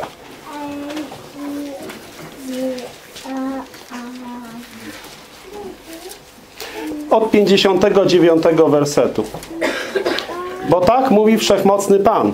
Postąpię z Tobą, jak Ty postąpiłaś, Ty, która zgardziłaś przysięgą i złamałaś przymierze lecz wspomnę o moim przymierzu z Tobą w dniach Twojej młodości i odnowię z Tobą przymierze wieczne. I wspomnisz o swoim postępowaniu i zawstydzisz się, gdy wezmę Twoje siostry, zarówno starsze, jak i młodsze od Ciebie i dam Ci je za córki, lecz nie na mocy przymierza z Tobą, i odnowię moje przymierze z Tobą i poznasz, że ja jestem Pan. Abyś pamiętała i wstydziła się i już nigdy nie otworzyła ust ze wstydu, gdy Ci przebaczę wszystko, co uczyniłaś, mówi Wszechmocny Pan. Widać tutaj cel tego przymierza, aby usta nasze były ze wstydu zamknięte to nam Pan Jezus na wieki przebaczył i podobnie, aby nasze usta się nie wynosiły, a jedynie chwaliły Boga, zostało nam wybaczone. Podobnie jest i zapowiedź co do Izraela. Izrael jest bardzo dumnym narodem, Izrael i Juda. I oni bardzo chętnie powiedzieli, wszystko co jest w zakonie wypełnimy. Tak powiedzieli, jak dostali zakon. I Lepiej by zrobili, gdyby milczeli, gdyby powiedzieli wtedy, te przepisy są święte i dobre, ale nie jesteśmy w stanie ich wypełnić. A oni pysznie powiedzieli, tak, tak, damy radę. Więc to jest pycha. Natomiast 63 werset mówi do Izraela i Judy, abyś pamiętała i wstydziła się i już nigdy nie otworzyła ust ze wstydu, gdy Ci przebaczę wszystko, co uczyniłaś. Tak działa łaska Boża. Całą naszą pychę gasi w przypadku pogan, w przypadku Kościoła i tak samo w przypadku Izraela. Jak czytamy w Rzymian, aby wszystkie usta były zamknięte. Bo nie ma się czym chlubić. Jesteśmy upadłymi grzesznikami i nie ma w nas nic dobrego. Jedynie możemy mnożyć grzech. Ezechiela 37 jeszcze.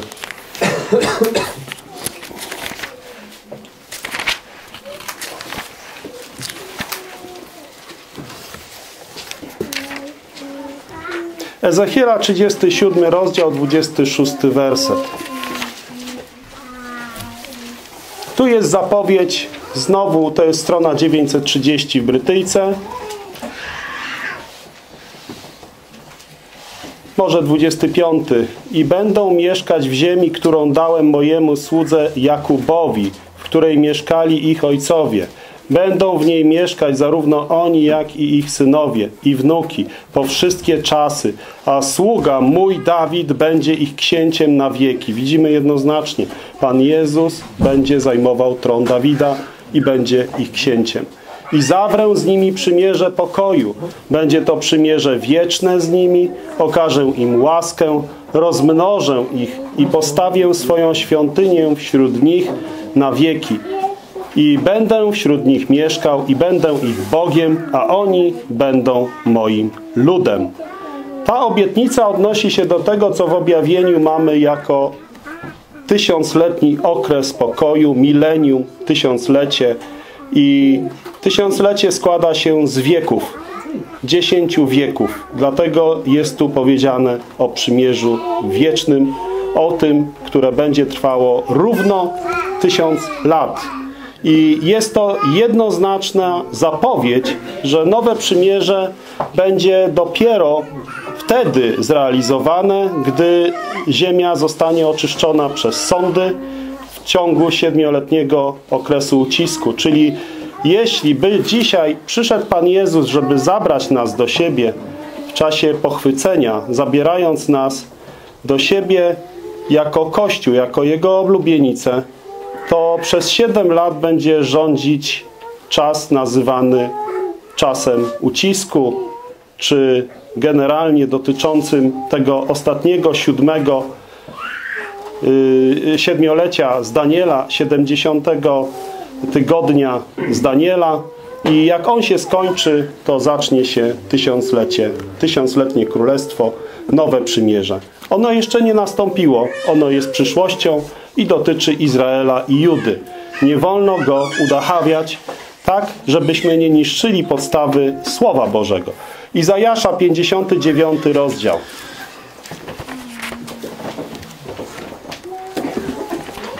Izajasza 59 rozdział 21 werset.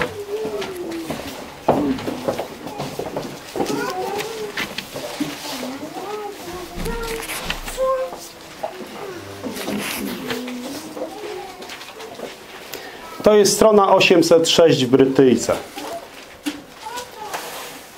I może też przeczytam werset wcześniej.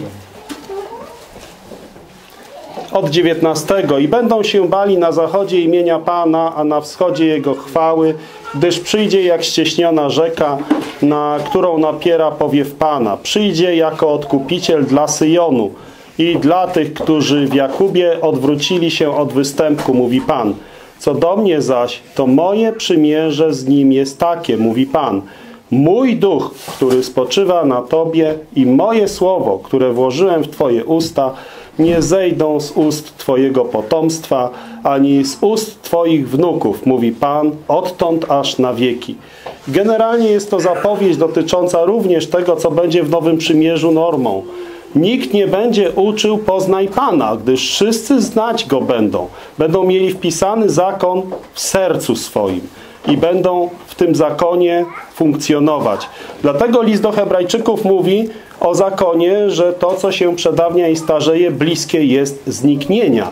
List do hebrajczyków był napisany już po ukrzyżowaniu Pana Jezusa, po w niebo wzięciu Pana Jezusa, po zesłaniu Ducha Świętego, po tym jak Kościół zaczął funkcjonować i datuje się je w okolicach 55 do 70 roku, list do hebrajczyków.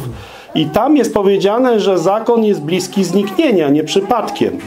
On będzie jeszcze miał swoją tutaj sytuację taką, że nowe przymierze dopiero będzie zawarte po 70 tygodniu z Daniela.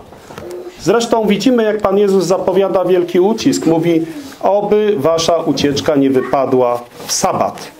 Bo wierni Izraelici, którzy będą uciekali, będą przestrzegać sabatu na podstawie zakonu Mojżesza. Oni nie będą chcieli go złamać. I teraz jeszcze Ozeasz, drugi rozdział.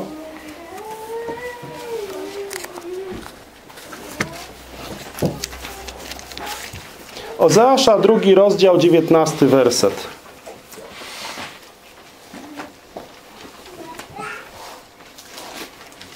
I tutaj mamy obietnicę Bożą dotyczącą znowu Izraela. Wtedy usunę, to jest strona 963, Ozeasza, drugi rozdział, 19 werset i 20.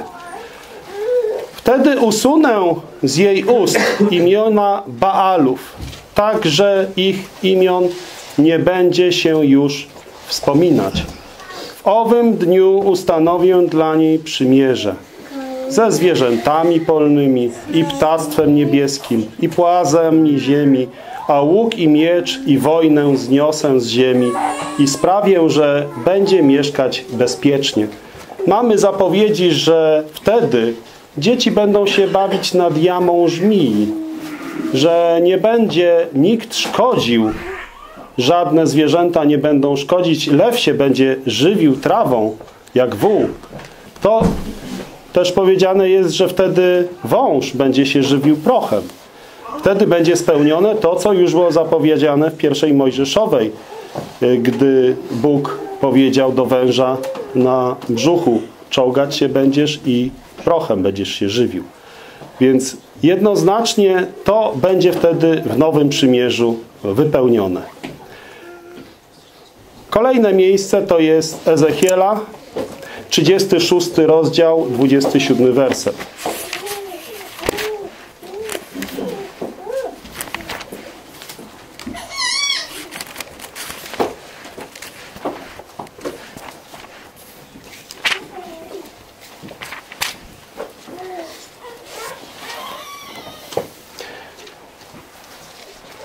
To jest wyraźnie powiedziane, to jest strona 928, o tym, że w wyniku Bożego działania będzie w Izraelu przemiana wewnątrz.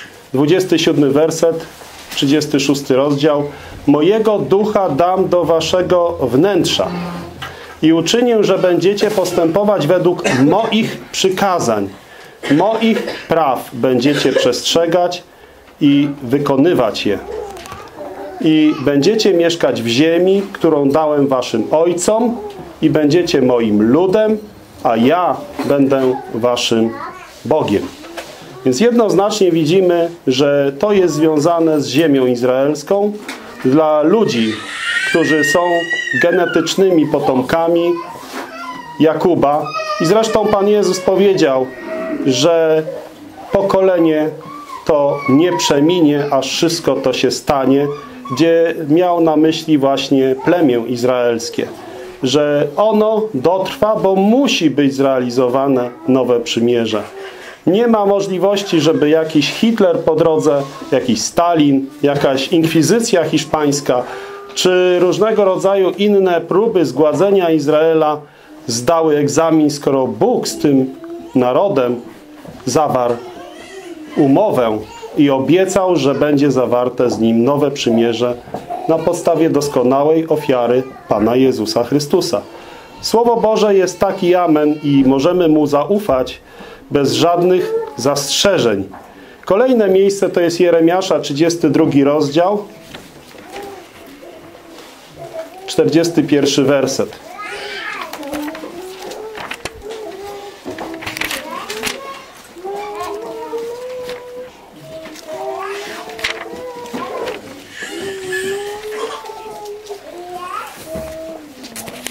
To jest strona 854. I tutaj Bóg obiecuje, że będzie się radował z nich i dobrze im czynił, na stałe osadzę ich w tej ziemi, z całego serca i z całej duszy. Jednoznacznie jest to ziemskie tutaj podłoże tego, oparte na Izraelu, tak jak czytaliśmy w pierwszej Mojżeszowej 12:7, obietnica złożona Abrahamowi, jest to związane z ziemią przewidzianą dla ludu, który się wywodzi z ciała i krwi Abrahama. Czyli jest to związane z ziemskim Izraelem, a nie z żadną inną formą. Nie da się tego uduchowić.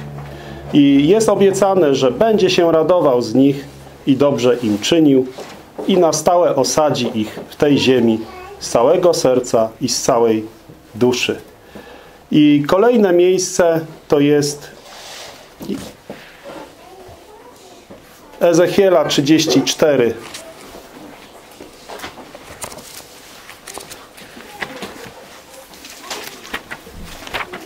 Tych miejsc jest bardzo dużo, natomiast ja się koncentruję na tych najbardziej reprezentatywnych.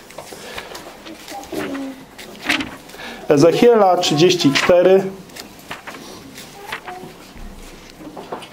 od 25 wersetu.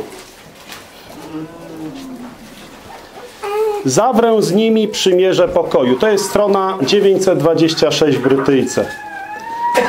Czyli 34, 25. Zawrę z nimi przymierze pokoju, wytępię z ziemi drapieżne zwierzęta, tak że będą bezpiecznie mieszkać nawet na pustyni i spać w lasach. I złożę na nich i na otoczenie mojego wzgórza błogosławieństwo i spuszczę na nich deszcz we właściwym czasie, a będzie to deszcz błogosławieństwa. Wtedy drzewa leśne wydadzą swój owoc, a ziemia wyda swoje plony i będą bezpiecznie mieszkać na swojej ziemi i poznają, że ja jestem Pan, gdy połamię drążki ich jarzma i wyratuję ich z ręki ich ciemięzców. I jeszcze Zachariasza, a może Ezechiela 37, 26 to jest kawałek dalej. 26, 27. Tutaj już czytaliśmy ten fragment 26 wersetu, nie czytaliśmy. I dam im serce nowe i ducha nowego dam do waszego wnętrza i usunę z waszego ciała serce kamienne, a dam wam serce mięsiste. I to dotyczy ziemskiego Izraela, bo 28 werset mówi i będziecie mieszkać w ziemi, którą dałem waszym ojcom. I Zachariasza 9:11 Zachariasza dziewiąty rozdział.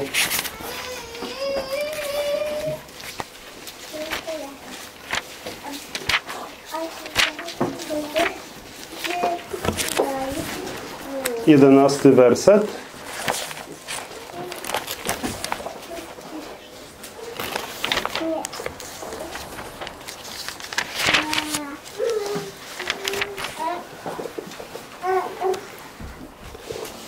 Nadto, to jest strona 1013.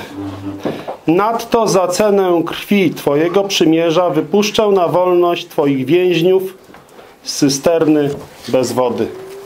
Więc tych obietnic dotyczących nowego przymierza jest wiele. Kościół jako chrześcijanie dostał dużo, dużo więcej. Nasze błogosławieństwa są znacznie przewyższające. Choćby nawet to ostatnie. Izrael ma obiecane nowe serce. My mamy nowe ciała. Obiecane, jak widzimy, Filipian. Filipian, trzeci rozdział, dwudziesty werset. I bardzo niebezpieczne jest mieszanie tych dwóch rodzajów błogosławieństw, dlatego że my nie mamy ziemskich błogosławieństw w żaden sposób obiecanych. Jeżeli byśmy mieli, to wtedy nie byłoby biednych, głodnych chrześcijan, cierpiących. A mamy wręcz obietnicę, kto chce żyć pobożnie w Chrystusie, prześladowania znosić będzie. Większość Kościoła cierpi głód. Większość Kościoła nie ma dachu nad głową, nie ma co zjeść, nie ma w co się ubrać. I tylko niewielka grupa z chrześcijaństwa, z tych, którzy wierzą Chrystusowi, ma taki komfort jak my w krajach Zachodu. Natomiast większość wierzących na całym świecie cierpi prześladowania nie tylko przez presję środowiska, ale wręcz przez fizyczną próbę wyeliminowania ich z tego świata. Ten świat nie jest ich godzien. I tutaj widzimy Filipian trzeci rozdział, osiemnasty werset. Wielu bowiem z tych, o których często wam mówiłem, a teraz także z płaczem mówię, postępuje jak wrogowie krzyża Chrystusowego. Końcem ich jest zatracenie, Bogiem ich jest brzuch, a chwałą to, co jest ich hańbą. Myślą bowiem o rzeczach ziemskich. Nasza zaś Ojczyzna jest w niebie, skąd też Zbawiciela oczekujemy, Pana Jezusa Chrystusa, który przemieni znikome ciało nasze w postać podobną do uwielbionego ciała swego, tą mocą, którą też wszystko poddać sobie może. Więc jednoznacznie widzimy, że my nie mamy obiecanego jedynie nowego serca, nowe serce też, ale całe ciało mamy obiecane nowe. I też mamy jednoznacznie pokazane w liście do hebrajczyków, że to nowe przymierze z Izraelem i Judą to jest jeszcze przyszłość. Tak jak widzieliśmy spis Starego Testamentu, tak widzimy ósmy rozdział hebrajczyków, że autor tego listu jednoznacznie widzi, że to jest przyszłość. To jest ósmy rozdział, strona 1303, list do hebrajczyków. Siódmy werset. Gdyby bowiem pierwsze przymierze było bez braków, nie szukano by miejsca na drugie. Albowiem ganiąc ich mówi, oto idą dni, mówi Pan, a zawrę z domem Izraela i z domem Judy przymierze nowe. Nie takie przymierze, jakie zawarłem z ich ojcami w dniu, gdym ujął ich za rękę, aby ich wyprowadzić z ziemi egipskiej. Ponieważ oni nie wytrwali w moim przymierzu, przeto ja nie troszczyłem się o nich, mówi Pan. Takie zaś jest przymierze, które zawrę z domem Izraela po upływie owych dni. To po upływie owych dni to oczywiście odnosi się do 70 tygodnia Daniela, czyli 77-lecia. Po upływie owych dni, mówi Pan, prawa moje włożę w ich umysły i na sercach ich wypiszę je i będę im Bogiem, a oni będą mi ludem. I nikt nie będzie uczył swego ziomka, ani też swego brata, mówiąc, poznaj Pana. Bo wszyscy mnie znać będą, od najmniejszego aż do największego z nich, gdyż łaskawy będę na nieprawości ich, a grzechów ich nie wspomnę więcej. Gdy mówi nowe, to uznał pierwsze za przedawnione, a to, co się przedawnia i starzeje, bliskie jest zaniku. Czyli w czasie, gdy pisany był list do hebrajczyków, to było jeszcze bliskie zaniku. Oczywiście Izrael teraz nie ma możliwości praktykować zakonu, bo nie ma świątyni. Nie może każdy mężczyzna trzy razy do roku wziąć pierwocin i pójść do świątyni i złożyć ich w świątyni. Nie ma jak praktykować zakonu, gdyż jest to fizycznie niemożliwe. Natomiast będzie czas, kiedy ta świątynia będzie z powrotem na ziemi przywrócona i będzie ona centrum kultu. Widzimy to w objawieniu Jana i widzimy to w liście do Tesaloniczan, że będzie przez 3,5 roku ta służba w pewien sposób przywrócona na podstawie tego zawartego przymierza przez człowieka grzechu i wtedy będą na nowo składane różnego rodzaju ofiary, ale potem w połowie tego siedmiolecia ostatniego jest powiedziane, że zostanie ta służba zniesiona, a Tesaloniczan nam mówi, że człowiek grzechu zasiądzie w świątyni i powie, że to on jest Bogiem, że nie ma po prostu już potrzeby takiej służby sprawować. W objawieniu 12 rozdział widzimy, że wierna część Izraela będzie musiała uciekać. To też widzieliśmy w Mateusza 24 rozdział, gdzie Pan Jezus zapowiedział, że gdy zobaczycie ohydę spustoszenia, to mówił do żydowskich słuchaczy, to musicie uciekać.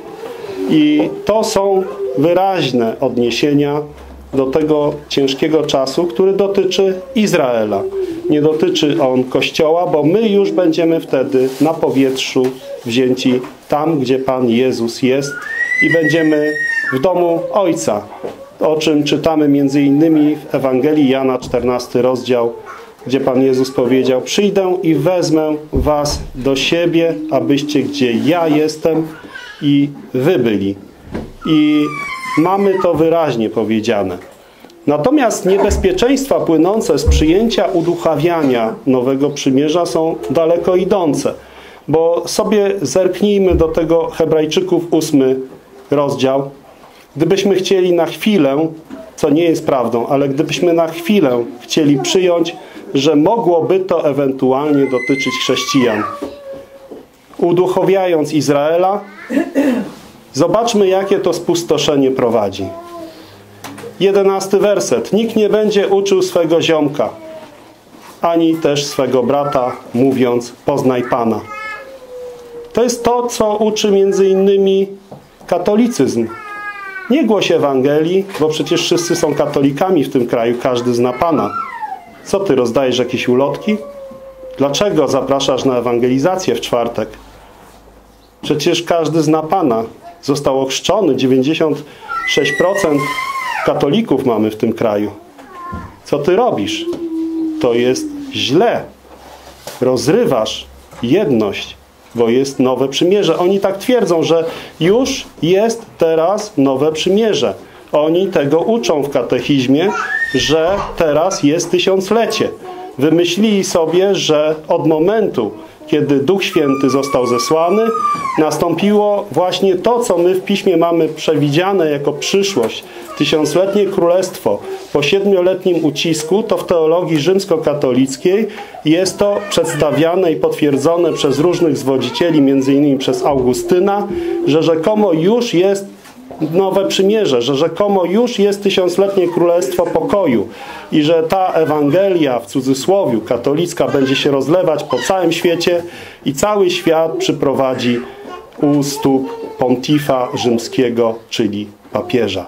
I jeżeli, jeżeli po prostu damy się zwieść takim myślom, to jest to strasznie niebezpieczne. To wytrąca nam jakiekolwiek moralne argumenty ku temu, żeby głosić Ewangelię. Bo skoro wszyscy znają Pana, to jakim prawem my się ośmielamy głosić Ewangelię o zbawieniu? I to prowadzi do kolejnych później herezji. Trzeba zrobić spotkania ekumeniczne, bo katolicyzm nie dał rady nawrócić na katolicyzm krajów muzułmańskich, krajów y, tych, które są związane z hinduizmem czy buddyzmem. I jak sobie z tym poradzili? Poradzili sobie w ten sposób, że dopowiedzieli, że są szersze kręgi, szersze kręgi Kościoła. I jest między innymi takie nauczanie, że każdy będący w tej religii, jeżeli będzie wierny, czy to w hinduizmie, czy w buddyzmie, to trafi do nieba. Jakaż zwodnicza nauka. Wtedy ta szeroka droga prowadząca na wieczną zagładę jest przez tą naukę potwierdzana. I ci ludzie idą myśląc, że są w pokoju, bo papież rzymski im powiedział, że są na dobrej drodze. Nie muszą z niej schodzić. Niech idą, bo trafią. To jest bardzo niebezpieczne i niestety ta fałszywa nauka już była potępiona przez apostoła Pawła i było zapowiedziane, że nauka ta szerzyć się będzie jak zgorzel. Bo jest powiedziane, że tacy byli, którzy mówili, że zmartwychwstanie już się dokonało. To jest właśnie ta sama nauka. Bo przecież wiemy, że skoro jest po pochwyceniu dopiero siedmiolecie ucisku i dopiero potem jest nowe przymierze, to jeżeli twierdziłby ktoś, że dziś jest nowe przymierze, to mówi innymi słowy, że dziś jest milenium i że dziś już jest po zmartwychwstaniu, po pochwyceniu. Jest to głęboko fałszywe nauczanie. Więc trzymajmy się dosłownie Słowa Bożego, nie dajmy się bałamucić przez różnego rodzaju fałszywe nauki. One się szerzą jak zgorzel, są wokół nas, ale po to mamy Słowo Boże, które jest pochodnią w naszych rękach, żeby wiernie temu Słowu być posłusznymi. I patrząc na wierność Boga jako pasterza wobec Izraela, możemy być pewni, że tak jak wobec nas wszystkie obietnice są spełnione, tak wobec Izraela. I odwrotnie, tak jak wobec Izraela te wszystkie wspaniałe fakty są spełniane. Widzimy, jak już są z różnych krańców ziemi gromadzone resztki Izraela w Jerozolimie. Jeszcze to jest w niewierze. Widzimy to w Ezechiela zapowiedziane. Najpierw jest duchowo przedstawiony Izrael jako dolina wyschłych kości. Te kości są tam gromadzone i tak jest dzisiaj, że ci niewierzący Izraelici nie do końca wiedząc czemu znaleźli się w Palestynie. Oni wiedzą z powodów państwowych, że warto, żeby byli bardziej tam niż gdzie indziej, ale na tym gruncie prawdopodobnie Bóg powoła to duchowe przebudzenie i tam będzie realizowany ciąg dalszy tego, co widzieliśmy dzisiaj w Daniela, że tam w centrum będzie Jerozolima, będzie świątynia i tej ziemi, zgodnie z obietnicą daną Abrahamowi, możemy oczekiwać realizacji tego, co Bóg obiecał.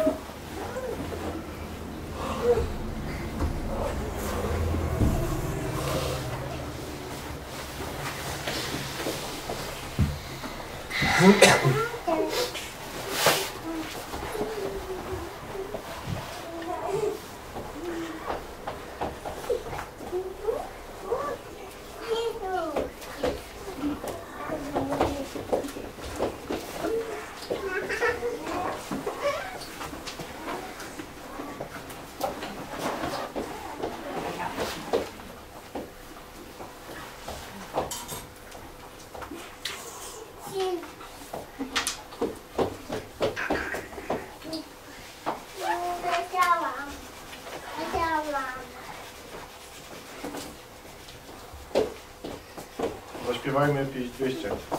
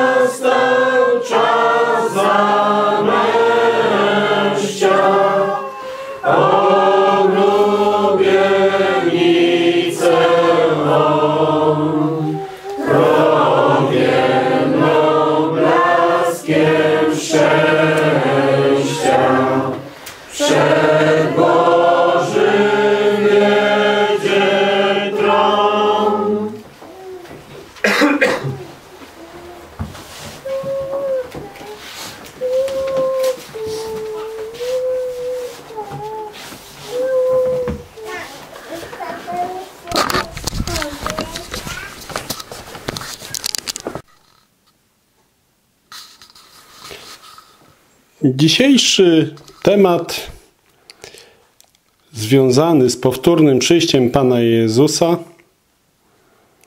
jest dosyć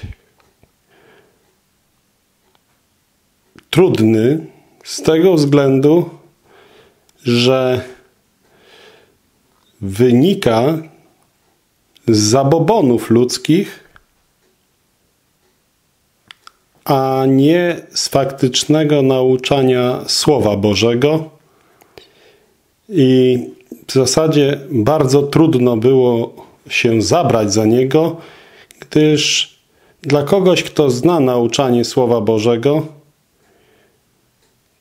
propozycja, aby powtórne przyjście Pana Jezusa Chrystusa miało oznaczać śmierć wierzącego, jest całkowicie niedorzeczna.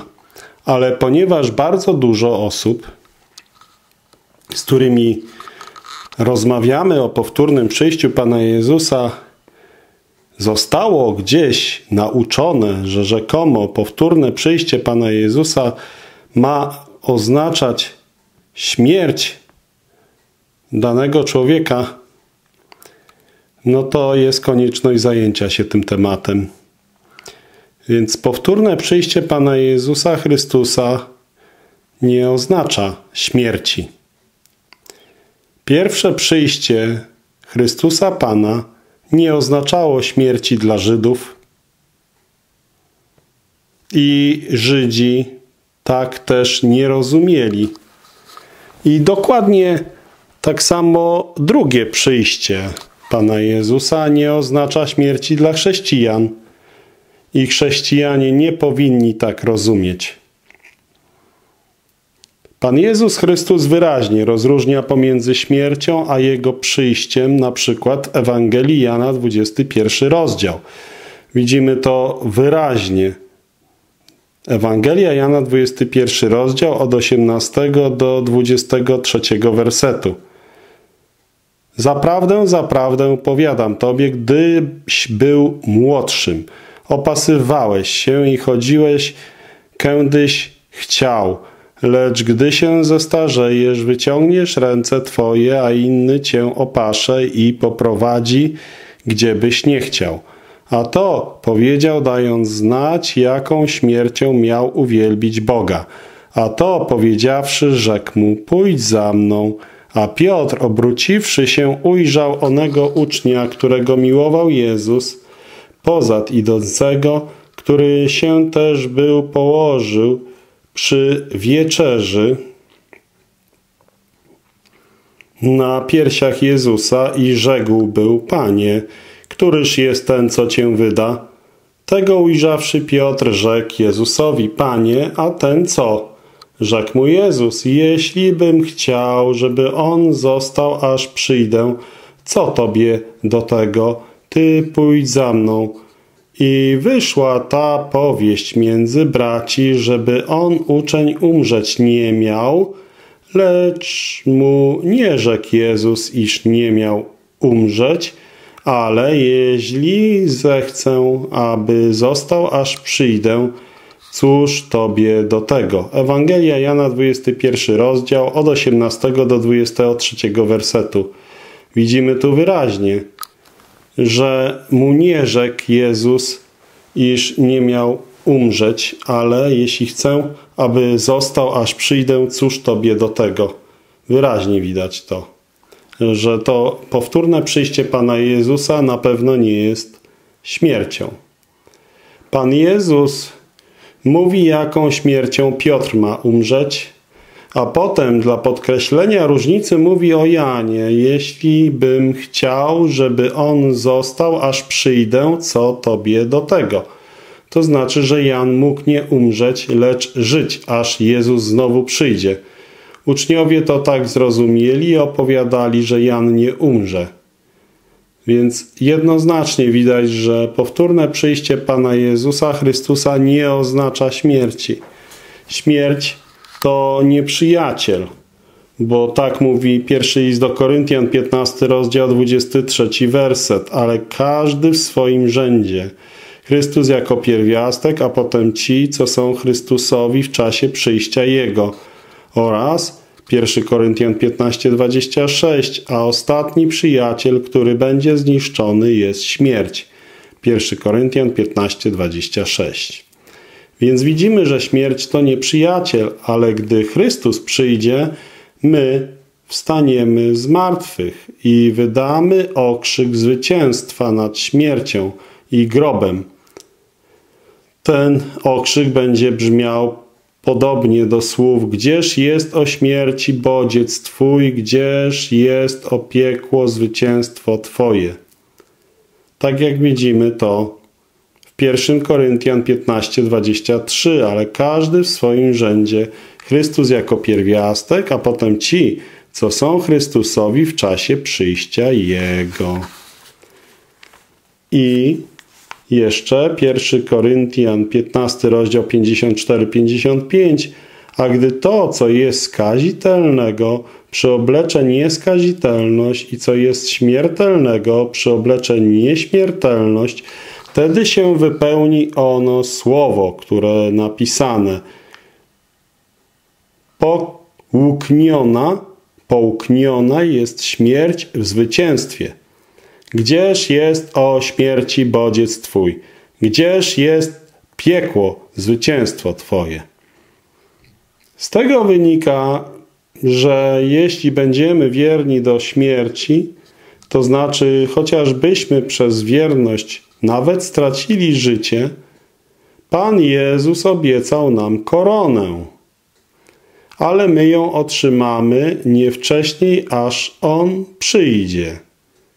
Widzimy to w słowach z objawienia Jana, drugi rozdział, dziesiąty werset. Nic się nie bój tego, co masz cierpieć.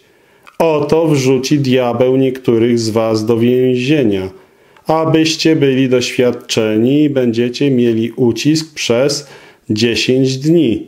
Bądź wierny aż do śmierci, a dam ci koronę życia. Objawienie Jana, drugi rozdział, dziesiąty werset oraz drugi Tymoteusza, czwarty rozdział, ósmy werset. Zatem odłożona mi jest korona sprawiedliwości, którą mi odda w ten dzień Pan, sędzia sprawiedliwy, a nie tylko mnie, ale i wszystkim, którzy umiłowali sławne przyjście Jego. Drugi Tymoteusza 4,8 oraz z pierwszego Piotra, piąty rozdział, czwarty werset ale gdy się okaże on książę pasterzy, odniesiecie niezwiędłą koronę chwały. 1 Piotra, 5 rozdział, 4 werset. Jednoznacznie zatem widzimy, że nic nam nie obiecano po śmierci, prócz odpocznienia, jak pokazuje nam między innymi 2 Tesaloniczan, 1 rozdział, 7 werset, ale wam, którzyście uciśnieni, odpocznienie z nami przy objawieniu Pana Jezusa z nieba z aniołami mocy Jego. Drugi Tesaloniczan 1,7 oraz objawienie 14:13 i usłyszałem głos z nieba mówiący do mnie napisz, błogosławieni są odtąd umarli, którzy w Panu umierają. Zaprawdę mówi Duch im, aby odpoczywali od prac swoich, a uczynki ich idą za nimi. Objawienie 14:13. Widzimy, że nam nic nie obiecano po śmierci, oprócz odpocznienia w raju. To pokazuje nam Łukasza 16:22 i stało się, że umarł on żebrak i odniesiony był od aniołów na łono Abrahamowe. Umarł też i bogacz i pogrzebiony jest. Łukasza 16:22 oraz Łukasza 23:43 a Jezus mu rzekł Zaprawdę, zaprawdę powiadam Tobie, dziś będziesz ze mną w raju. Łukasza 23:43 I to jednoznacznie widzimy, że nic nam nie obiecano po śmierci oprócz odpocznienia w raju, lecz mamy wszystkie obietnice po zmartwychwstaniu, gdy Jezus przyjdzie. Tak pokazuje nam m.in. Słowo Boże z Łukasza, 14 rozdział, 14 werset. A będziesz błogosławionym, boć nie mają czym nagrodzić, ale będzie nagrodzono przy zmartwychwstaniu sprawiedliwych. Łukasza 14:14 14 oraz Rzymian 8 rozdział 32 werset. który ani własnemu synowi nie przepuścił, ale go za nas wszystkich wydał, jakożby wszystkiego z nim nie darował nam. Rzymian 8 rozdział 32 werset. Oraz Łukasza 20 35 36. Ale ci, którzy są godni dostąpić onego wieku i powstać z martwych, ani się żenić, ani za mąż wychodzić nie będą, albowiem umierać więcej nie będą mogli, bo będą równi aniołom i będą synami bożymi, gdyż są synami zmartwychwstania. Łukasza, 20 rozdział, 35 i 36 werset. Dlatego to Paweł tak pragnie zmartwychwstania. On nie chce być zewleczonym przez śmierć, lecz przyobleczonym w zmartwychwstaniu. Widzimy to między innymi w słowach Filipian 3:11 abym jakimkolwiek sposobem doszedł powstania z martwych. Oraz jeśli chodzi o kolejne miejsca, to jest 2 Koryntian 5 rozdział 4 werset, bo którzyśmy w tym namiocie wzdychamy, będąc obciążeni, ponieważ nie żądamy być zewleczeni, ale przyobleczeni, aby pożarta była śmiertelność od żywota. 2 Koryntian 5 rozdział 4 werset. Oraz 1 Koryntian 15 rozdział 51-54 Oto tajemnicę wam opowiadam. Nie wszyscy zaśniemy, ale wszyscy przemienieni będziemy bardzo prędko, w okamgnieniu, na trąbę ostateczną, albowiem zatrąbi, a umarli wzbudzeni będą nieskazitelni, a my będziemy przemienieni. Bo musi się to, co jest skazitelne, przyoblec w nieskazitelność i co jest śmiertelnego przyoblec w nieśmiertelność, a gdy to, co jest skazitelnego, przyoblecze nieśmiertelność i to, co jest śmiertelnego, przyoblecze nieśmiertelność, wtedy się wypełni to słowo, które jest napisane, połknięta jest śmierć w zwycięstwie. 1 Koryntian 15 rozdział od 51 do 54 wersetu. Więc jeżeli teraz mamy takie słowa ze Słowa Bożego, to może niech ktoś z tych zwolenników takich dziwnych hipotez, że powtórne przyjście Pana Jezusa jest śmiercią wierzącego, wstawi do tekstu, gdzie jest mowa o przyjściu Chrystusa słowo śmierć zamiast Chrystus i zobaczy, jak to jest niestosownie. Na przykład, jeśli przekręcilibyśmy według tej modły Mateusza 16:27, albowiem śmierć przyjdzie w chwale Ojca swego, zamiast jak jest w oryginale, albowiem Chrystus przyjdzie w chwale Ojca swego albo Mateusza 19:28. Gdy usiądzie śmierć na stolicy chwały swojej, zamiast gdy usiądzie Chrystus na stolicy chwały swojej. Oraz kolejne fałszerstwo, którego tacy ludzie próbują dokonać, mówiąc, że śmierć to jest powtórne przyjście Pana Jezusa. To jest na przykład fałszywe podstawienie w Mateusza 26:64 zamiast Chrystus, słowo śmierć. Odtąd ujrzycie śmierć siedzącą na prawicy mocy Bożej przychodzącą na obłokach niebieskich. To jest kompletnie zafałszowane. bo prawdziwe Słowo Boże mówi odtąd ujrzycie Chrystusa, siedzącego na prawicy mocy Bożej i przychodzącego na obłokach niebieskich. Oraz objawienie 1.7, jakby było przekręcone, tak jak chcą zwolennicy tezy, że śmierć to powtórne przyjście Chrystusa. Oto idzie śmierć z obłokami i ujrzy ją wszelkie oko. Objawienie 1.7 wygląda jednak zupełnie inaczej w oryginale. A oto idzie Chrystus z obłokami i ujrzy go wszelkie oko. Objawienie 1.7. Tak samo Filipian 3.20 po podstawieniu słowa śmierć zamiast Chrystus brzmi niedorzecznie.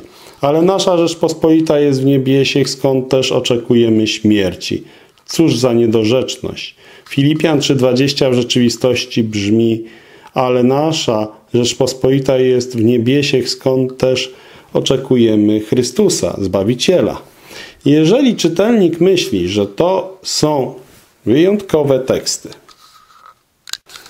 i jeżeli czytając Biblię tak sobie myślisz, to czytając Biblię spróbuj. To samo z innymi tekstami Pisma Świętego odnoszącymi się do przyjścia Chrystusa.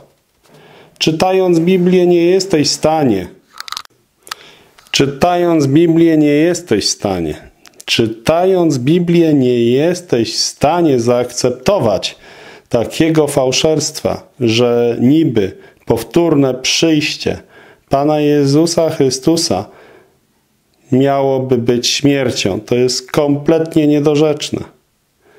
Więc jedyne możliwe podobieństwo możemy znaleźć w analogii, mianowicie w tym, że nieznany jest nam czas, kiedy pomrzemy, ale dzięki Bogu my możemy zupełnie nie umrzeć ponieważ nie wszyscy zaśniemy, jak świadczy nam 1 Koryntian 15:51, bo będziemy żywcem zabrani do nieba, jeżeli za naszego życia Chrystus przyjdzie, a jeżeli już zdążymy zasnąć, to przecież nas wpierw skrzesi i żywcem zabierze do nieba. To musimy pamiętać, że co najmniej jedno pokolenie jedna generacja będzie przekonana, że przyjście naszego Pana nie jest śmiercią i spotka to ich naocznie. Jest to niedopuszczalne powiedzieć, mieszając śmierć z powtórnym przyjściem Pana Jezusa.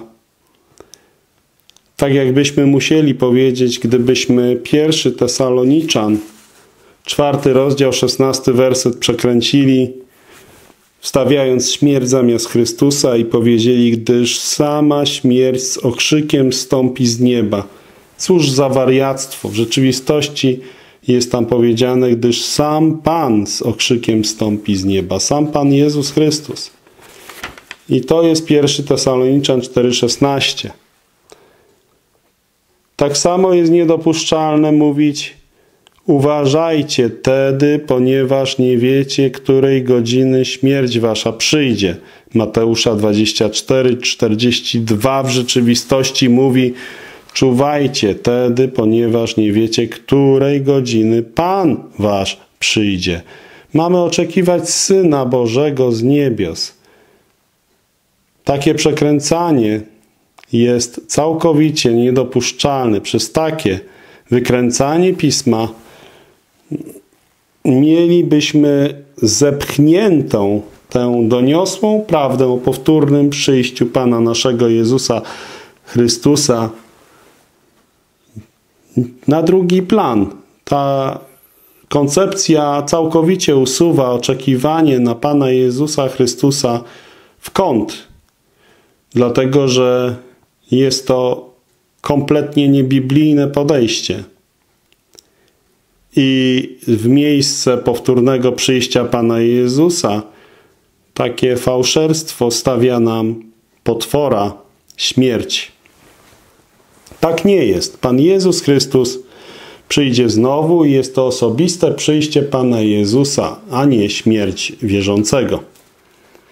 Śmierć praktycznie biorąc nie jest tym samym, co przyjście Chrystusa. Byłoby za dużo powiedziane, że śmierć dla wierzącego jest tym samym, co w istocie przyjście Chrystusa, ponieważ my tego nie wiemy i Pismo Święte o tym nic nie mówi. Przeciwnie, wypadki towarzyszące przyjściu Chrystusa, jak to poucza nas Pismo Święte, nie powtarzają się przy śmierci chrześcijanina. Umarli nie wstają, a żywi wierzący nie przemieniają się, jak to ma być w chwili przyjścia pańskiego. O piekle albo Hadesie, czyli o przejściowym stanie umarłych wiemy bardzo mało. Prawdopodobnie od czasu zmartwychwstania pańskiego dusze zmarłych, wierzących idą do raju, jak i Paweł apostoł to powiedział. Wolimy raczej wyjść z ciała, a iść na mieszkanie do Pana. 2 Koryntian, 5 rozdział, 8 werset. Z Księgi Objawienia, 6 rozdział od 9 do 11 wersetu widać, że niektóre dusze zmarłych oczekują z upragnieniem wykonania się sądu. Co ma nastąpić, gdy przyjście, przyjdzie Pan? Widzimy to innymi w słowach objawienia 6 rozdział 9 werset do 11. A gdy otworzył piątą pieczęć, widziałem pod ołtarzem dusze pobitych dla Słowa Bożego i dla świadectwa, które wydawali. I wołali głosem wielkim, mówiąc, dokądże, Panie święty i prawdziwy, nie sądzisz i nie mścisz się krwi naszej nad tymi, którzy mieszkają na ziemi, i dane są każdemu z nich szaty białe. I powiedziano im, aby odpoczywali jeszcze na mały czas, ażby się dopełnił poczep współsług ich i braci ich, którzy mają być pobici jako i oni. Oraz, jeśli chodzi o miejsce z drugiego Tymoteusza, czwarty rozdział, pierwszy werset – ja tedy oświadczam się przed Bogiem i Panem Jezusem Chrystusem, który ma sądzić żywych i umarłych, w sławnym przyjściu swoim i w królestwie swoim. 2 Tymoteusza 4:1 oraz objawienie 11:18 i rozgniewały się narody i przyszedł gniew Twój i czas umarłych, aby byli sądzeni i abyś oddał zapłatę sługom Twoim prorokom i świętym i bojącym się imienia Twego, małym i wielkim, i abyś wytracił tych, co psują ziemię. Także można zobaczyć do Mateusza, 25 rozdział, 40 werset. Pośle aniołów swoich z trąbą głosu wielkiego i zgromadzą wybranych jego czterech wiatrów, od jednych krańców niebios aż do drugich, a od figowego drzewa uczcie się podobieństwa, gdy się już gałąź jego odmładza i liście wypuszcza. Poznajecie, iż blisko jest lato, tak i wy, gdy ujrzycie to wszystko, wiedzcie, że blisko jest przede drzwiami. Zaprawdę powiadam wam, nie przeminie to pokolenie, aż się to wszystko stanie. Niebo i ziemia przeminą, ale słowa moje nie przeminą. A o onym dniu i godzinie nikt nie wie, ani aniołowie niebiescy, tylko sam Ojciec mój.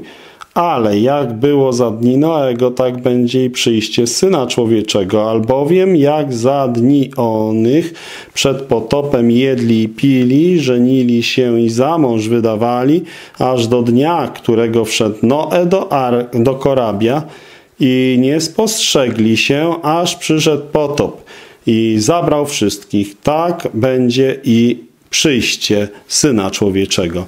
Wtedy będzie dwóch na roli, jeden będzie przyjęty, a drugi zostawiony.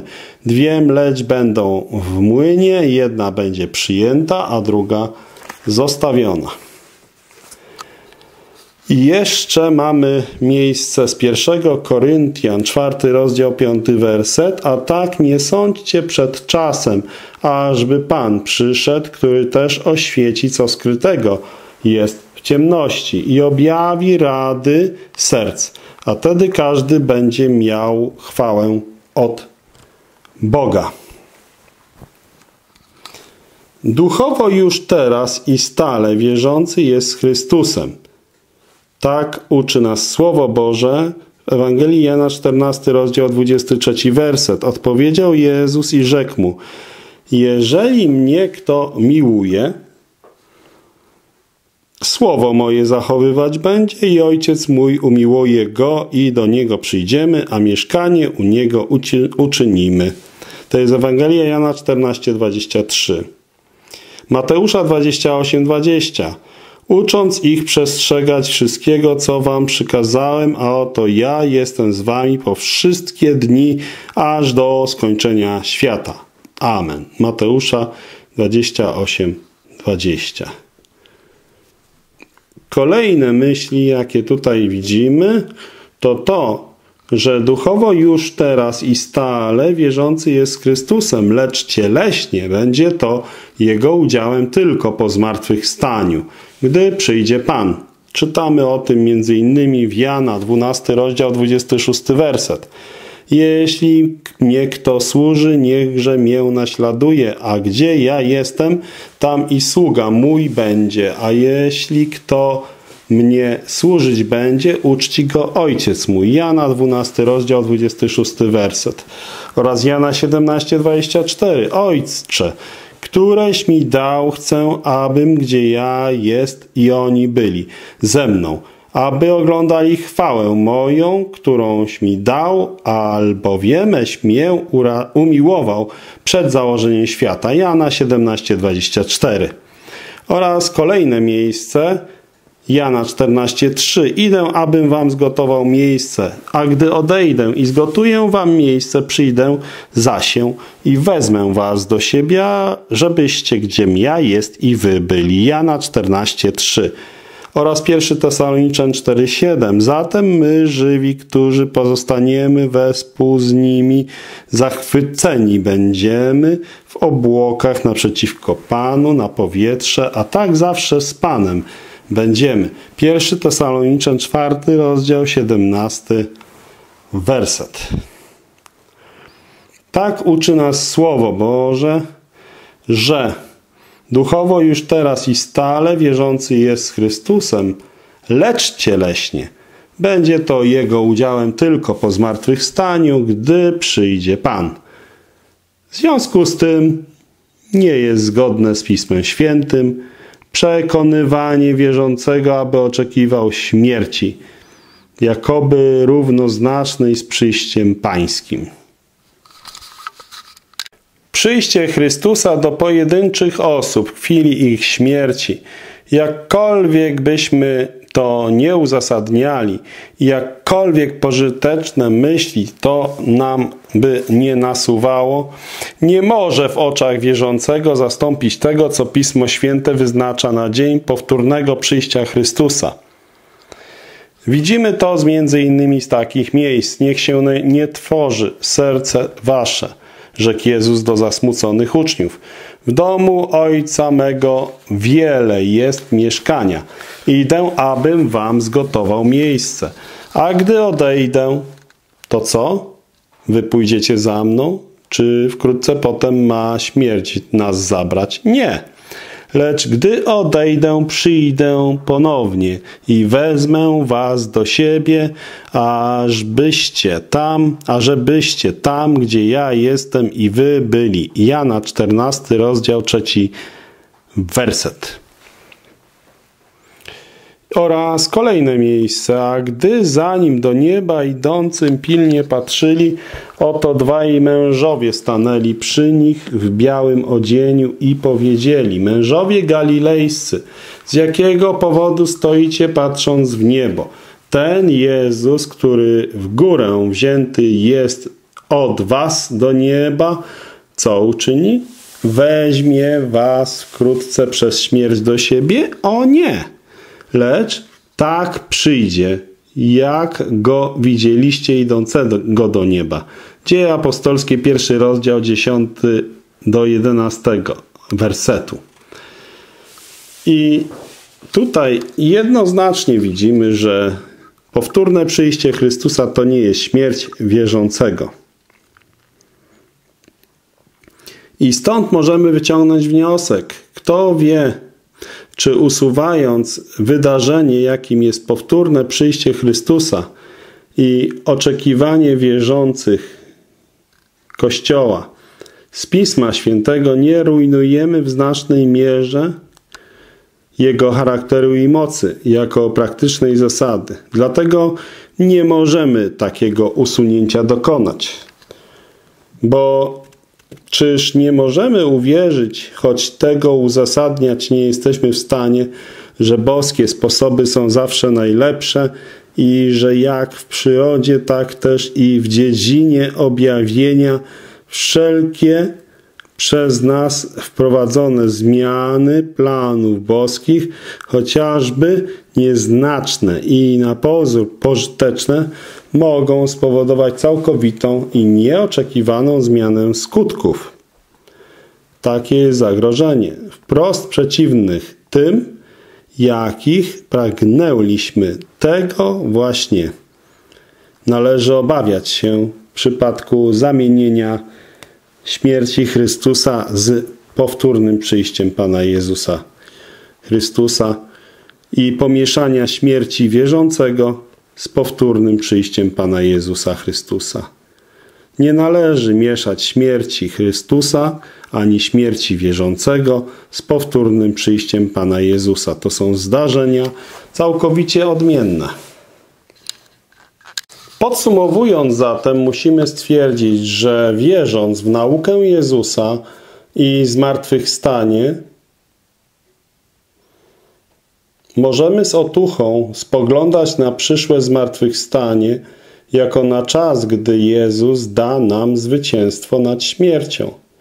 Czytamy o tym m.in. w Dziejach Apostolskich, czwarty rozdział, drugi werset obrażając się, iż uczyli lud, a opowiadali w Jezusie powstanie od umarłych. Dzieje apostolskie, czwarty rozdział, drugi werset oraz Dzieje apostolskie, siedemnasty rozdział, osiemnasty werset. Wtedy niektórzy z epikurejczyków i stoików, filozofowie, filozofowie spierali się z nim, a niektórzy mówili, cóż ten plotki mówić chce. A drudzy, zdaje się, jest opowiadaczem obcych bogów, bo im Jezusa i zmartwychwstanie opowiadał. Dzieje apostolskie, 17 rozdział, 18 werset. Kolejne miejsce to jest z pierwszej królewskiej, y, z pierwszej y, z pierwszego listu do Koryntian, przepraszam, z pierwszego listu do Koryntian, 15 rozdział 54 do 55 wersetu. A gdy to, co jest skazitelne, przeoblecze nieskazitelność i to, co jest śmiertelne, przeoblecze nieśmiertelność, wtedy się wypełni to słowo, które jest napisane, połknięta jest śmierć w zwycięstwie. Gdzież jest o śmierci bodziec Twój, gdzież jest piekło zwycięstwo Twoje. To jest 1 Koryntian 15 rozdział 54-55. I dobrze by było, gdyby też chrześcijanie mogli otrzymać łaskę, która nam dana będzie. Nie w śmierci, lecz w objawieniu Jezusa Chrystusa, jak czytamy w 1 Piotra 1,13. Przetoż przepasawszy biodra myśli waszej i trzeźwymi będąc, doskonałą miejcie nadzieję ku tej łasce, która wam dana będzie w objawieniu Jezusa Chrystusa. 1 Piotra, pierwszy rozdział, 13 werset. Nigdzie w nauce Pana Jezusa Chrystusa, naszego Zbawiciela, nie znajdujemy zachęty do czuwania i przygotowania się do śmierci – ale nas Pismo Święte upomina raczej, abyśmy czuwali i byli gotowi na przyjście Chrystusa i oczekiwali Syna Jego z niebios. Z tego powodu nie dajmy się oszukiwać, zwodzić myślą, że nasz wielki wróg, nasz wielki nieprzyjaciel, jakim jest śmierć, to rzekomo ta śmierć, że niby miałaby być naszym drogocennym przyjściem Jezusa. To nieprawda. Pan Jezus Chrystus osobiście przyjdzie ponownie. I dlatego jest to bardzo ważne, żebyśmy gorliwie czytali Słowo Boże. I to jest bardzo ważne, żebyśmy studiowali Słowo Boże. Bo Słowo Boże jest otwarte dla wierzących. Duch Święty chce nauczać wierzących, bo tak mówi Ewangelia Jana 14 rozdział 26 werset. Lecz pocieszyciel On, Duch Święty, którego pośle Ojciec w imieniu moim, On was nauczy wszystkiego i przypomni wam wszystko, comkolwiek wam powiedział. Ewangelia Jana 14:26. Także Pan Jezus posłał Ducha Świętego, który ukaże każdemu wierzącemu, chcącemu poznać prawdę, przyszłość. I to jest bardzo ważne. Widzimy to w Jana 16, rozdział 13, werset. Lecz gdy przyjdzie On, Duch Prawdy, wprowadzi was we wszelką prawdę, bo nie sam od siebie mówić będzie, ale cokolwiek usłyszy, mówić będzie i przyszłe rzeczy wam opowie. Jana 16, 13. Jest to bardzo ważne, żebyśmy mieli właściwe nastawienie ducha jak Berejczycy, żebyśmy badali Słowo Boże, żebyśmy rozsądzali Pisma, czy tak się rzeczy mają. Nie tylko powierzchownie słuchać opinii różnych ludzi, lecz czytać Słowo Boże. Mamy tego przykład w dziejach apostolskich, 17 rozdział, 10-11 werset.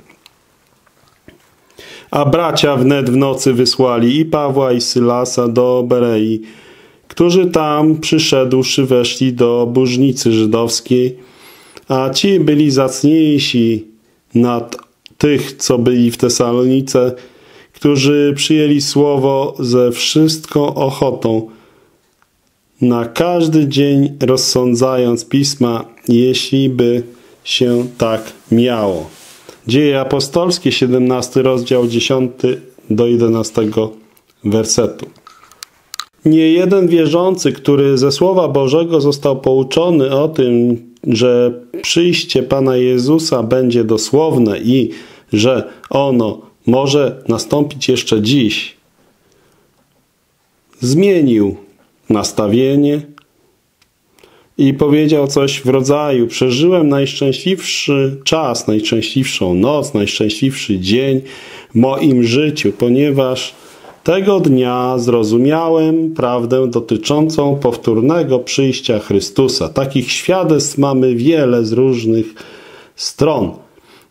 Takie coś napełnia wierzącego radością i takie coś powoduje, że wierzący staje się jednym z najgorliwszych pracowników dla Słowa Bożego w przyprowadzaniu dusz do Chrystusa. I dlatego jest bardzo ważne, żebyśmy nie dali się zwieść fałszywym naukom, które nas spowalniają w głoszeniu Ewangelii, które nas zniechęcają do opowiadania o tym, że Pan Jezus Chrystus umarł na krzyżu Golgoty za grzechy wszystkich ludzi i Pan Jezus Chrystus może wrócić o każdej, w każdej chwili. Niech Wam Bóg błogosławi.